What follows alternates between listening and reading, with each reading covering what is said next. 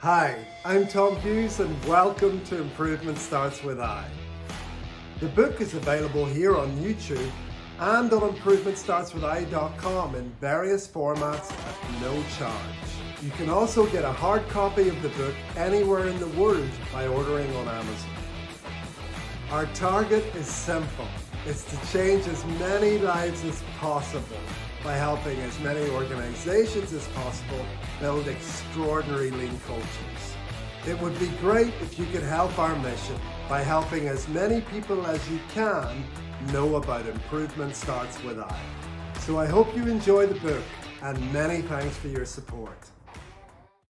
Welcome to Improvement Starts With I, written and read by Tom Hughes. The foreword. Hi, my name is Tom Hughes, and I wrote this book to help people understand what lies at the heart of any great lean transformation. My objective is to provide a prescriptive step by step manual that solves the problem of people and organizations that want to get started on that journey but simply don't know how. So let's start with the big fundamental question What exactly is lean? This might seem like a very obvious question, but I'm asking it because more than 98% of people who think they have the answer get it wrong. I say that because while there are certainly hundreds of companies around the world that successfully do lean, there are thousands more who completely miss the point. They have tried and failed, or even worse, fool themselves into believing that they are authentic lean companies, when in fact what they really have are limp, boring, and wholly uninspiring cultures. If the atmosphere is like that, then it just is not lean. So I've written this book to help you avoid the potholes that so many companies have fallen into.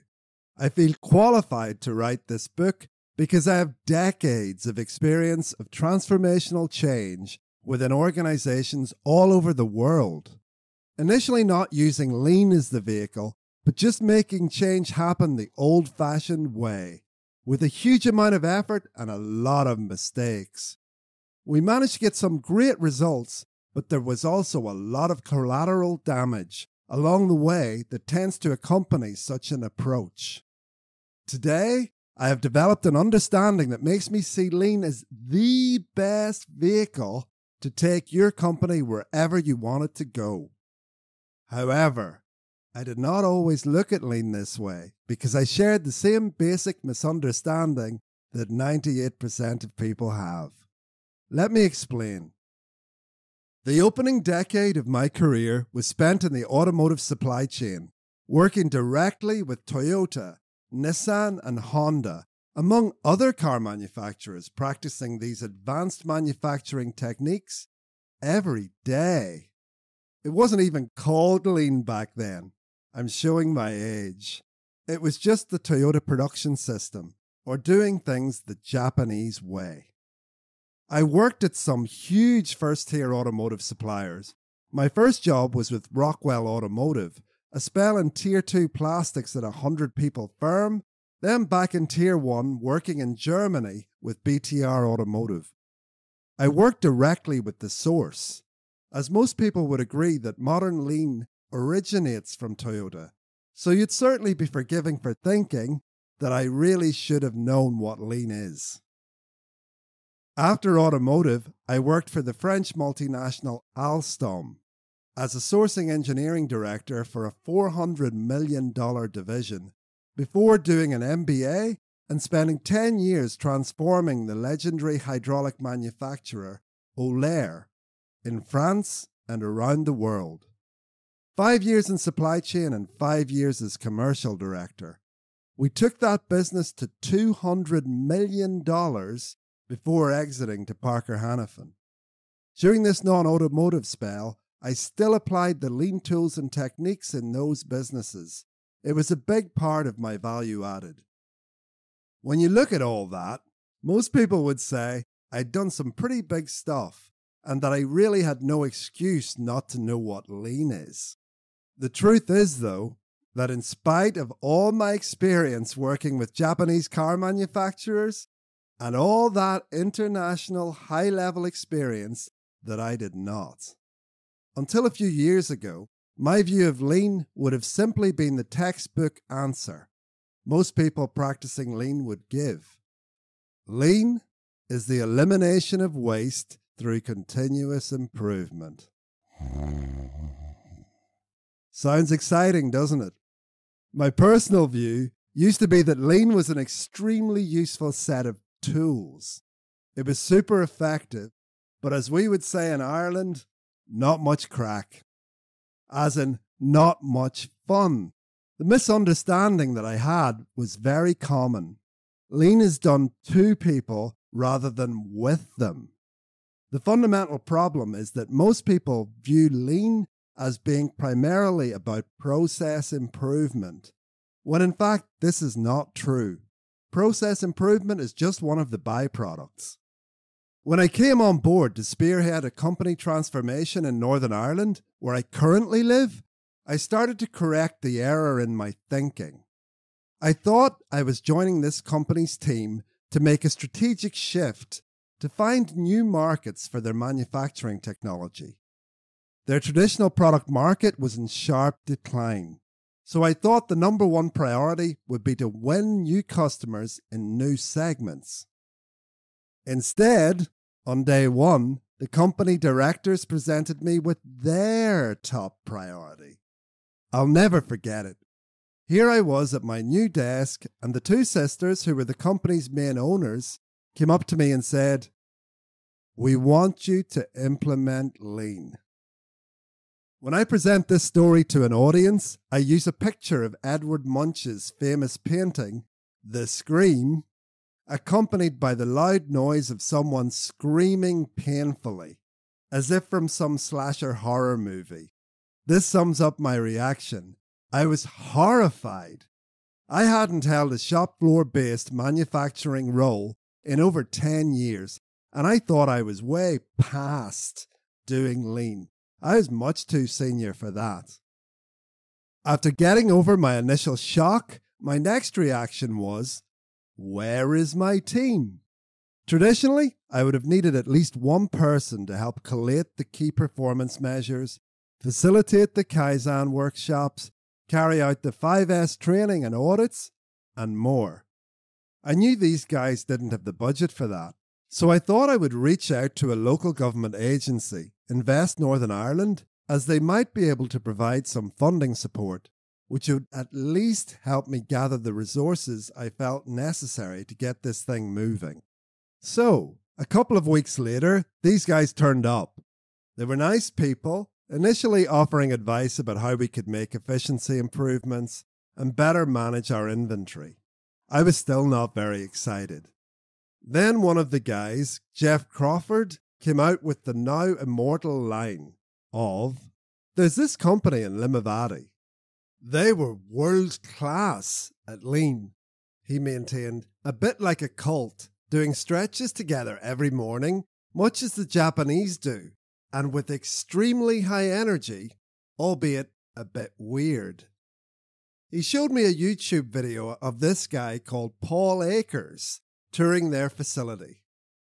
Visually, it blew me away. It really did. But the sheer energy I witnessed that day blew me away even more. Here's a clip of that video just to give you a flavour. Hi, everyone. I want to take you on an amazing lean journey to Northern Ireland to a company called Seating Matters. It has about 50 or 60 employees, and they're changing the world of healthcare seating. Now, this is a family run company. Three brothers started it, and they're absolutely incredible. They asked me to come there to speak to them and inspire their organization, but the truth of the matter is, they inspired me, and hopefully, this will inspire you. I'm at Seating Matters, and you are going to see the most incredible tour you've ever seen in your life. Buckle up because they make awesome chairs that are going to help your elderly parents and your loved ones. Let's go. I refer to lots of videos in the book. Sometimes we will have a clip here, but most of the time, the links are contained in the video description or in the resources section of the LeanPlay app. There is an icon for the resources at the bottom right hand corner of the play screen in the app. Sometimes those links take you to a website, but most of the time it's to a YouTube video that's referred to here. If a picture says a thousand words, a video says a million. So I really recommend that you check them out as you come across them. They add immeasurably to the improvement starts with I experience. Anyhow, back to the story. I was fortunate enough that Jeff gave me the number of Ryan Tierney, one of the directors at Seating Matters, who was beyond helpful when I reached out to him on WhatsApp. Ryan said I needed to read a book called Two Second Lean, written by Paul Akers, the guy in the YouTube video. He also told me that Paul himself was very open and easy to communicate with. He recommended I reach out to him. I thought this was highly unusual. This guy is a famous author, and I can just drop him a WhatsApp message and he'll get back to me? It seemed a peculiar prospect. Anyhow, I didn't do that at first. To begin with, I downloaded the audiobook on Audible and listened to it on my way home that night. I had a one and a half hour commute, so by the time I got home the following evening, I'd listened to the whole thing, as the book is less than four and a half hours long. I will give myself credit for once. I got a lot of the book's thrust during that first listen. I listened to it more than a dozen times since, and I liken it to good scripture. Each time you visit it, you get something new at another level. The revelation for me was this instead of me and maybe a right hand champion of lean type person, along with a few select others in the organization, doing lean, two second lean was a completely different approach.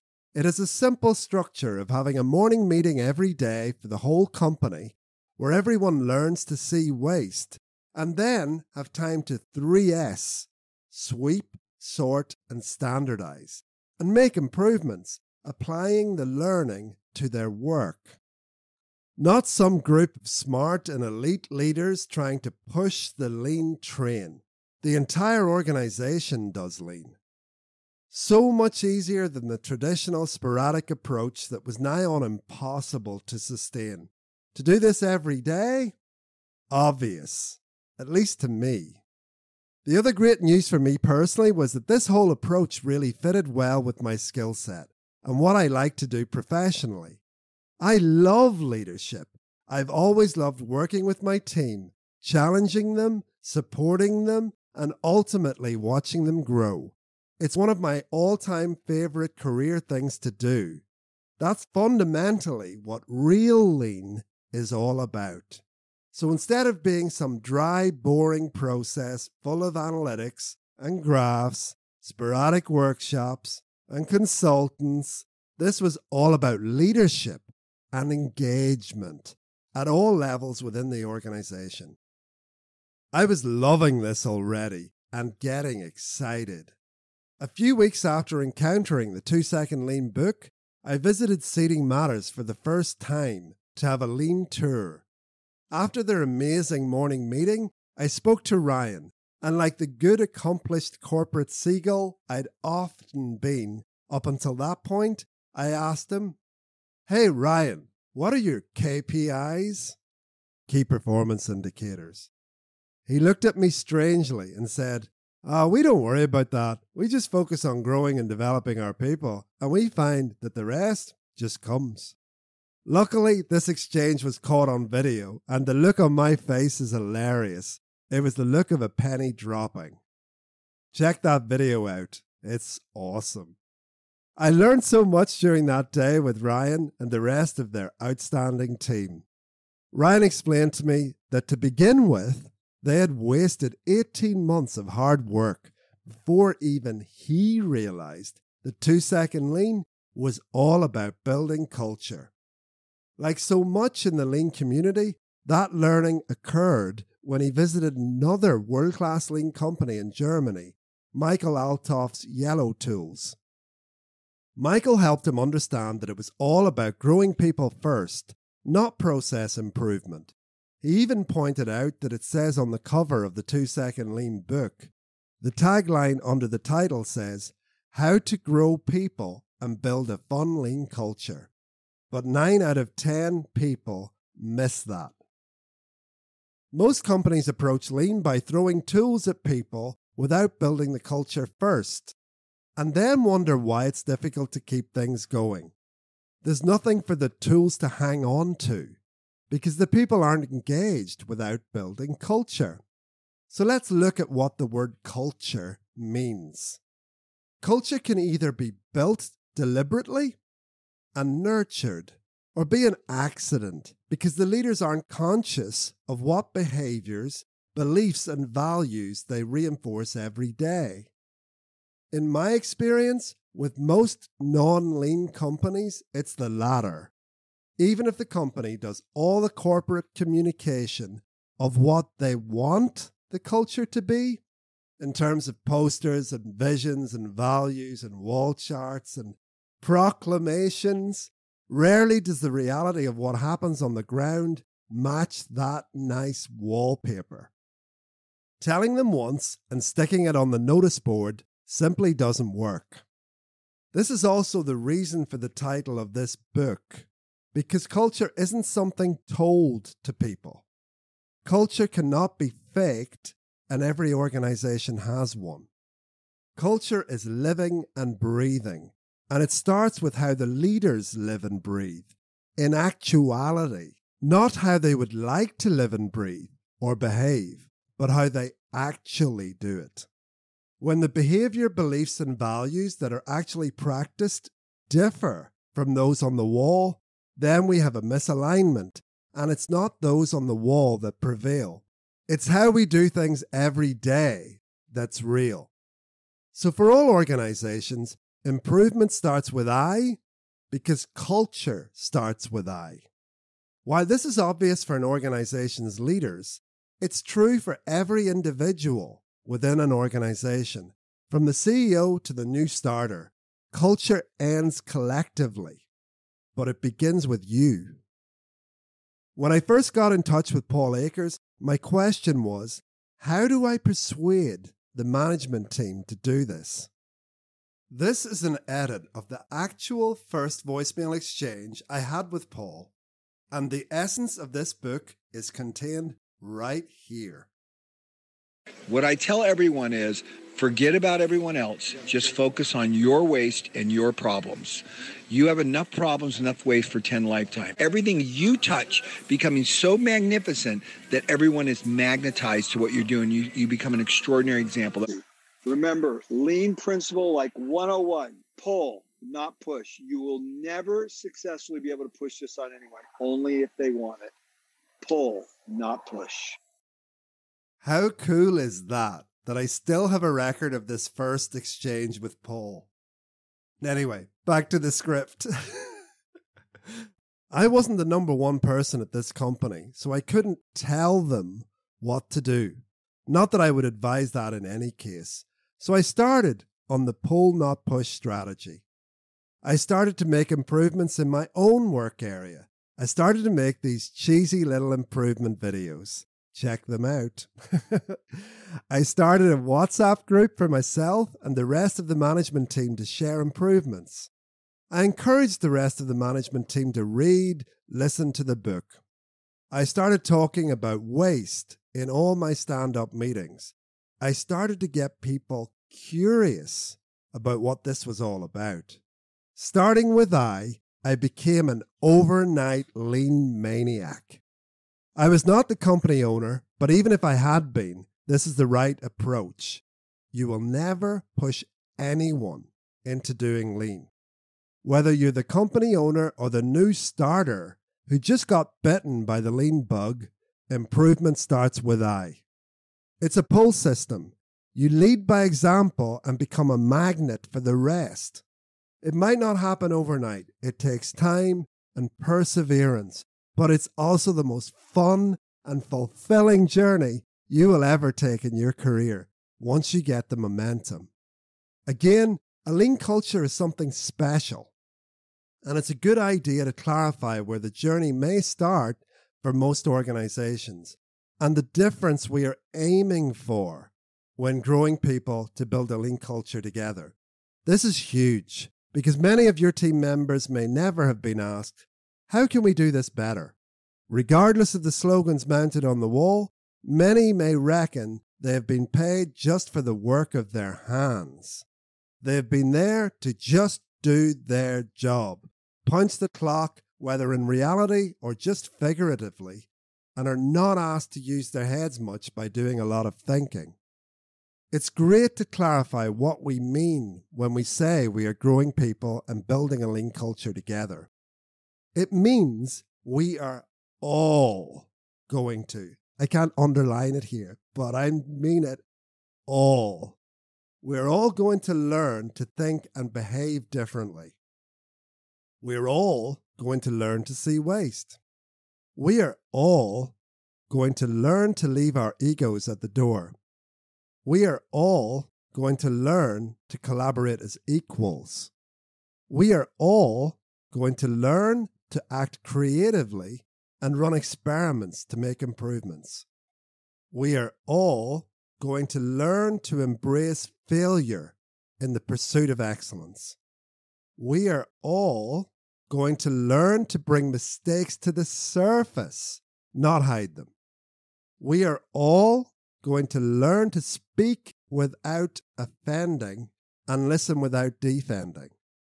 We are all going to learn to have fun, getting better at what we do every day. We are going to build strong, cohesive bonds in our entire team. We are all going to take pride in becoming the best in the world at what we do. This is what growing and developing people means. That's the bar. It's about stimulating each of us to want to do this and learning to be able to do this. Some of us will get it straight away, others will take longer. Others still might be repelled by it and never get it. Led properly, though, that number will be few, as the vast majority of people would much rather come to a workplace where they are truly valued, respected, and encouraged to grow. I would argue that the prevailing attitude in the world today is everyone wants everyone else to change, to make the world suit them. It's a lazy, passive attitude, and one that means you as an individual are disempowering yourself because you're in control of nothing. Everyone else is doing it. Improvement starts with I means that when there's a problem, you look at what you can do about it, how you contribute, and what you can change. This goes from the top to the bottom of the organization chart. I've lost count of the number of times I've interacted with a leader, manager, or team member who says, Why won't they do X? Or why aren't they doing Y? When I ask, Well, are you doing it? The answer is always, and I mean always, the same no. Along with some mumbled phrase like, uh, I hadn't thought of it like that. You can't sell what you haven't bought yourself. Be the behavior you want to see. The simple structure and discipline of a morning meeting builds culture and solves this problem when executed with purpose. This is because expectations are set and behavior is reinforced as a team with every single person, every single day. No ambiguity. It is so beautiful in its simplicity. It was only a week or two after my first visit to Seating Matters that I started on my own lean journey with that first company and began to really apply this principle. Since then, I've been extremely fortunate to have had the opportunity to lead or help other people get started on theirs. This has led me to develop an overall process to create the environment and make the most of that system every time. It works to drive engagement, improvement, and results in a variety of environments. In that order, hands, well, everybody's doing that, whether you're lean or not then hearts, then heads. This is a really important point to make this early on. That is the order of proceedings engagement, improvements, results. That's the process and it's simple. If you can pick up a broom, you can be engaged. We all can. And to be successful, we all must. From the CEO to the junior starter, from the office people to the operational staff, no exceptions. This levels the playing field, building mutual respect for everyone, regardless of their place on the organization chart. Everyone realizes that they matter. If everyone starts to raise standards by cleaning the work environment every day, they will soon begin to ask questions like this Do we have enough brooms? Management, can we buy more brooms? Yes or no? Will management support us? Why do I struggle to find brooms every day? Hey, we need a place for each broom. Maybe we should standardize where they're kept. Where's all this dirt coming from anyway? Could we fix it at the source? Why is X broken? Why do we have so many of? And so on and so on and so on. As we develop, we find more problems when we clean. We ask more and more questions. And providing that leadership support appropriately, that foundation of engagement is layered with knowledge. We see improvements, and as we become more productive through countless improvements, we get those results. Too many people fail because they want results straight away, or even improvements. It simply doesn't work that way. Lean is built on hearts. It's built on engagement. Like Ryan Tierney says, if you get that, the rest just comes. As we say in Lean, everything in life is a process or the outcome of a process. And the process we present in this book adds even more clarity to the content of Paul Akers' book acting as a set of stabilizers that can help you avoid some of the pitfalls if you just do it. Our process consists of the five C's. Number one, candor. Number two, commitment. Number three, coaching. Number four, consistency. Number five, continuous learning. These are the key steps you need to go through in order to really do lean. If any of them are missed, you will fail. It's like a bird trying to fly on a broken wing. You and your organization will flap around a lot, but your efforts will not get off the ground. All of them require effort from the individual and collective energy from the organization. But when you put in that energy to build the new culture, the energy required to sustain it will be less. It's like building a new habit or quitting an old one. It can be tough at the beginning, but it gets easier. Improvement starts with I can help your organization become a shining beacon of success, making your life easier and more fun without the normal daily friction and firefighting. It's a simple process, but not easy. Like Michael Althoff says, lean is hard work that makes life easy. I often use the imagery with an entire client organization of people driving to work with their fingers tapping on the steering wheel. Is that you right now? Well, would you like it to be? If so, read on. P.S. At the end of each chapter, I list the key takeaways for that given chapter. I hope you find them useful. Enjoy the book. Takeaways for the foreword. Most people misunderstand lean as being primarily about improving processes, when it is really about building culture and growing people. And that starts with each of us as individuals. I.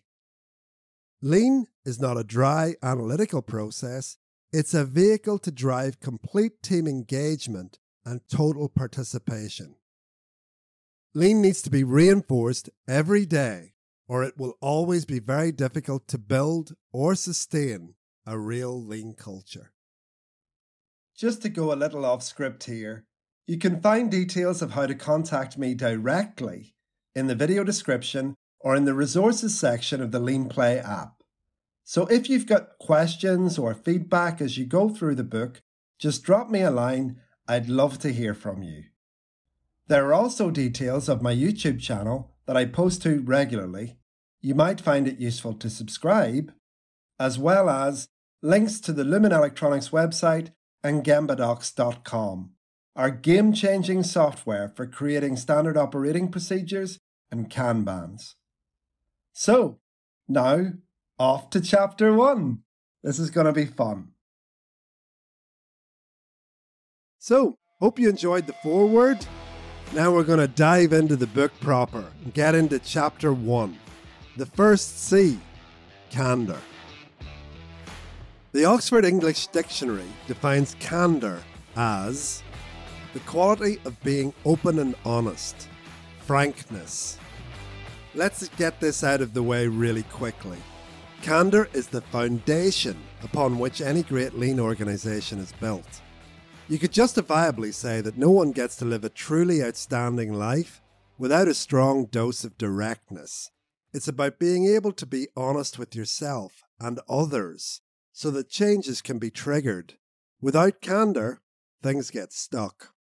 Rather unfortunately, though, candour has become an increasingly rare commodity in today's society. From our education systems breeding a culture of awarding everyone a medal, to parents only wanting to be positive with their children. It has led to a situation where real candour can be considered shocking. That conditioning over recent decades has led to the common belief that nice is good and directness is rude. Quite frankly, it's a shame. The result of this inability to be honest with oneself and with other people leads to a huge amount of dysfunction in our lives. I'm not just talking about the workplace, but also in our personal lives.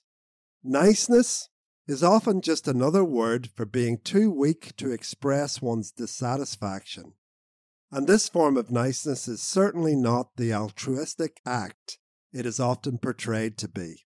The thing is, making that choice to be nice but weak, or direct and candid, is a personal one. And that's why we can say that candour starts with I. Often, people take the nice option because it's easy in the short term. However, being too nice is often the root cause of why most companies have internal dysfunctions between owners, individuals, and departments.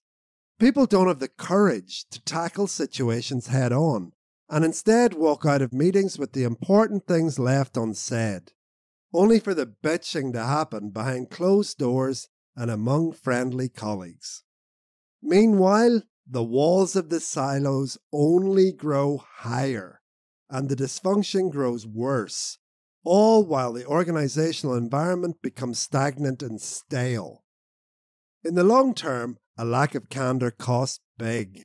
My good friend Alex Ramirez, a 25 year oil and gas veteran of senior positions and who was responsible for probably the best lean culture implementation in the world during 2020, I kid you not, told me a great story about how candour had impacted his lean journey.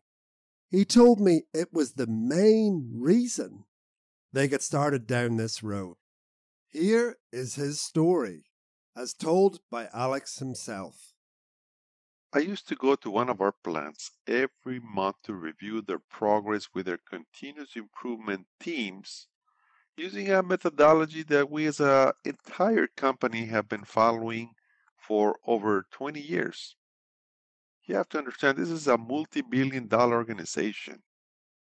The system was very strong, but it was tedious, systematic, and very tool driven approach that had our guys presenting data, discussing problems, which sounds good, but there is a lot of waste in that process. We were focused more on using the tools and many tools that we had. They're very good tools. And focused on presenting the graphs in a nice little dashboard that actually having really people focused on just fixing what bugged them. At the time, we had a recent new plan manager, but it was a veteran from inside the group. He was someone that I really trusted, a great guy, and we could speak candidly. And so I asked him this question Hey, why is it not working? Why is it that every time I come to review the continuous improvement teams, it's just not working? And he looked back at me right straight into the eyes and said, Alex, do you really want to know the truth? Hey, of course, dude. What the hell? I answered. Then he replied, Well, Alex, honestly, we are just putting a show for you to make you happy. We want to comply with the standards and we want to follow it by the book.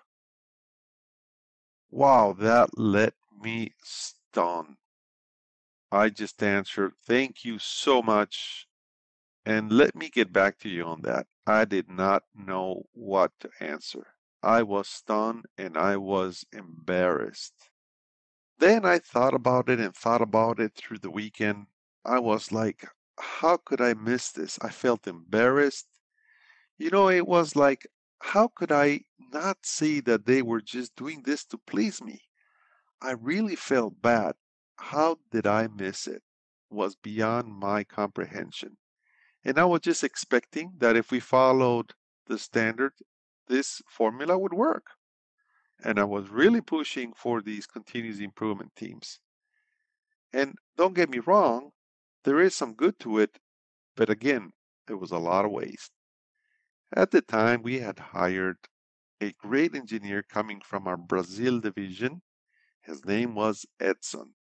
He showed me two second lean. I'm going off script a little bit. I remember the day that Edson came to me and said, Alex, Alex, there is a option out there, but I know that as soon as I show you this, you're not going to follow the standard. Matter of fact, you're not even going to listen to me. And I was like, come on, dude, show me what it is. Back to script.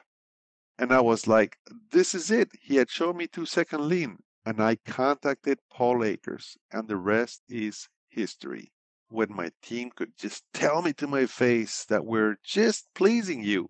This stuff doesn't work. It's just more of the same. I had a big hansei to myself. This means a self reflection in Japanese. And what I found was that I was offering these guys something not worthy. And it is hard because that is the corporate norm. That was our standard. You apply the continuous improvement team methodology and you expect to have the results, the full engagement. It's just following the book. I was being a good student, but then having to take that decision to having to go somewhat against the establishment, something that is going against 20 years that we have learned was not totally good. I need to find something better for these guys.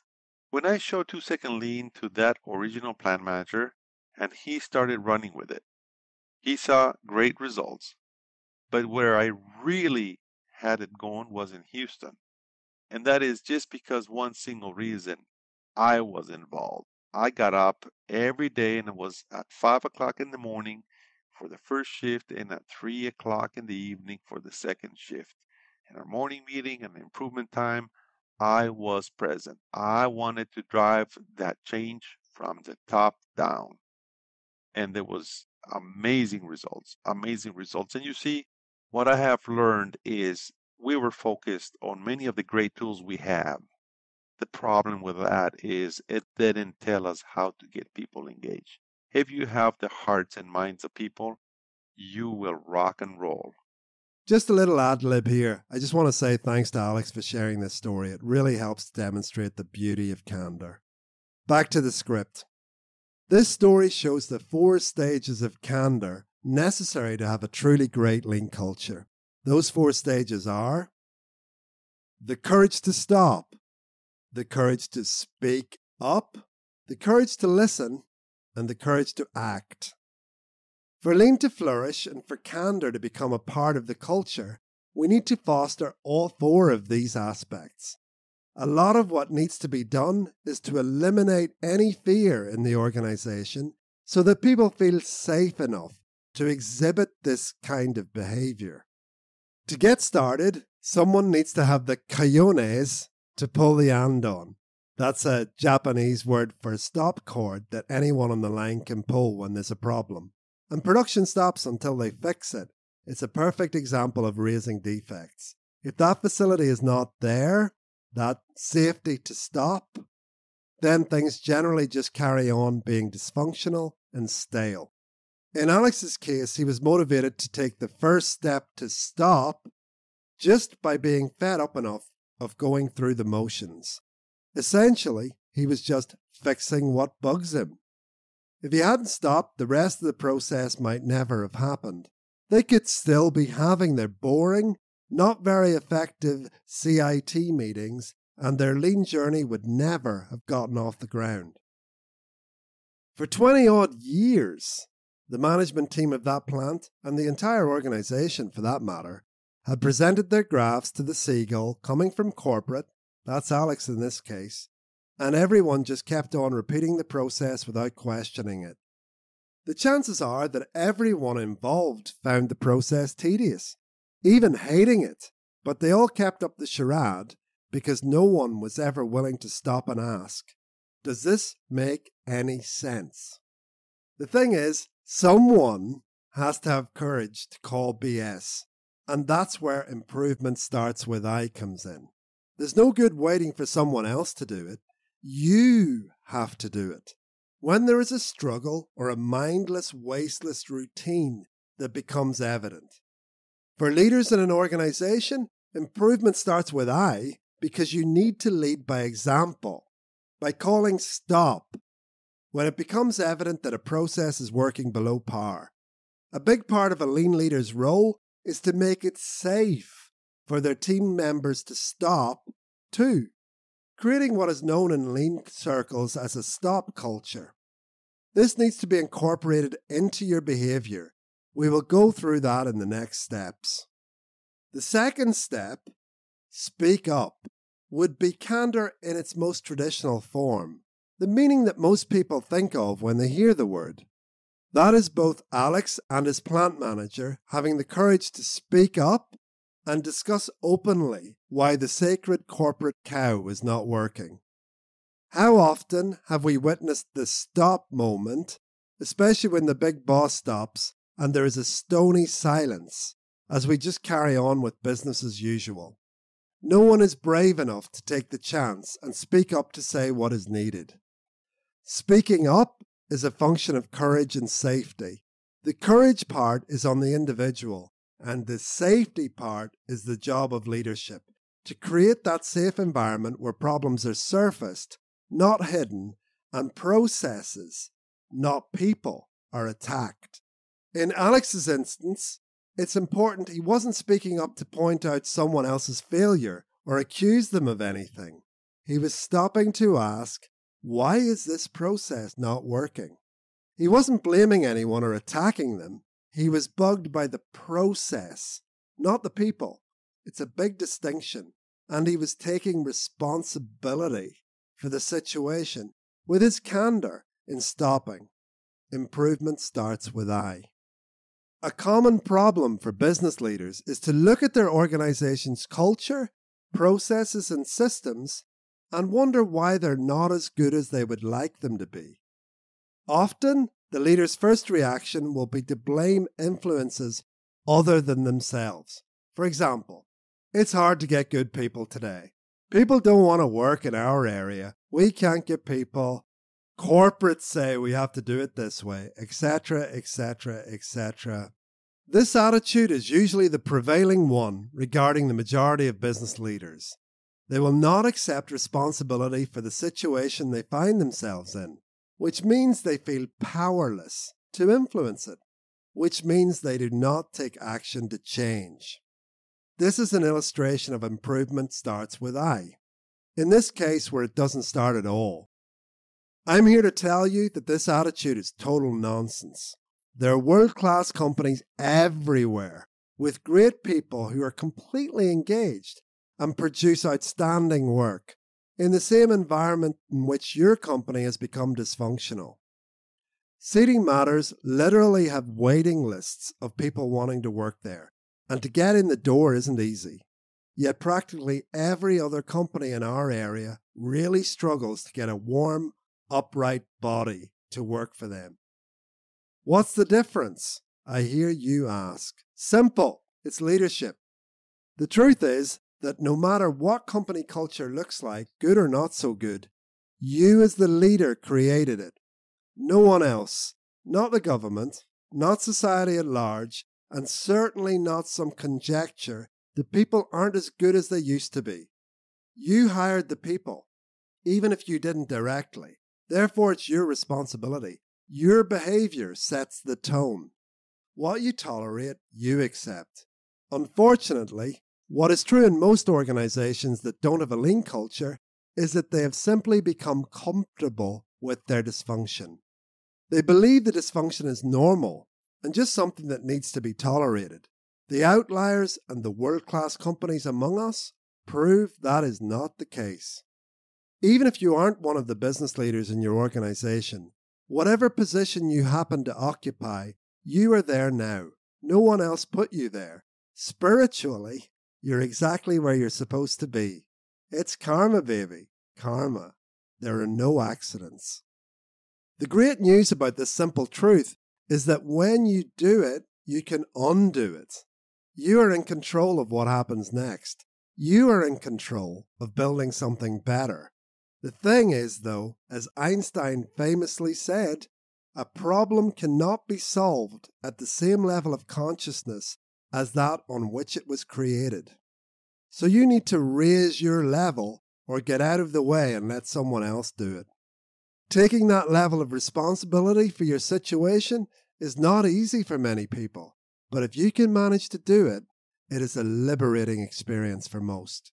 It can be quite stressful trying to control other people, as well as any external factors that might arise. When you take this level of responsibility and the realization that you did it, then your first job is to assess yourself and your own contribution to the current status quo and work on that. This can get really deep, and some fundamental questions call for real candor. You need to ask yourself about how you see not only the world, but your own attitudes and beliefs that will determine whether you have what it takes to be a real lean leader. For leaders, it's about believing that people are fundamentally good and actually want to do a good job. We can see that Alex had this deeply held belief even before he consciously started on his real lean journey. If your belief system includes thinking that people are just not built that way and will do as little as they can get away with and can't be trusted, then it's going to be very difficult for you to be a leader within a lean organization. Lean leaders come out of the box with a deep caring and respect for people. If that isn't an already embedded character trait of yours, then it's very hard to learn and impossible to fake. Essentially, to have that, you need to have humility towards others in a certain way, which means that you don't actually believe you have all the answers. Your entire team can contribute towards creating a better company. Lean leaders think their team has all the answers. Managers, those are not lean leaders, but occupy a supervisory position on the organization chart. They think that they themselves have all the answers and that the team just needs to be told what to do. If you're in the latter camp, you need to change this attitude or start polishing your resume if your company is serious about leading a lean future. We recently discussed this in the Lean Maniacs group that's a chat group on Signal founded by Dave Lalonick of StickyRx for lean people to share best practice and improvements. It's amazing. Anyway, back to the script. We were discussing the difference between the three types of leadership. Dictators, they're just people who tell people to do it my way. Empowerment types, who just tell people to do it your way with little or no guidance. And finally, lean style, who say, Follow me and we'll figure out how to do this together. This latter style is what we're after. In this way, lean leaders aren't telling, but are much more about asking. Not giving prescriptive solutions to the team, but helping them solve problems creatively, never relinquishing ownership for the challenges. When leaders give people answers to their problems, in a way, they also take responsibility for solving them, which is not a good thing for anyone involved. No one grows in this scenario. I had some early training on this in my second automotive job when I was a young quality manager. Every morning, I would do my rounds of the plastic injection molding shop where I worked. There were around 40 different machines in production areas. This led me to want to know about any ongoing problems that my nature immediately made me want to fix for my colleagues. Not because I was a dictator, but simply because I was a good natured chap who didn't know any better. Thankfully, my operations director above me could see what was happening. By the time I'd finished my round, I'd get back to my desk, heavily weighted down after having collected at least half a dozen problems that I'd personally taken on the responsibility for solving. He said to me, Do you know that you've just picked up a bunch of monkeys? I replied I had no clue what he was talking about. He described the process of me engaging with one of the tool setters on problems with the setup. He said, He is a problem a monkey, and he wants to give it away to someone. He sees you coming and he's very happy to let you have it, for that monkey to be put on your back. When he explained the scenario this way, the penny dropped. His advice was to help, coach, support, and ask questions, but never to accept the monkey. Keep it where it belongs. It was great advice that has never left me. Keep the monkeys where they belong. It's better for everyone.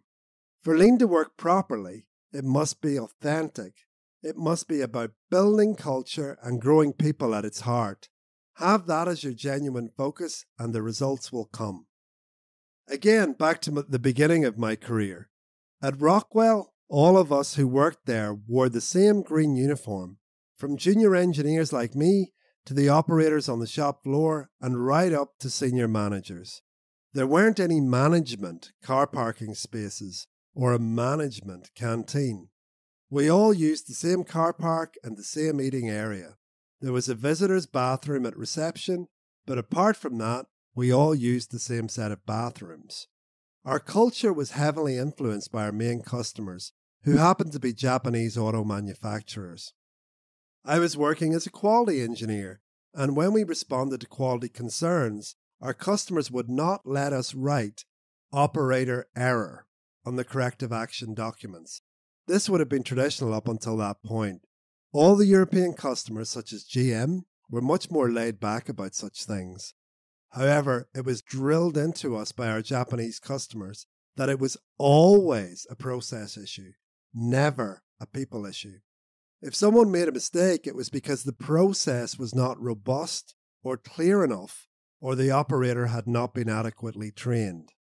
There always had to be a real root cause, a process or a system issue. We could not just blame the individual. So I had these beliefs and attitudes ingrained into me within this environment, and therefore I felt that I already got lean at this level. If you're reading this and these points resonate, brilliant. If that doesn't sound like the kind of environment you would enjoy, it could be time to reflect. Coming back to our Alex example, the original plant manager trusted him because he already knew that Alex walked and talked these values, so it felt safe for him to speak up. If you want to have real candor within your organization, it's especially important for the leaders to start thinking and acting in this way. Make it safe for the people, yet attack bad processes every day. As for the rest of your organization, be brave. When you see a problem that is in your area, within your scope of control, speak up and get on with the process of addressing it. The third essential component of candor is the courage to listen and introspect. When we listened to Alex's story, he received information that on the one hand he asked for, but on the other, and this is important, it's a problem that he would rather not be hearing. This is a component of candor that is rarely talked about. Everyone focuses on giving out feedback, but what good is that if we don't have an environment where that candor can be respectfully received? We had an expression that my leadership mentor at Olaer, an amazing gentleman called Angus MacLeod, drilled into us. It was actually one of the ground rules that we would reiterate at the beginning of our international meetings. And that was speak without offending, listen without defending. It would have been so easy for Alex to go into self defense mode of fight or flight when the plant manager told him about the corporate wallpaper they had been putting up for so long. It can seem like a personal attack when someone points out a failing in what you've been doing or how you've been behaving, which is why, even when we are giving candor, we should be careful to be as respectful around the language we use as we possibly can be, especially when a situation is heated. It is something that requires self control. In Alex's case, he felt foolish. He had been part of this charade for years. How could I have missed this? In my experience, it takes a deeply secure person to be able to receive candor like this. Insecure people tend to puff out their chests and go on the offensive, or try to deflect the problem. Of course, if our environment is like that, who's going to exhibit candor? Only the very brave or the very stupid. Secure people have the maturity to be bigger than their instinctive drive to go into fight or flight. They can take a deep breath, relax, and ask for more dialogue. Instead of trying to run away or defend, they can lean in and ask for more to get to the why. That type of behavior might not be natural for everyone, but with practice, the response can become habitual. We need to build a culture that drives out both fear and makes it safe for people to surface problems. To build candor, it's safety first. The fourth essential aspect of candor is to act. Angus also used to use another quote Vision without action is a daydream. Action without vision is a nightmare. I've since found out that it's commonly claimed to be a Japanese proverb, or has sometimes been attributed to Soichiro Honda. At the end of the day, we can have all the stopping, speaking up, and listening, but if it's not followed up by action, wasn't it all just hot air? Alex realized that he had to offer something else, and when he was presented Two Second Lean by Edson, here was the solution to take into action. By doing so, he finally allowed the innate energy of the organization to express itself. If we take a step back to reflect, I'm sure that everyone reading this who has ever worked in an organization of more than two people can relate to this simple four step candor process.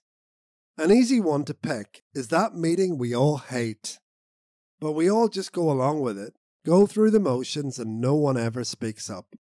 My own personal worst example of this was when I worked at Olaer, and our CEO insisted on bringing together around 20 of the most senior people in the company, most of them managing directors of entire countries, for two days every single month. It was the worst organized meeting structure I've ever witnessed. Sorry, Mike. Typically, the agenda tried to do far too much. Everyone's presentation overran its timing. Then we would try to make decisions on strategic issues. That was the worst part. Trying to make a decision with 20 odd, strong willed people was just like pulling teeth. I likened those discussions like making the decision to operate on someone, opening them up, poking around for a few hours, and then just leaving them wound wide open. It would have been better all round if we'd never bothered in the first place, as all we did was create a lot of damage in terms of arguments and bruised egos without having resolved anything. It was also common practice for people to sit answering emails on their laptops while someone presented to the group, which I found desperately rude. The meetings started at 8:30 in the morning and rarely finished before 7:30 at night. It was exhausting. They were the only times that I genuinely thought about resigning from the company that I dearly loved, and that's the absolute truth. Eventually, I just had enough. I pulled the stop cord. I cornered my CEO, now a good friend called Mike Blenkinsop, and I had the courage to speak up. I told him that I thought the meetings were blank. Hardly speak without offending, but I don't pretend to be perfect. I told him about the worst issues and asked if I could have the opportunity to run it my way. He found it unsettling but to his credit, he listened anyway. In the end, he was happy to agree because he hated running them too. So, in the end, it was not that difficult to act. It's amazing how it often takes just one single person to exhibit candor about a bad situation, and then everyone heaves a sigh of relief that someone has finally broken the cycle. It wasn't my job to take responsibility for fixing this problem, but that's what lean people do. It doesn't matter where we sit in the organizational chart, we step up and take total responsibility.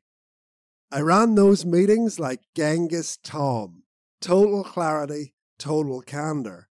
Every meeting started with the ground rules speak without offending, listen without defending, no open laptops or answering emails during the meeting. Every presenter would have the full and respectful attention of all present. Half hour breaks were planned, allowing people to socialize and attend to urgent operational issues. We had strict agenda and timings. Everyone who presented had to send me their presentations at least three days before the meeting, and I would vet them for quality and quantity of content. No more 80 slide presentations for a half hour slot. I designed the meetings to be predominantly about one way communication, one person to many, no big discussions. Anything that needed a decision I asked for a show of hands of people who cared passionately about subject X, and they could form a working group that would present back to the entire group on their decision at the next meeting. No more endless open heart surgery discussions. We finished and started on time, so people could chat informally, socialize, and build connections, which was the real reason for the meeting in the first place. It was just a black and white transformation and everyone, and I mean everyone, just loved it. We all really looked forward to the meetings, so fun and productive, and having the time to build friendships. It just takes one person to exhibit candor, and that pent up, frustrated energy can be released. That one person can be anyone. Improvement starts with I. I recently discussed this kind of candor with one of my lean buddies Brannon Burton of Sunrock Construction in the USA. And he told me about a practice he does with new recruits that blew me away. Here is Brannon to tell you about it himself. Being candid can be really tough, particularly when a new employee comes in. The problem is they don't know very much about you, and when you have to give them correction in the future, they may think they're in big trouble or that you're going to fire them. In order to get around this when I first meet with an employee, I like to set a new expectation so they know how I work, and I usually say something like this. As you start your career here at Sunrock, I want you to understand a little bit about how I work.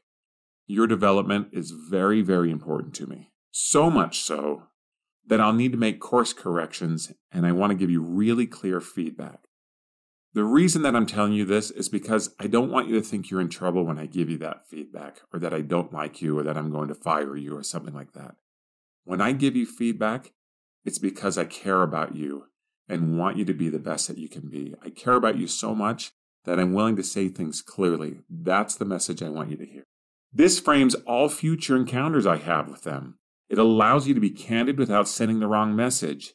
These are messages of care and concern, not disgust or aggression. The really important message here is it's not about the person delivering the feedback. The energy behind it is a giving energy. It's there to help the person receiving it. Thanks, Brannon. Like many people, he himself finds candor difficult. Taking this approach allows him to set the groundwork. There is nothing wrong with you. This means they will know early on if there are course corrections they need to make.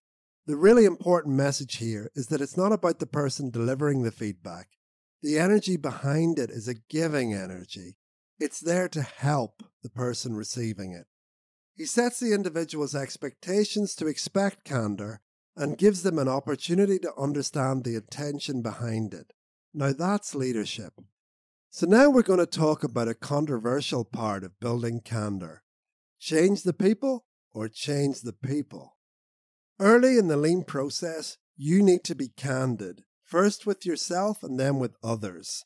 If your team will not 100% authentically align around lean, you will always be pulling a dead weight. a long road of frustration. For the employees of a company going through a lean culture transformation, the majority of people will absolutely join in if the leadership does a good job of starting with themselves. It's a pull, not a push process. You will never push anyone into doing lean. In my experience with creating change in organizations, there will always be early adopters who get it straight away and want to run with the change. Great. Encourage them and give them tons of recognition to pull the people on the fence to come on board. That will be a bigger group who will want to wait and see. And they're asking, are they really serious about this? We could view them as the silent majority. When you start having morning meetings, you will know exactly what I mean. There can be a variety of reasons for this. It just takes most people time to understand what is happening and buy into it. The leadership needs patience around that. We'll delve more into that later in the book. There are also invariably people who just don't enjoy lean done in this way. They think that they're above it. That's the candid truth. What's all this waste business? I know this already. Why do we have to do this every day? They don't open their hearts to it and resist the change in their minds. Often these people were doing really well in the old system of tribal knowledge where they held power because they were the best firefighters and on some kind of pedestal for that. Playing as equals in the team can be a big dent in their ego, so they resist. Now, it's not that these people can't be won over with great leadership. They certainly can. However, my advice is to be honest with yourself. Be really candid. Are you willing to make the hard changes that might be necessary to win a fantastic lean culture? Sometimes those people will just have to go. I've personally seen it too often, in a family business, for example, where the lean guy is constantly frustrated at the culture not taking hold, without realizing it's the lack of alignment in the senior team that his people experience every day that is holding things back.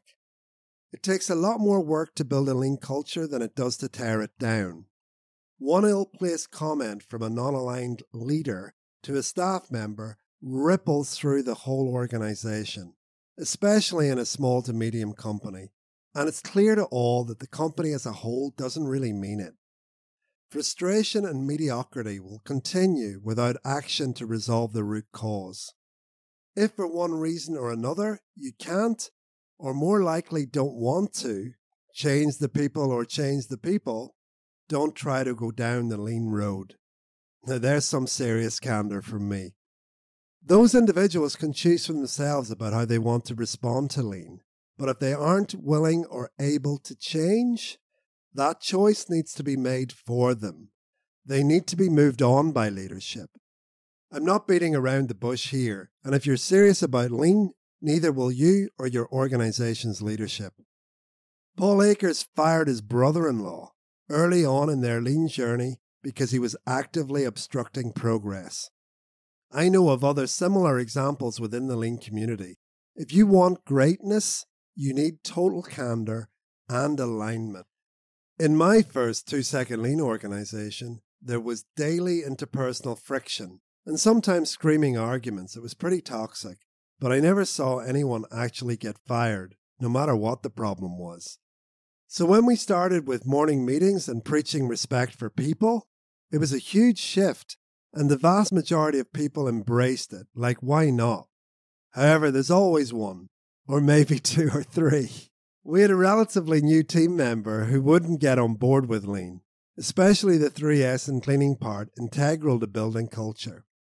He eventually told his team leader to blank off and tried to intimidate him physically. When I heard about this, I told the senior team that he had to go, no exceptions. I encountered the we're struggling to get people and he's really good at X arguments that many reading this would have heard before. I responded that this level of disrespect had to be met with zero tolerance, no exceptions. None of them wanted to fire the guy, though. You do it, I was told. Well, improvement starts with I, so I took responsibility, got on the phone with the guy, and fired him on the spot. With candor, I told him exactly why. That kind of behavior would never be tolerated here. He couldn't believe it, as he had bought into the story that no one was ever fired from this place. The next day, in the morning meeting, I told the rest of the team that he was gone and why, and that things were changing. I'll be best friend to those who want to get on our train and be patient with those still getting used to the idea. But if you're actually against us, I will enjoy firing you. Not because I'm a nasty individual, but because I see it as the right thing to do, so that the rest of us can have a world class place to work. Candor like this breeds clarity, and generally, people like that. The short term, easy route would have been just to go with the flow of the senior management team. But improvement starts with I, especially when it comes to candor. When I worked in France doing a culture turnaround, one of the French senior managers told me this phrase Pour encourager les autres. It comes from the times of the French Revolution and means to encourage the rest, used in reference to public beheadings by guillotine. It's simple. If you were a leader, you might have to encourager les autres if someone is blatantly not getting on board with the change. It shows that leadership is serious about the change and differentiates between those that are coming on board and those that are not. If leadership openly tolerates people fighting with the system, soon the others will ask themselves, why am I bothering? And stop putting the effort into lean. Don't measure the evolution of your organization by the behavior of those at the top end of your lean engagement. Measure it by those at the bottom. If you're one of the autres, it's time for you to change or be changed. Either get on board or find somewhere else to pursue your career. Now, there's some more candor for you. A common problem is the we can't do without X person phenomenon I mentioned above. Even though this individual behaves like an a hole and you've had umpteen conversations about it, they don't change. However, they've got so much knowledge or are such a hard worker that the leadership team is worried if they can survive without them.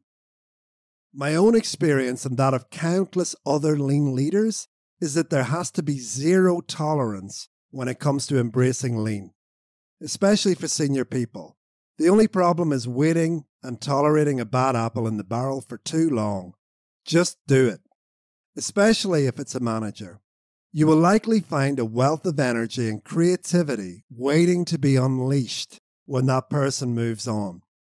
No one is bigger than the company, and even if there are a few weeks of disruption while you work out how to fill the gap, it is always much better in the medium term. If you move people out, make sure you apply a good screening to anyone you move in. One screening tool we use at my company is to get people to read two second lean during the recruitment process and then quiz them on it. Either they get it or they don't. And if they don't get it, we don't let them in. With time, your internal lean culture building process and a filter to only bring great people in, your culture will only get stronger and stronger. Change the people or change the people. We have looked at the process of aligning individuals within the team with lean using the change the people or change the people approach. But often there are things beyond the individual and even the department level that will inhibit lean from taking hold within an organization. From experience, I've found that in particular, the organization's key performance indicators, or more specifically any departmental targets, can be a huge cause of friction, conflict, and internal dysfunction. I've seen these patterns repeat over and over.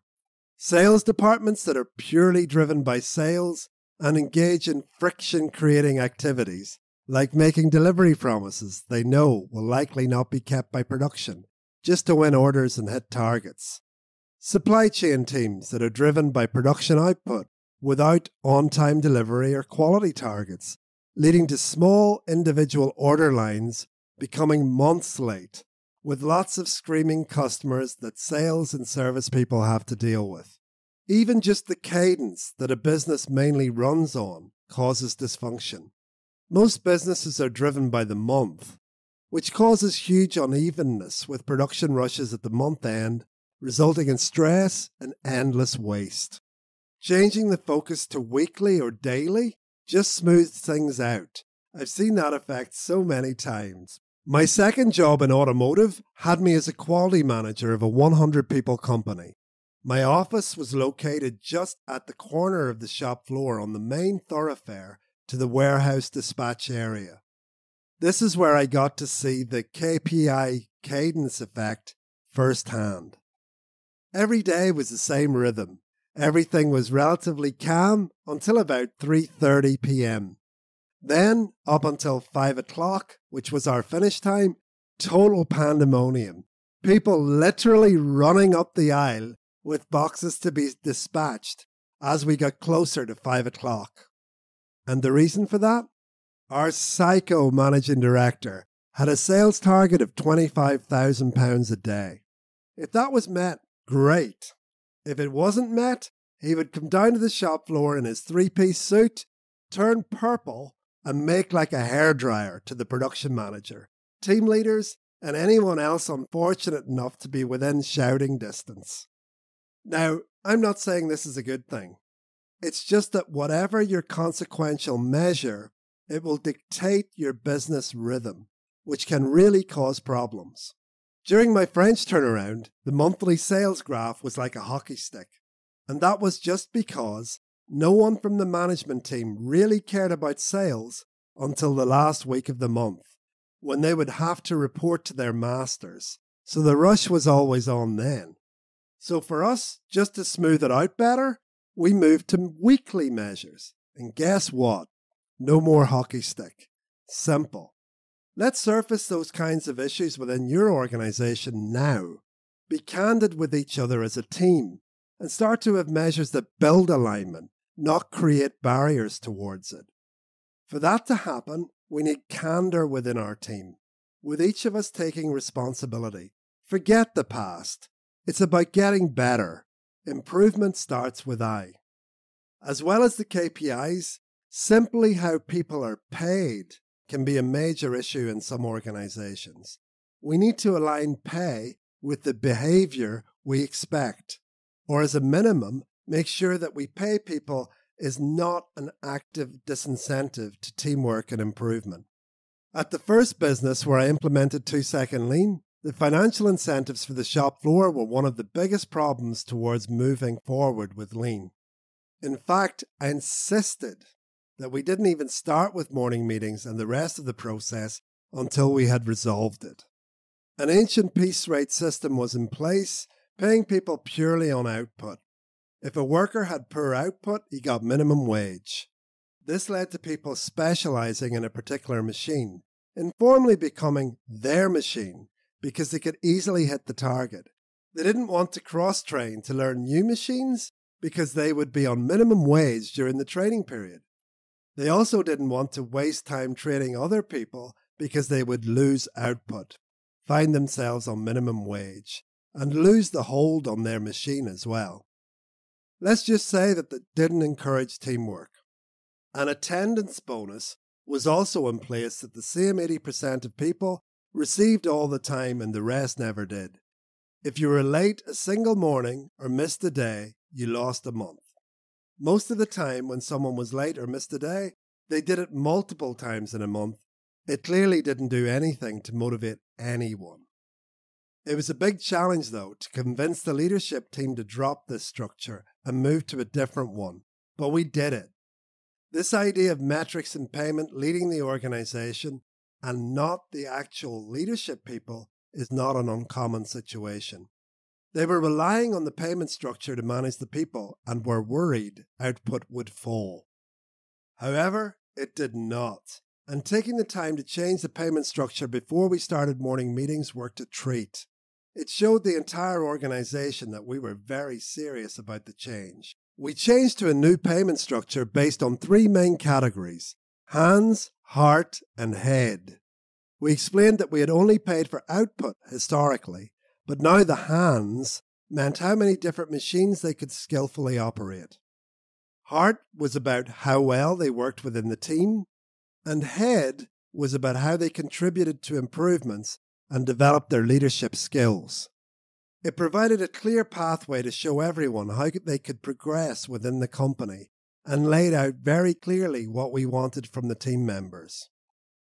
The two main business owners and I sat down with every single team member face to face and explained the change, why we were doing it, and that lean was now the only way forward. No exceptions. We took responsibility to communicate the change effectively, eyeball to eyeball, with candor. Incidentally, we even changed job titles. We moved from operators to team members and from supervisors to team leaders. The second change was most important. The word supervisor intimates that the people need to be watched over because we don't trust them, whereas team leader is someone who is a leader of a team of people. A subtle but very important difference.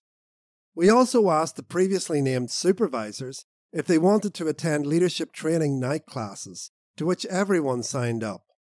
These were all important changes to make to the organization to facilitate the start of changing to a lean culture. As we draw this chapter to a close, I would advise you to think of candor like a muscle, in the sense that you need to train it. Trust me, learning to build this muscle will be one of the best things you've ever done. And as you make that clear to the entire organization, things will only get better. Stop being comfortable with dysfunction. Start to develop a stop culture. When you see a struggle or things not going the way you would like, stop and reflect on what needs to change, always starting with yourself and taking action to fix it. Even the most natural of lean leaders need to practice this, as when things are not going the way you'd like, our natural tendency is to ask, why are they not doing X, Y, or Z. Remember that the first response from a lean leader when a situation like this arises is Am I doing it? Or building on that further, have I created the conditions for X, Y, or Z to happen? Have I created clarity around that expectation? Or have I just told them? Or have I provided a clear, documented process Rarely is the answer to all these questions truthfully yes. You can't sell what you haven't really bought into yourself. That includes how you are building your lean culture. It's never about them. It's always about you. Improvement starts with I, and candor starts with I. Don't forget it. In the book, there's now a picture of a mirror, and underneath it, it says, here's where candor starts. So the takeaways from the candor chapter are as follows. Number one, candor has four stages stop, speak up, listen, and act. Creating a safe space for your organization to act this way is a big part of lean. Number two, examine yourself and your team and commit that you will do whatever it takes to change the people or change the people. Number three, look at your KPIs and incentive methods. Do any of them actively work against lean? Chapter 2 The second C Commitment. The quality of a person's life is in direct proportion to their commitment to excellence, regardless of their chosen field of endeavour. Vince Lombardi. Nothing worthwhile in life can be bought or delegated. Not your physical health, not a skill or an aptitude, not a beautiful relationship, nor an outstanding company culture. An analogy I've used with a recent client who makes high end gym equipment that you'll become more familiar with later after they had visited Seating Matters and wanted the same culture, was that it was like going to the gym and seeing some guy with a 12 pack of abs, a world class physique. You decide you want the same, so you get a world class coach to train you. That's great.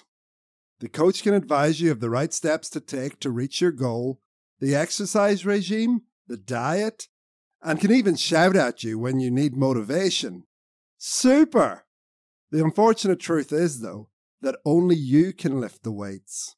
Only you can decide to eat clean and not eat the cheeseburger. Only you can make and keep the commitment to change.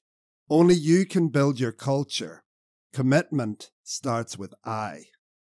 That guy with the world class physique, with the 12 pack of abdominals, didn't get it by just popping into the gym for a few half hours of half assed workouts a week, or by wolfing down a pizza after a dozen beers every other night, did he?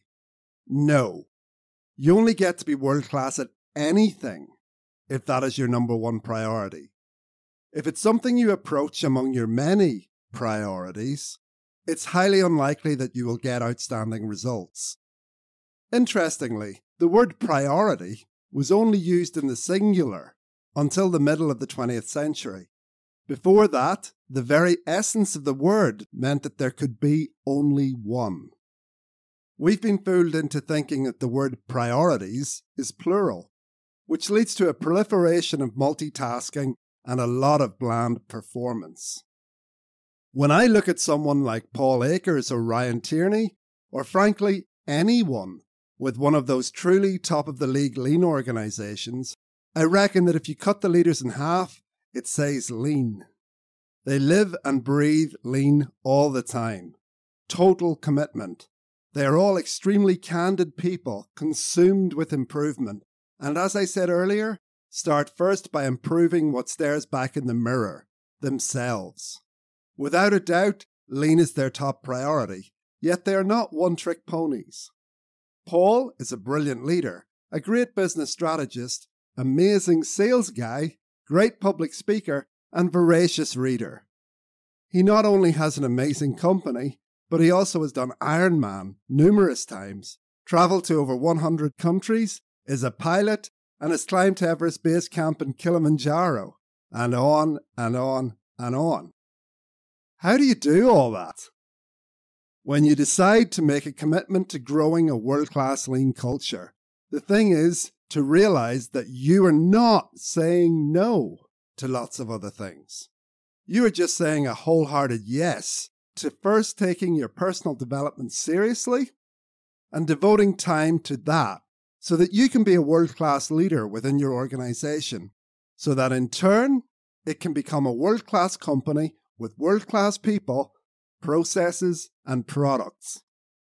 For most of you reading this book, if you don't say yes to building a lean culture, you are saying yes to continuing dysfunction and mediocrity within an organizational environment that shouts average at everything it encounters. For 98% of people, that is their business life. It might be a nice environment with good results, but is it outstanding? Is it something truly spectacular? Would people want to travel from all over the world to learn how you do things at your place? The answer is likely to be a resounding no if you don't make a significant change to how you manage yourself and those around you.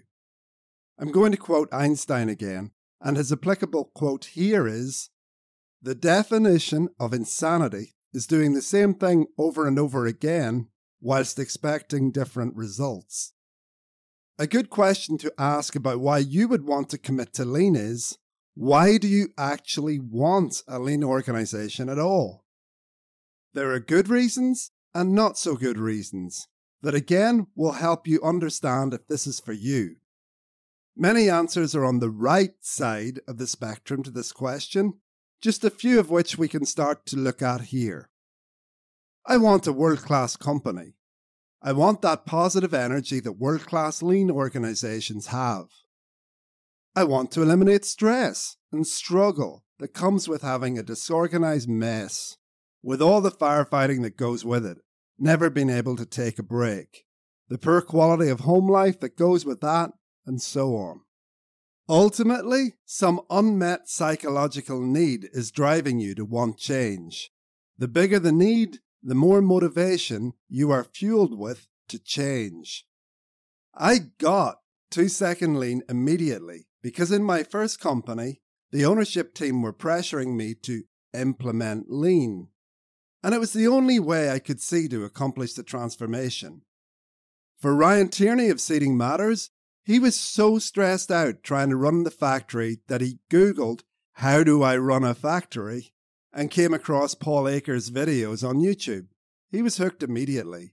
He saw two second lean as the only way to solve his problems, and he didn't have many options available at that time. For Paul Vallely of Kukoon Rugs, another amazing two second lean company from Northern Ireland, it was greeting people who worked for him and receiving no response or a grunt. He did not want to spend his life working in that kind of dull, impersonal, lifeless environment where there were no connections and warmth within his organization. Here is Paul describing this in his own words. Yeah, so we started our lean journey back in 2018, and looking back for us, it was uh, it was probably the only thing available that that really done what we were looking looking to do, and uh, it was certainly the only thing that worked. We had tried other things, and we'd we'd rolled out values, and we'd we tried to build engagement with the team, but but for us, two second lean was was the only true tool that actually worked in terms of bringing engagement, kind of doing away with that that grunt in the morning and, and that you know terse passing of each other without really being engaged as a team or, or just as people in general. And uh, and two second lean really really unlocked that for us and, and made us a genuine team and has produced levels of not just productivity but enjoyment and energy that, that we never thought was possible. He sees two second lean as the best way to solve his problem. The specific reason might be different for many other lean leaders I know, but the outcome was the same. They saw two second lean as the vehicle to transport them from a situation of discomfort to one of a better place. When they started to apply two second lean principles, they gave it their full and singular focus. Frankly speaking, the bigger the pain, the greater the burning desire you have for your goal, the better if you don't have a genuine burning desire at the heart of your motivation to build a lean culture, then you will likely give up when the going gets tough, as it most definitely will at some point. A burning boat certainly helps leaders make and keep to their commitment. When I analyze those business leaders that don't bother with lean, those people that visit lean organizations get blown away at what those companies achieve but then go on to do nothing substantive themselves, I see three main reasons that lie behind their behavior. The first is that they don't understand what they're seeing. They see the physical improvements, witness the efficient working environment, communication boards, and slick processes, and think that this is what they have to do. They try to copy the outcome, not what made it happen, which is focusing on growing people and building a culture that delivers those improvements. Just trying to copy the results will fall flat on its face 99.9 times out of 100. The second reason is that they don't have enough discomfort in their current situation. Life could be good, maybe not brilliant or world class, but there is not a big enough fire in the belly to find out more and move into action. Either that or it's the excuse mindset mentioned earlier in the candor chapter. In any case, the result is zero commitment to change. Good is the enemy of excellent. Comfort does not stimulate transformative change. Pain does. So without perceiving a substantive reason to make that change, most leaders will choose the current status quo or make small, safe changes that don't go beyond the superficial in terms of culture change. In other words, they see options, often lots of them, all of them easier than doing this lean thing that they don't really understand. That is the third reason. They don't know what to do next. Well, that is why this book was written to give people a bridge to build from curiosity into action. Back to motivations. of those of you who are considering moving forward with lean, on the not so good side of answers to the motivation question are those that sound like this I want to make more money. Or alternatively, I want to get more out of my people. Or I want more for less. The financial motivation is okay if it is at the lower end of your list of unmet needs, but if it's at the top of your list, forget it. Your people are not stupid. If you are using lean as just another way to manipulate them and exploit them more, they will sniff that out in short shrift, and the whole thing will monumentally fail. That is one of the reasons why lean often fails to get real, authentic buy in within large organizations. Leaders are doing it not because they want to, but because they've been told to do it. It's about delivering the KPIs and the weekly, monthly, and quarterly results. It's all about results and improvements without understanding that the engagement drives those other things, those end results. There is no heart behind doing it.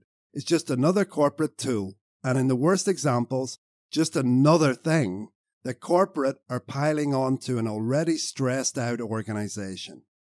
The thing is, every single real lean organization that I know makes money for fun. Like serious, serious coin compared to their competitors. And there's a very simple reason for that.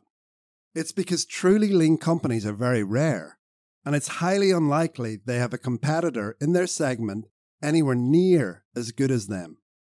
The excellent lean organizations have a fully engaged group of people, highly motivated to remove waste from everything they do, every day, with a servant attitude to their customers, totally focused on delivering excellent value and service to their customers every single day.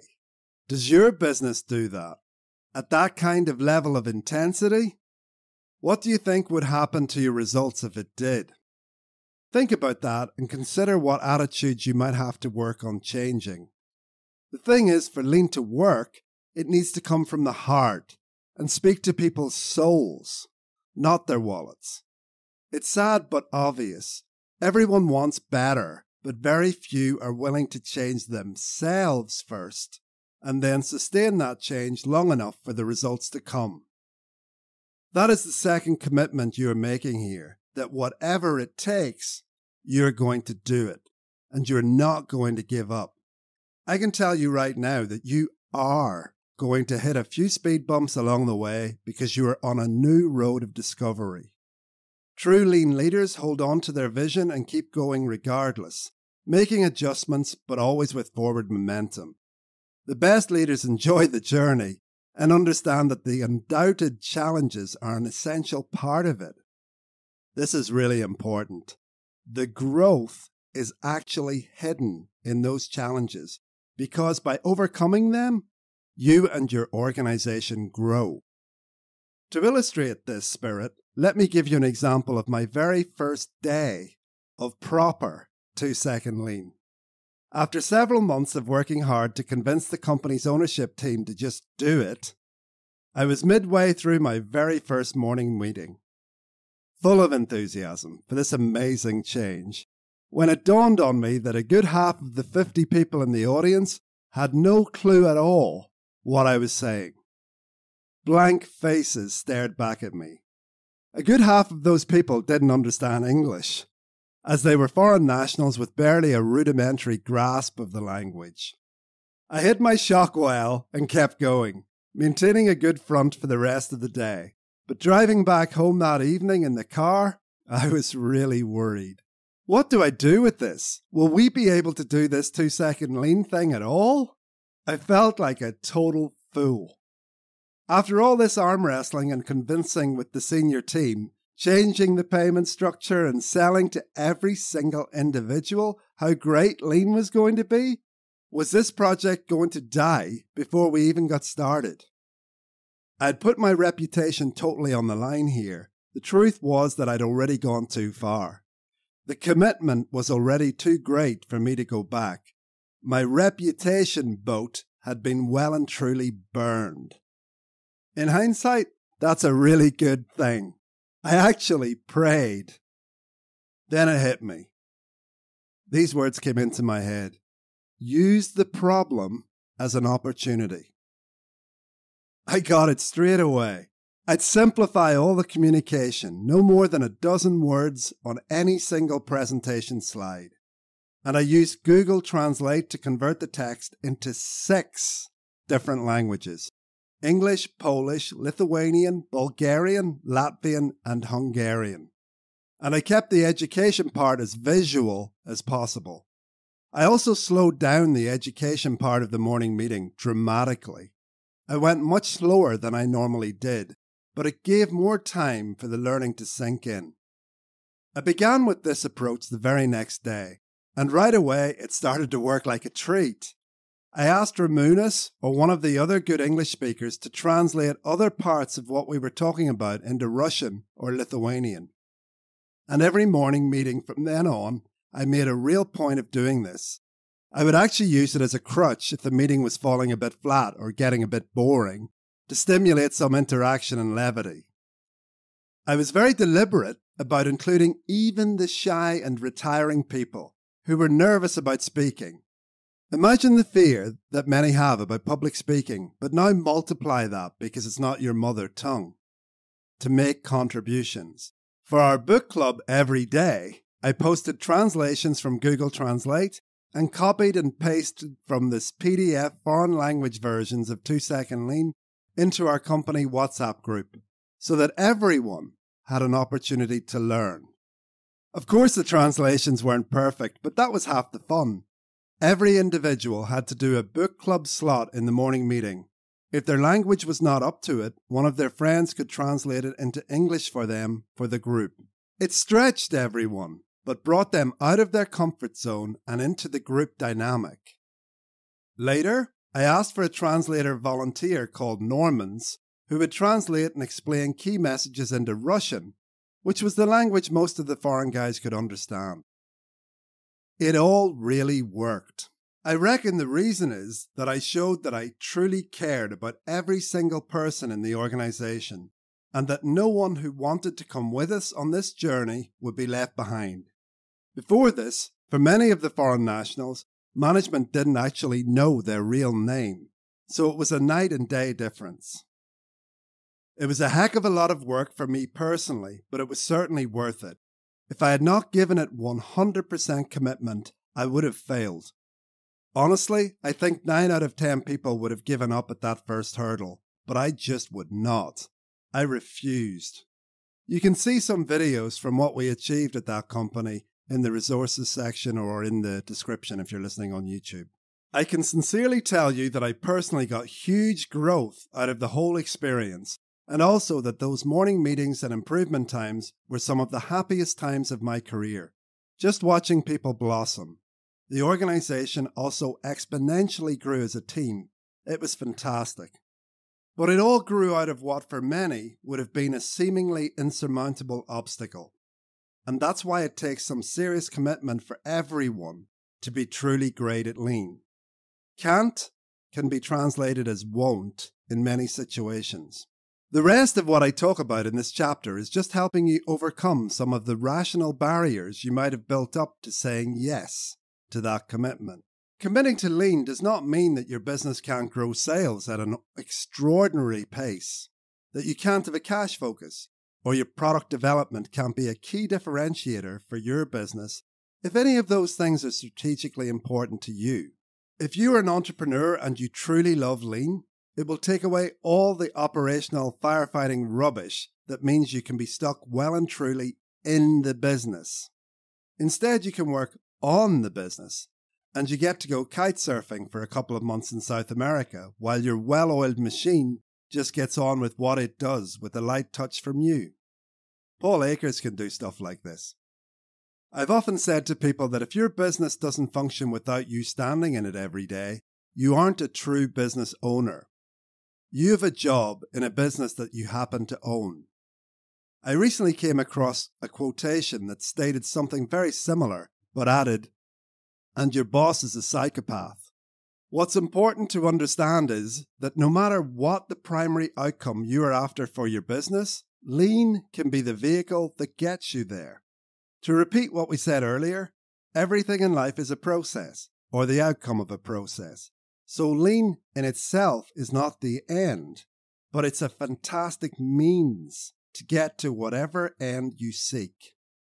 The focus is always continuous improvement, and that will improve all your people and processes constantly.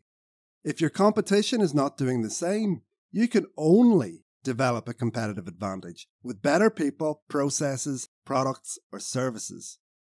When you make a commitment to lean, you need to understand that the process of creating a lean culture is all about pull, with only a little bit of push. The pull starts with you becoming the lean practitioner, the triple X leader who is the exceptional, extraordinary example every day. That means you are actively making improvements every single day within your own span of control. This means raising your own standards and addressing the problems you face every day, big and small. It means developing your own stop culture and living and breathing it at a high level all the time. This is your number one commitment, and it starts with I, not with pointing the finger at other people. If you truly embrace this, you cannot fail. I first encountered this kind of leader when I was in Japan with Paul Akers. In spite of all the early exposure to Japanese companies that I had the good fortune to have in the early part of my career, plus the fact that I've traveled all over the world, visiting over 50 countries myself, I'd never been to Japan. It was completely amazing to be exposed to that beautiful culture and environment for the first time. Everything was just better than home. You can see some of the videos I made during the trip in this chapter. Let's just say that the people just blew me away with their mutual respect for each other and their attitude to detail and quality. Everywhere in the country left a lasting impression on me. It won't be the last time I go there. Anyhow, what impressed me even more was being around Paul himself. He is a force of nature. He genuinely loves imparting his wisdom to others. It's certainly not about just making money for him. His candor is totally off the chart. If something isn't working, he has a very sensitive trigger to sense it and take action. He constantly improved everything around him, all the time. He never stopped. It wasn't a study mission about lean, it was a lean study mission. He wasn't just preaching lean, he was doing it. And he clearly loved sharing that knowledge with others so they could make their lives better. I made a short video on the difference between Paul Akers and normal people that summarizes these differences when I was at the airport on the way home from Japan. Anyhow, back to the Japan Lean Study mission. One of the best improvements was around how we managed the personal headset intercoms we all wore as we went around factories on tour so that we could hear each other. Most people would have just put them into a box when we were done, with that just becoming a tangled mess of wires. Instead of having everyone randomly return them back with wires hanging everywhere, Paul created a quality standard of how the wire would be wrapped around each one to reduce all the excess motion around all the wires becoming tangled. He then presented the new standard to us on PowerPoint on the bus to communicate so that we all knew about the standard, helping us understand that everything is a process. Then his assistant Mami san came up with the idea of putting a number on each one to further reduce the struggle. It was amazing. I asked Paul how many improvements do you make a day? His answer was, Around 30 or 40. And having seen him in action, I believed him. I wanted some of that juice, that Kool Aid that Paul was very evidently drinking. I resolved to myself, I made a commitment that I'm going to make at least five improvements a day from now on.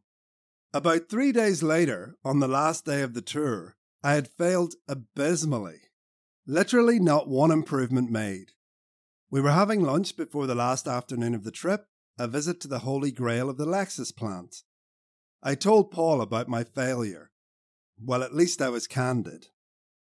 I asked him, How do you do it? How do you see all those improvements? Again, I was fortunate enough to capture his response on video. All you're doing is eliminating struggle. I see struggle, and I see also what I'm seeing also is whenever I see something bunch up, that's a bottleneck, and I immediately know there's no there's no flow. So if you don't see flow, you've got an opportunity to improve. This is, you know, I walk on factory floor and people go, how do you see all this stuff? I'm going, it's so a, a kindergartner can figure out what I'm doing.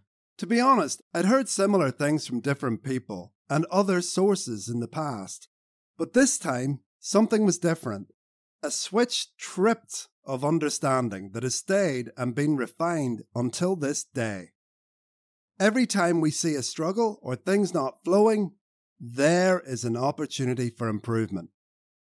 It has been 118 weeks since that day, and I've made at least 25 improvements per week since then. I track and record them all in a fantastic habit building app called Done. It's only on iOS, unfortunately. It's the most important app tool in my life. I use it to build and sustain habits by holding myself accountable, to hold myself to that commitment. There's a video on how I use the app. When you do that, when you are a triple X leader consistently, you will become a magnet, pulling your team with you. Eventually, all those who get it will be drawn to follow, and those who don't will fall away. Any who actively resist is where the little bit of push might come in. My friend Ryan Tierney at Seating Matters put it best when he said that lean leaders need to be sheepdogs, not bulldogs. The lean leader is not the bulldog rushing into the middle of the flock, barking, shouting, and biting, being loud and egotistical, scattering the flock everywhere. The lean leader does not try to push anyone into doing lean. They are an altogether smarter beast than that.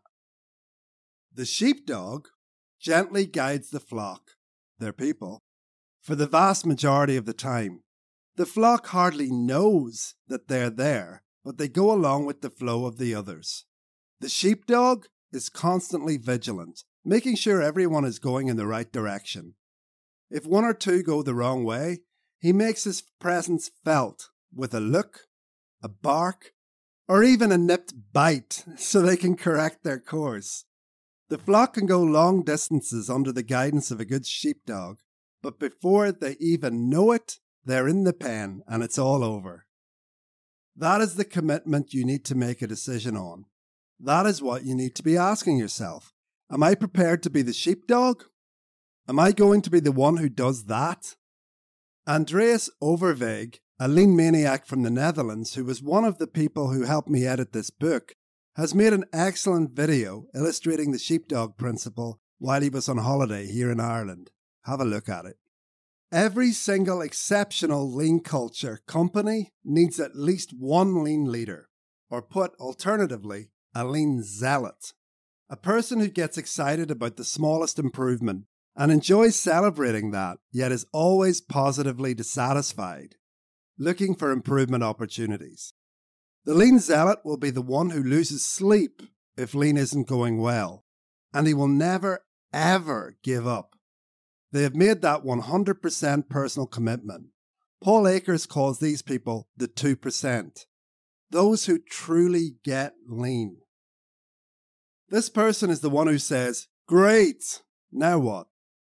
Challenging the organization to ever greater heights that person doesn't have to be the owner or the CEO, but it definitely helps.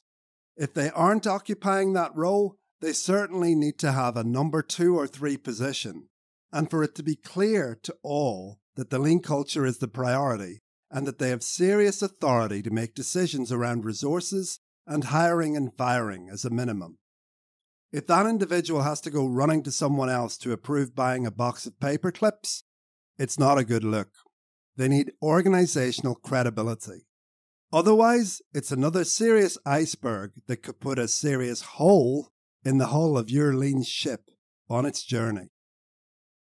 When you decide to make a commitment to lean, you're deciding that your company will be doing morning meetings and 3S, sweep, sort, standardize, activities every day forever, or at least the foreseeable future.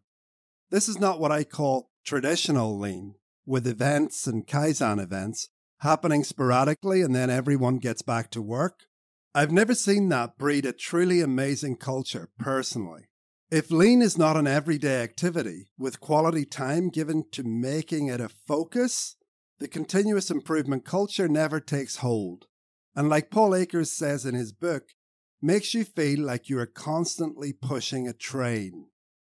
It's a struggle to even maintain standards, never mind constantly improving them. Still, for many people, this idea of having the guts of an hour a day not focused on making stuff or delivering your service is completely alien. How does that pay for itself? When I did my first lean transformation, it was a serious problem for me as a lean leader to convince the other senior people who were actually the owners of the company that it was a good idea to have their 50 staff stand around for half an hour in this meeting and then another half an hour 3Sing and making improvements. For them, that was easily $700 a day without a widget being hit. These were hard nosed people. What's in it for them? Plus, they're busy with overtime already to meet customer demand, and we want them to stop making stuff for a half an hour a day? I can tell you this was not an easy obstacle initially for me. I was lucky, as I often am, when discussing the matter with one of my best friends, Nick Jamaron, whom I originally met when he was recruited as the production manager when I was running the factory in France. He is a brilliant leader, production manager, and supply chain guy. When I was discussing two second lean with him and telling him about my convincing the team challenge, he said it was easy to understand. What? I said. And then he explained it to me in his very French way.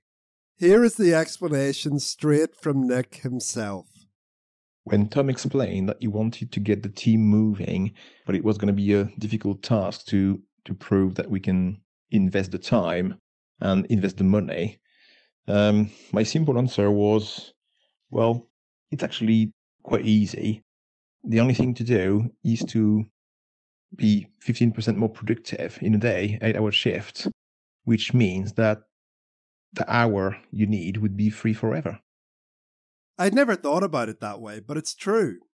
And at that organization, we got a 24% productivity improvement within five months. And that was including the lost hour. That was just the start. So making this commitment has logic. It might take a month or two, but it won't be long before that investment has been permanently paid back. You also don't have to do a full hour. Depending on the context, I recommend to my coaching clients currently that they start with 10 or 15 minutes and just see where it goes in terms of adding value for them.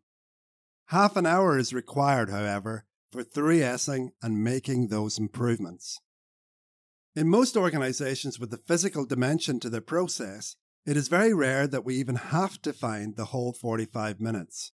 Unless there is a constraint such as health and safety, just eliminate end of shift cleaning, which I've seen can be 45 minutes of relaxing time in many companies, where a broom is casually pushed around and there is a proliferation of people running off for smoke breaks. Rarely is there any real management oversight at these times, so stop that completely. Run the machines until the last minute and then clock off.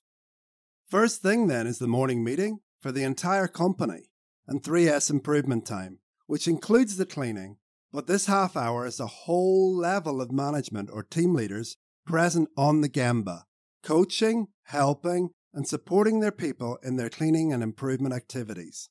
So even this commitment is rarely le mer à boire, as my French buddy would say.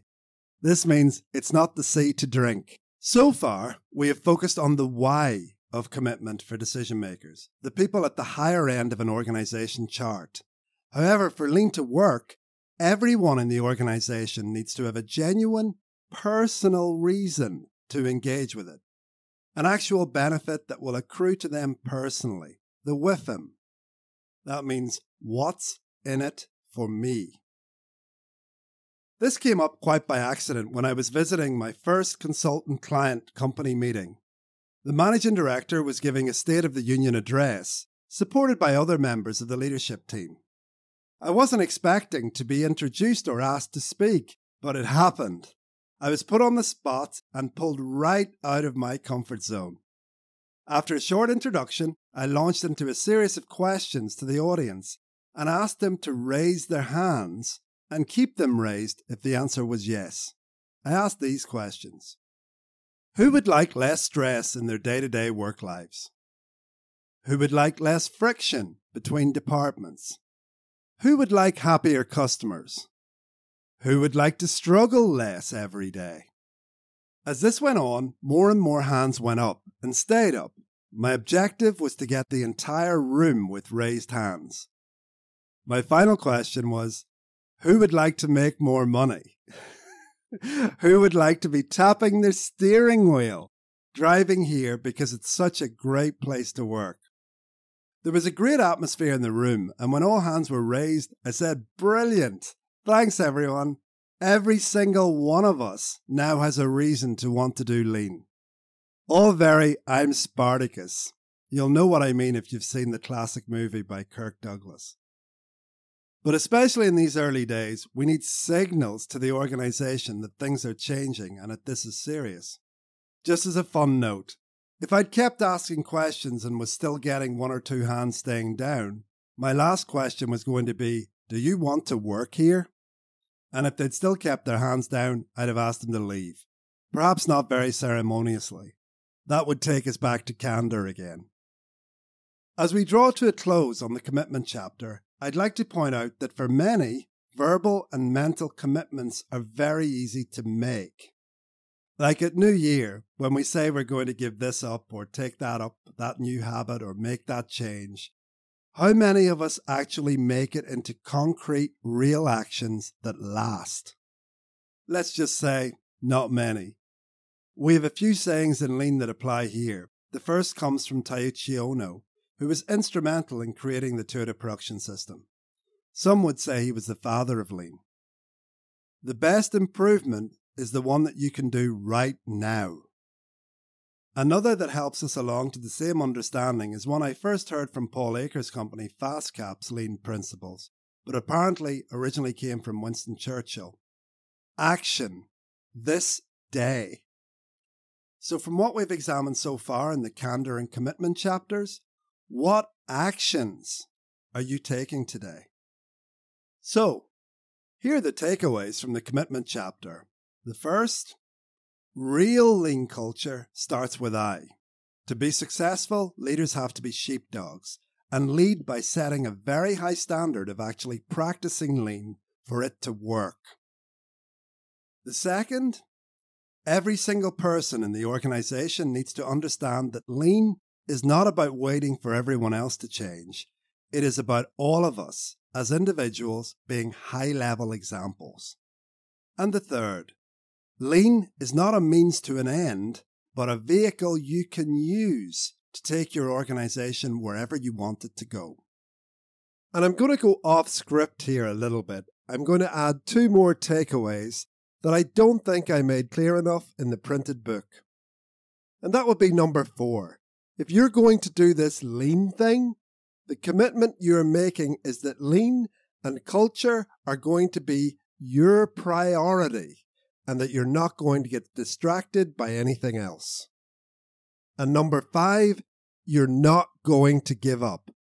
A fantastic lean culture is a great prize, but it's hard work, especially at the beginning. And you need to make your mind up that you're not going to give up at the first, the second, or the third stumbling block. Chapter 3 the third C coaching. A great coach tells you what you need to hear, not what you want to hear. Sergey Kalev. Every organization that successfully implements two second lean has at least one world class coach within their core team. Often the leader of the company, but not necessarily so. Whether those individuals started their lean journeys as world class coaches is highly unlikely. Therefore, to grow their respective organizations, they had to learn to become great coaches along the way. Without a doubt, the best way to develop your coaching skills is by starting to coach yourself. Coaching starts with I. The only problem with that approach is that if you're not naturally gifted and just go at it like a bull in a china shop, you might have a company full of half broken people within a very short space of time. The biggest pitfall is if you don't fully understand pull versus push, and therefore try to manipulate or coerce your people into doing lean, which can irreparably damage the whole lean transformation before it has even started. I had my own set of trials and errors in helping others come on board with Lean within my companies where I was a senior leader. But it was only when I started coaching other companies on Lean that I was able to develop a very clear and deliberate framework to establish an actual process to get full on engagement to the Lean process. That process has now been tested and will act as a set of stabilizers to help you go about getting your lean implementation off to a good start, or provide a basis for you to renew your current efforts if your company has been doing lean for a long time. After all, everything is a process or the outcome of a process, including how you do lean. The whole idea of me coaching lean with other companies happened completely by accident.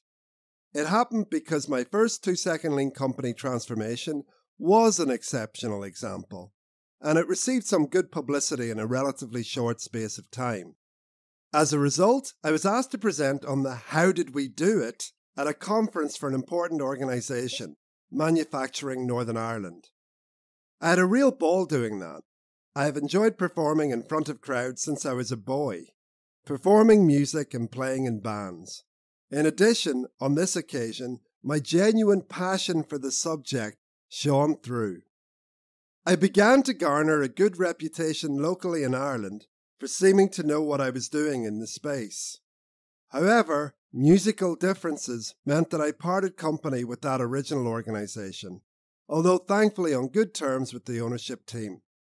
Around this time, the coronavirus was just starting to make an impact, and the whole world seemed to be on lockdown. These were strange times. In a typical lean guy fashion, though, I was still seeing struggle everywhere. And a notable one at the time was how local supermarkets were really struggling to make the whole hand sanitizer thing work. It was actually hard to get hold of the stuff at the beginning, and on one visit to my local store, I watched two staff members struggling to decant fluid from one plastic bottle to another, with the liquid going all over the place. Within struggle lies opportunity. So after a short space of time, I found myself working with fellow lean maniac Patrick McGee of Lumen Electronics, another company practicing two second lean, whom I had visited earlier that year. Patrick and I hit it off and became buddies. We had chatted about if the opportunity ever came up to work on a product together, and here it was. We were developing a sanitizer dispenser. With the help of our other partner, James McGilloway, on mechanical design, we launched the first version in record time. From idea to product in about six weeks. Seriously. I'd already found a great route to market, and we quickly sold over 1,000 of the things to retailers all over the UK and Ireland. Things looked good. But then they started to come back. There was some serious problems on how robust the design was versus the rigors of the application. It wasn't much fun for the next few months with constant field issues, refurbishments, and replacements. Still, through the adversity, Patrick and I came to respect each other more and became fast friends. Many would have tried to cut and run or get off the hook because it was truly painful. Not us. Together with James, we developed a Gen 2 version of the product, which is truly world class, being sold all over the world, restoring our reputations and making those original customers happy with their purchases. It was something I took very much to heart, as I'd never been involved with something that had gone so wrong before. Gen 2 was much more about repaying our customers' faith in us than it was ever about making money. Towards the end of 2020, I told Patrick that I intended to go into business coaching as it was something that I just loved doing. When Patrick responded, Why don't you do that for us? That initiative turned into Patrick and I deciding to go into partnership in Lumen Electronics together, as our skill sets really complemented each other well. Me for the strategy, commercial management, and mechanical stuff, and Patrick being the electronic guru. Both of us are crazy about lean. So we started lifting Lumen to new heights on everything we did. We developed a new strategy of total product management, where we handled cradle to grave product development, from proof of concept through to mass production, from electronics and mechanical, even software development. It's unique for anyone, in Ireland at least, and so far it's working great. While we are forever positively dissatisfied, I really like that phrase by the way, with what is happening at Lumen, it is turning into a shining example of what lean can do within a small company environment. We even recently hosted the world renowned AME two second lean tour with Paul Akers and Richard Evans. You can watch that video in the resources or find the link in the description along with all the others. It was a resounding success. We now get customers asking us how they can replicate what they see at our place which is turning into a source of coaching clients for yours truly. And while Lumen is still small, I have time to give to other companies, which is a happy situation. During this time, I also became good buddies with other people in the lean space, like Ryan Tierney. They have companies visiting them for lean tours all the time, and I have been turning into the go to person for people looking for help. My first proper coaching client was a company called Black Box from Belfast who make and sell high end fitness gear. These are the guys I mentioned in the previous chapter. Their managing director, Greg Bradley, is a visionary in the fitness industry who started the company from nothing. They had visited Seating Matters prior to COVID kicking off and got excited about lean, but their lean ambitions were sidelined by the minor distraction of a global pandemic. Now things were calming down on that front, and in the meantime, they had doubled in size and taken a bunch of manufacturing processes in house that had previously been outsourced. They were looking for some help as things had become somewhat chaotic. Initially, when Greg approached me, he asked for someone to support getting his manufacturing into a better state. I explained that there were probably a dozen people better in Northern Ireland to talk to about that, but if he wanted someone to coach him to build a better lean culture, then I would be really excited about doing that. I'd been previously approached by a large local concrete company with more than a thousand employees to help them build a lean culture. I'd put a lot of work into developing a methodology for them to use, but in the end, I was disappointed when they didn't go for it. Their mountains of waste are highly likely to still be there to this day. I discussed that opportunity with Paul Akers, who in that time had also turned into a friend, mentor, and surrogate father figure to me. Uh, but as Paul always reminds me, a very young father. He helped me put that initial framework together, so I was dying to try it out. I was delighted that Greg agreed for me to come and help Blackbox become a world class lean company. The guys were paying me to do this coaching job, but for me it was never about the money. It was always about helping them grow into a world class organization. My goal was quite contrary to a traditional consultant who wants to get in and get lots of paid days at the company. I wanted to help them get momentum for their lean process to become self sustaining and then to get out as soon as possible. I am happy to report that this is exactly what happened. The time with Blackbox helped me prove this framework and to improve it. To my mind, this framework could work for almost all organizations with or without an external coach like me who has done it before. Personally, though, I recommend going the external coach route. Someone like myself who has done it multiple times certainly does help avoid some of the hard pitfalls that are created by soft issues. Boy, I really hate that term. Soft issues are, not can be, the difference between bad and outstanding. The soft issues are about leadership, skillful management, and culture building. They are the foundations and cause for the hard numbers. whether those numbers are bad or exceptionally good. My initial discussions with Greg had a lot to do with the candor and commitment chapters we have already covered. As an external coach, it was critical to me that my role was well defined. I was here to advise, cajole, and support, but not to lift those weights. Only the leadership team could do that. There are several critical advantages that an external coach has over just using an internal resource. The first is that the external coach provides a new set of eyes, a fresh perspective to the organization.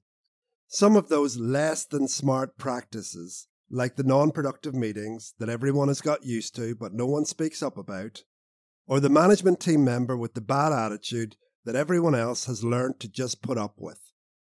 The external coach can spot the obvious and surface those issues to leadership. It often provokes them into action where even they had become comfortable with the dysfunction before. It's even better when the external coach has broad and deep experience to provide a good mirror, especially when the leaders have spent a long time immersed in a single organization. This is especially true in an owner grown company, where the leader has not been heavily exposed to best practices from other organizations or other sectors. The external coach can provide a great stimulus to look at things in a different way. The external coach gets to call things as they see them without being perceived as being partisan in any way. It's harder for an internal person to do that without being seen as having personal baggage or them being fearful about upsetting people too much when things that are difficult need to be said, especially when that communication is to the top management. A great external coach can be a consigliere. The last thing you want is a consultant. With Greg, I put together a roadmap on how I would support the team to get up and running. It was going to take four to six weeks before we would start the morning meetings, and these were the key steps in the run up to that. Step one Who will be the Ryan? You might ask, what does that mean? The answer is simple. From observing companies all over the world, and especially the ones that have done lean right, it's evident that at every company there is a clear leader for lean. Whether that be Ryan Tierney at Seating Matters, that's why I use the term Ryan here, Paul Akers at FastCap, or my friend Brannon Burton at Sunrock Corporation, there is always a clear and visible lean leader. Now, they are always supported by some other exceptional lean leaders who have developed alongside those guys but there is always someone clear at the top who is clearly accountable for the whole culture and its effectiveness. Very few things are done well by committee, so saying we are all accountable simply doesn't work. No one person is lying awake at night wondering what to do when lean hits a rocky patch, or is lying awake excited with a new idea to try out to make things even better. There simply has to be a single individual, a linchpin, holding the whole thing together. At Black Box, the Ryan was agreed to be a chap called Peter McCauley, who was head of manufacturing. Peter was a senior member of the leadership team and had a passion for lean and developing people. He was an ideal choice. He had the clear and visible support of Greg and the other senior leaders within the team. Step 2 Establish a learning club. The objective of the learning club is to get the senior team practicing lean on a daily basis themselves. I can't emphasize that enough. Themselves. Within their sphere of influence and starting to pull, not push, their teams on board. We want to turn this group into a team of internal coaches. The idea is to create a magnet of excitement and excellence that gets other people curious about what is happening. Curiosity was something I was learning about at the time through someone I knew who had a child with autism, specifically a condition called PDA, pathological demand avoidance. Children with this condition cannot deal with the traditional school system reacting badly to any kind of order, demand, or even a request. It pushes them into anxiety, and they can react in all kinds of ways, few of them particularly positive.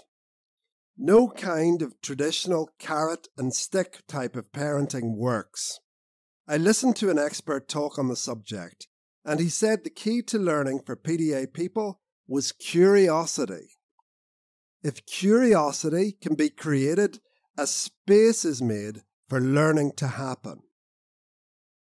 It occurred to me that this was not just for people with PDA, it's true for all of us.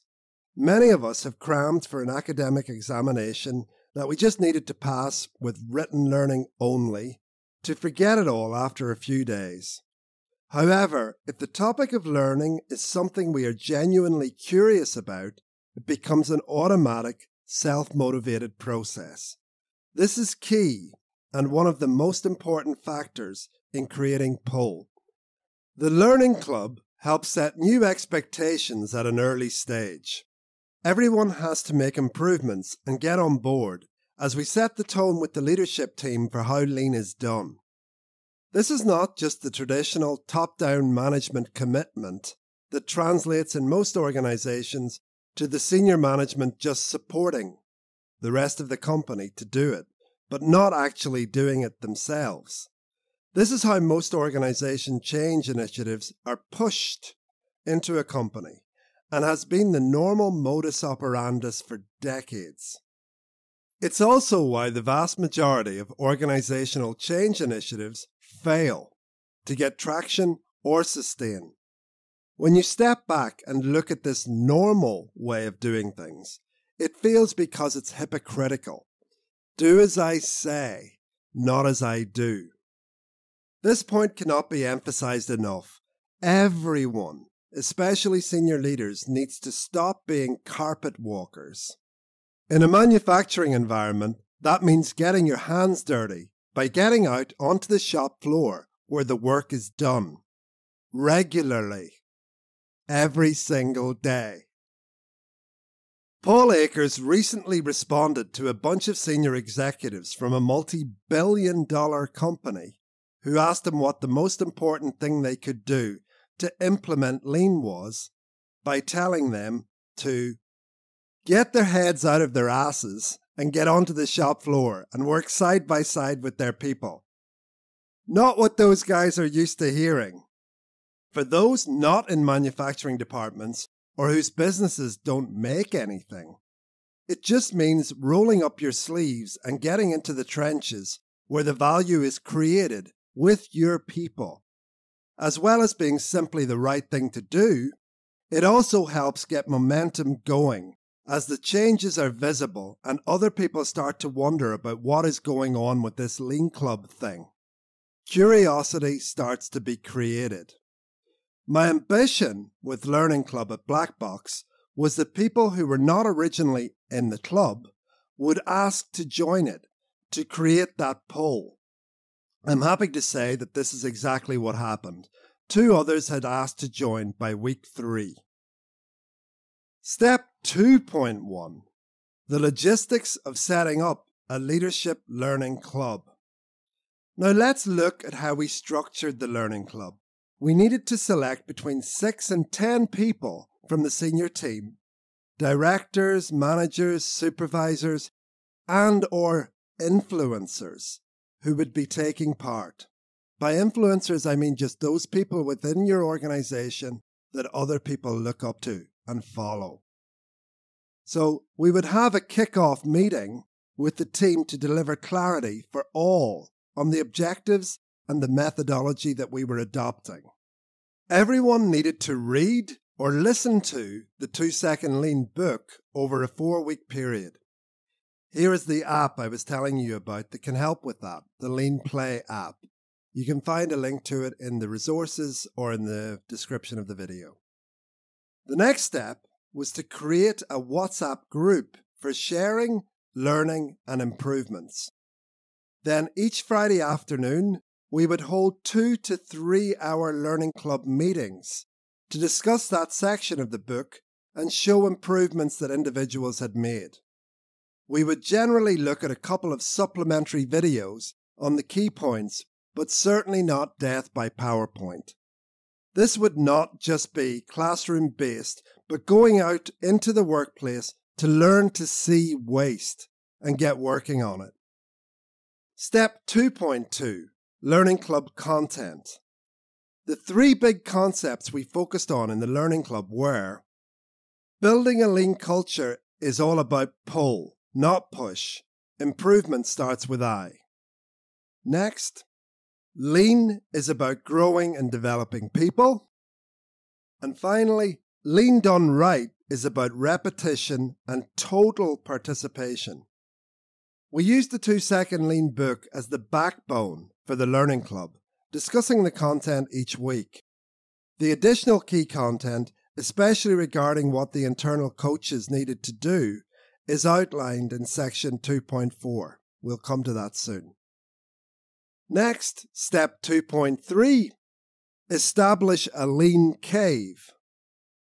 During this time, I had become friendly with Alex Ramirez, he's from the Candor chapter, through the amazing Lean Maniac Signal group run by Dave Lalonic of Sticky RX.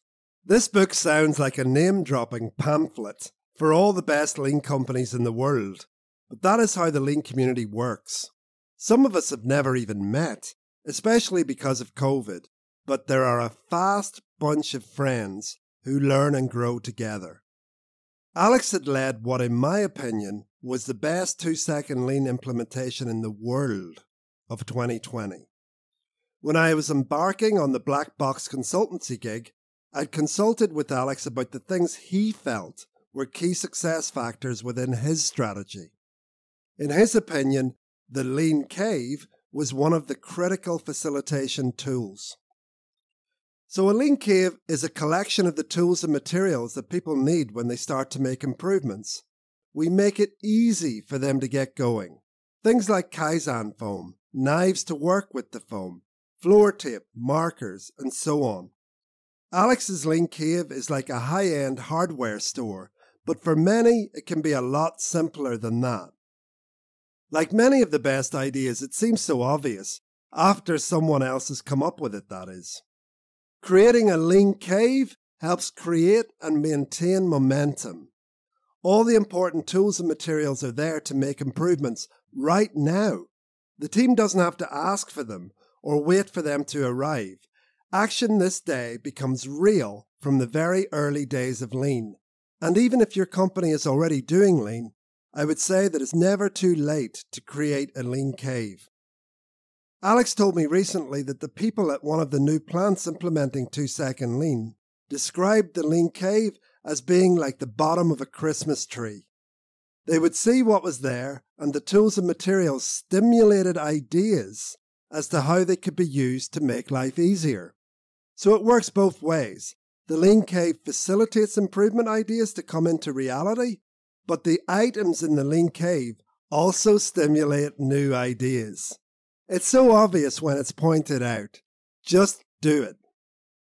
Step 2.4 The external coach getting to know Black Box.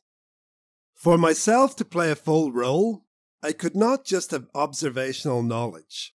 I would need to spend one to two days a week, at least a week before and during the Learning Club stage, hands on working in the production areas and understanding what is happening in the administration and engineering areas. This was to get a proper ground level feel of the existing culture, issues, and challenges so that I could speak from a position of experience rather than hearsay when interacting with the entire team, and potentially making important change recommendations to the senior team for consideration. Whether or not you bring in an external coach, it is super important for the Ryan and his senior supporters to have proper, on the ground, on the Gemba, knowledge about how things are actually happening within the organization. Here's a personal story just to illustrate the importance of ground level knowledge, especially for a business leader. Before I was consciously using Lean as an organizational transformation methodology, I was brought in to run a factory in France. At the time, my French was almost non existent, and I was somewhat daunted by the prospect. There were some industrial relations issues still to be resolved in the turnaround, and I'd never run a factory before, never mind in a foreign country where I didn't speak the language properly, like France. Before taking the role, I insisted on spending two weeks on the shop floor, building products with the guys. This had never happened before. It's not unfair to say that France's business culture can be a little stuffy, and senior people just simply don't do things like this. I know that most of the middle management team that would be reporting to me thought I was a crazy Irishman. And in many ways, I wouldn't argue with that analysis. My initial briefing from the London based ownership team was that France had a very difficult bunch of people working there. Typical lazy French with bad attitudes. That was the problem. They would love to have closed the facility down and moved it to Eastern Europe for cost savings, but due to those pesky frogs labour regulations, that would have cost a fortune, so they just had to put up with it. Anyhow, my two weeks were highly illuminating. I discovered an absolutely amazing bunch of people who just wanted to turn up to work, do a good job that they could be proud of, be shown some respect, and go home. I've since discovered that this is true for every single nationality on the planet. Lean never goes wrong because of the shop floor, and I mean ever. It only ever goes wrong because of crappy management and lack of leadership. Please don't forget that. The real problem was at the middle management level. They basically all hated each other, and therefore the different departments struggled to work together cohesively. The previous production manager hated the technical manager, who hated the quality manager, and who in turn hated the production and the technical managers. As they say in France, it was a bordel or a connerie. You can look up those words if you like. The answers aren't pleasant. Sales were under a different director, and those guys just had to put up with the bad performance. We were already bringing a stellar production manager in my friend Nick Jamaron into the organization, and it didn't take long to move out the quality and technical managers and replace them with better. Change the people or change the people. The thing is, without my time on the Gemba, it might have taken me a lot longer to realize what the real trouble was. Without the on the ground knowledge, I could still have been working under the assumption that the problem was in the shop. As a leader, you need to work from knowledge, not assumptions. You can't coach people if you don't understand the environment. Never be too good to go on the Gemba and get your hands dirty. Taiichi Ohno had a famous practice called Ohno's Circle, where he would chalk out a circle on the floor and instruct the manager to stay there for hours while they observed the process. Real first hand information, not data, not a report, real observed data. Go to the problem, don't try to solve it from your desk. I was out of France within 18 months and under the amazing stewardship of Nick and the late Monsieur Christian Le Cossier. It eventually went on to become the jewel in the crown of our company, Olaer. It was our R&D centre, our centre of excellence for volume manufacture, and being in Paris didn't hurt either when it came to taking customers and important stakeholders to a place where they could be impressed. Literally, for the remaining time that I spent at Olaer, going there pretty much every month was like a vacation. I loved the place and the people so much. At Black Box, my Gemba time helped me to see that, like most pre lean organizations, there were mountains of waste, some interdepartmental frictions due to personalities, and conflicting key performance indicators Intimately learning this is absolutely key for the lead coach. Like always, there were also some change the people or change the people issues that I had to surface. All very normal. All opportunities to improve through changing the culture to lean. Step 2.4.1 Learning Club Content The Detail. The target was to build a strong team of internal coaches so that we would have a strong support organization when we started to roll out the morning meetings and improvement times. We used the two second lean book as the basis for the club, taking chunks of the content and discussing them to emphasize the key points. I really recommend that you check out the links to the Learning Club presentations. You can find them in the video description or in the resource section of the app. So, week one, when I was doing this at Black Box, was very much an introduction to myself, my own lean journey, and what lean is and what it is not, together with what our roadmap looked like over the coming weeks. I made a big point about how I used to perceive lean versus what I actually now know lean to be pull, not push, growing people, and repetition and total participation. This is particularly useful to get in early because many people in our organizations have had bad experiences of what I call corporate lean from other places where they've worked, especially larger ones. We certainly had this issue at Black Box. This leads people to a place of complacency and in some cases of arrogance with a I know what lean is attitude. We need to knock that on the head straight away. Whatever the TIMWOODs, that's an acronym consultants use to help people memorize the eight wastes that you might have learnt in your old place, unless it had total participation, this is completely different. We're all doing this every day, not the traditional top view. Our focus is on engagement, not the key performance indicators, the flip charts, or the dry workshops. It's not about everyone else improving. It's all about you improving and leading by example. This early introduction covered the basic system of two second lean, which is in three parts. First, the morning meeting, where we build culture and learn to see waste together. We use it to set expectations for everyone. We all need to make one two second improvement every day. Second, 3S sweep, sort, standardize.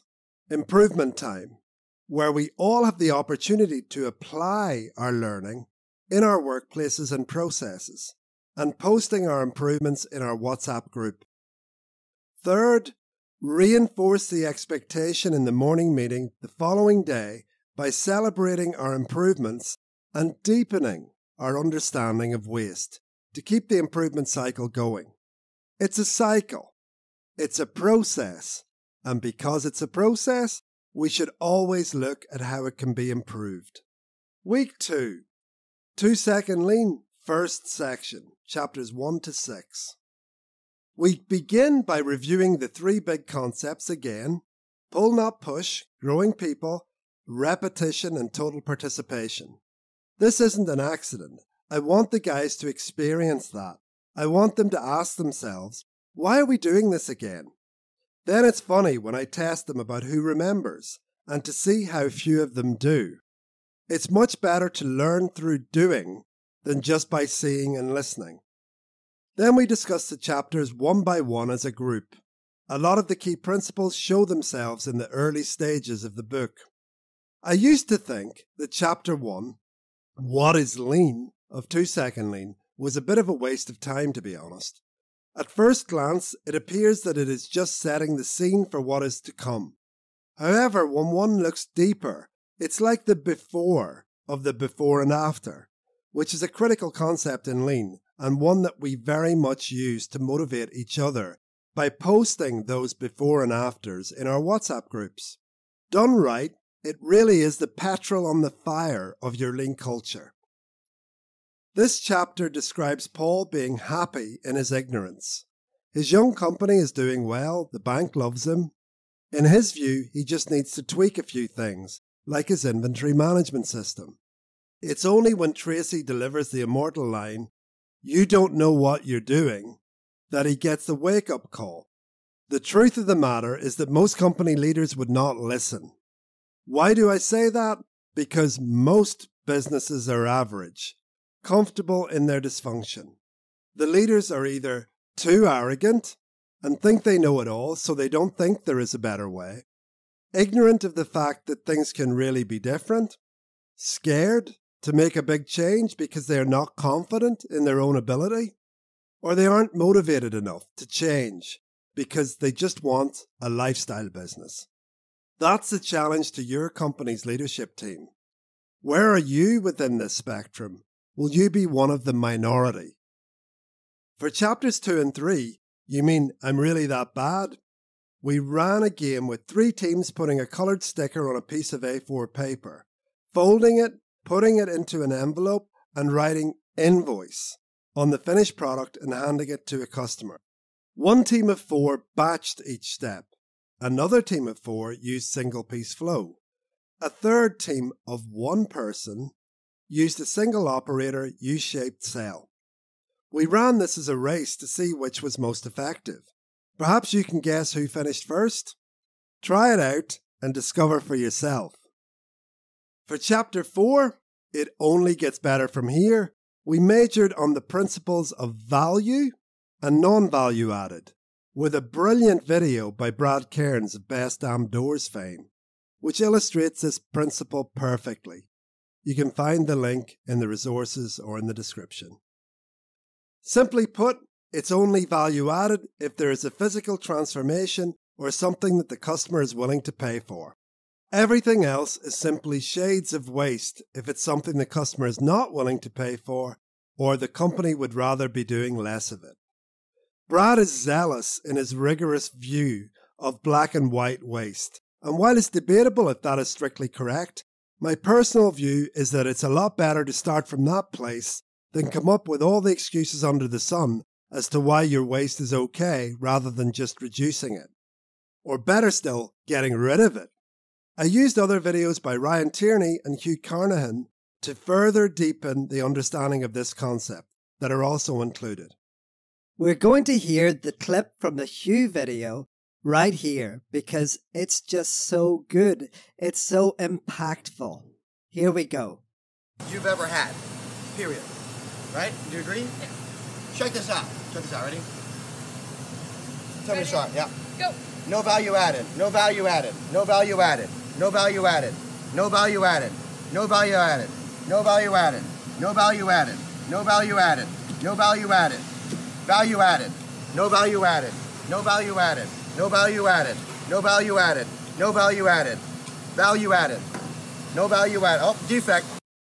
For chapter 4, we also go into the eight wastes and use this opportunity to banish Timwood.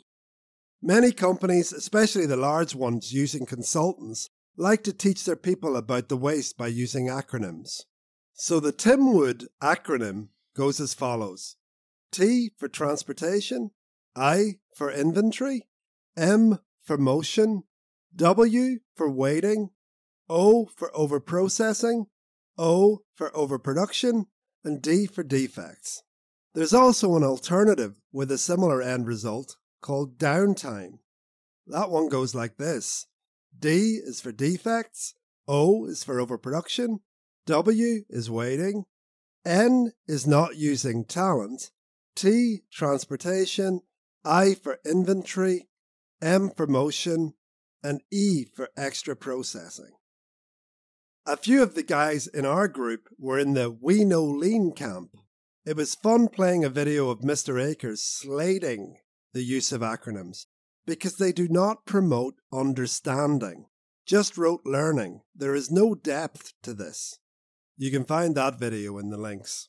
Instead, we started coaching people to tell stories about waste. Paul had done a recent podcast that was very timely on the matter. He talked about having friends over for dinner, but they weren't sure how many were coming, so they made too much salad. Overproduction, the mother of all wastes, as you'll see.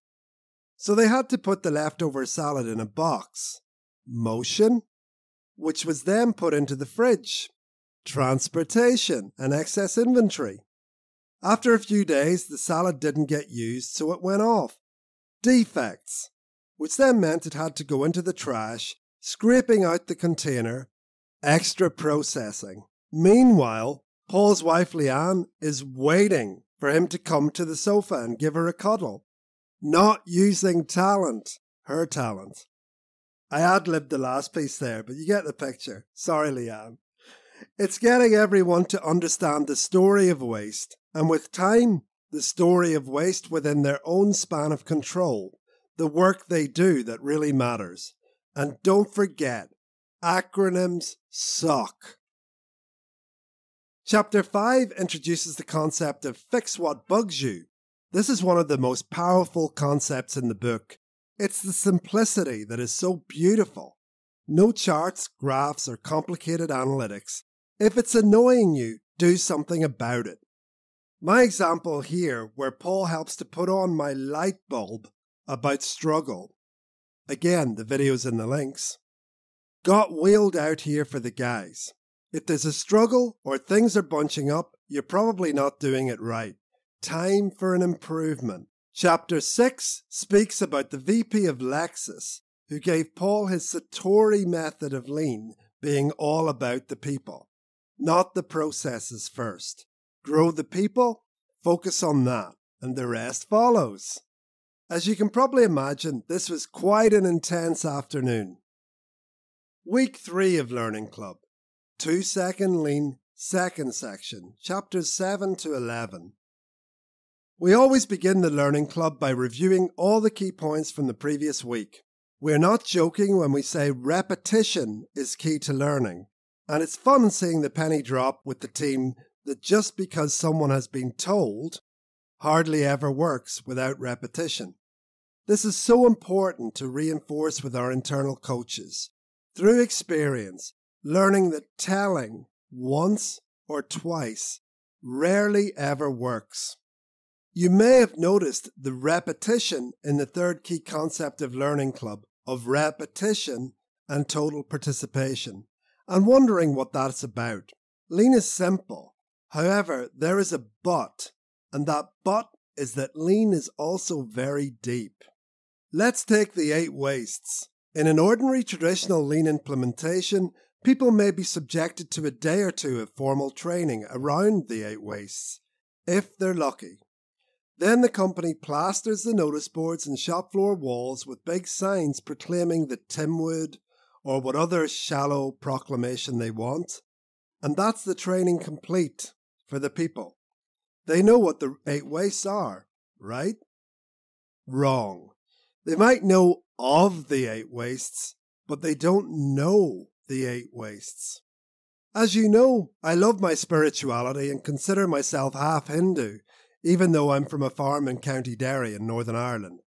Hardly a hotbed of followers of the Guru. I love this story, though, about an Indian guru, Sri Yukteswar, who was asked by someone trying to test his knowledge of the scriptures.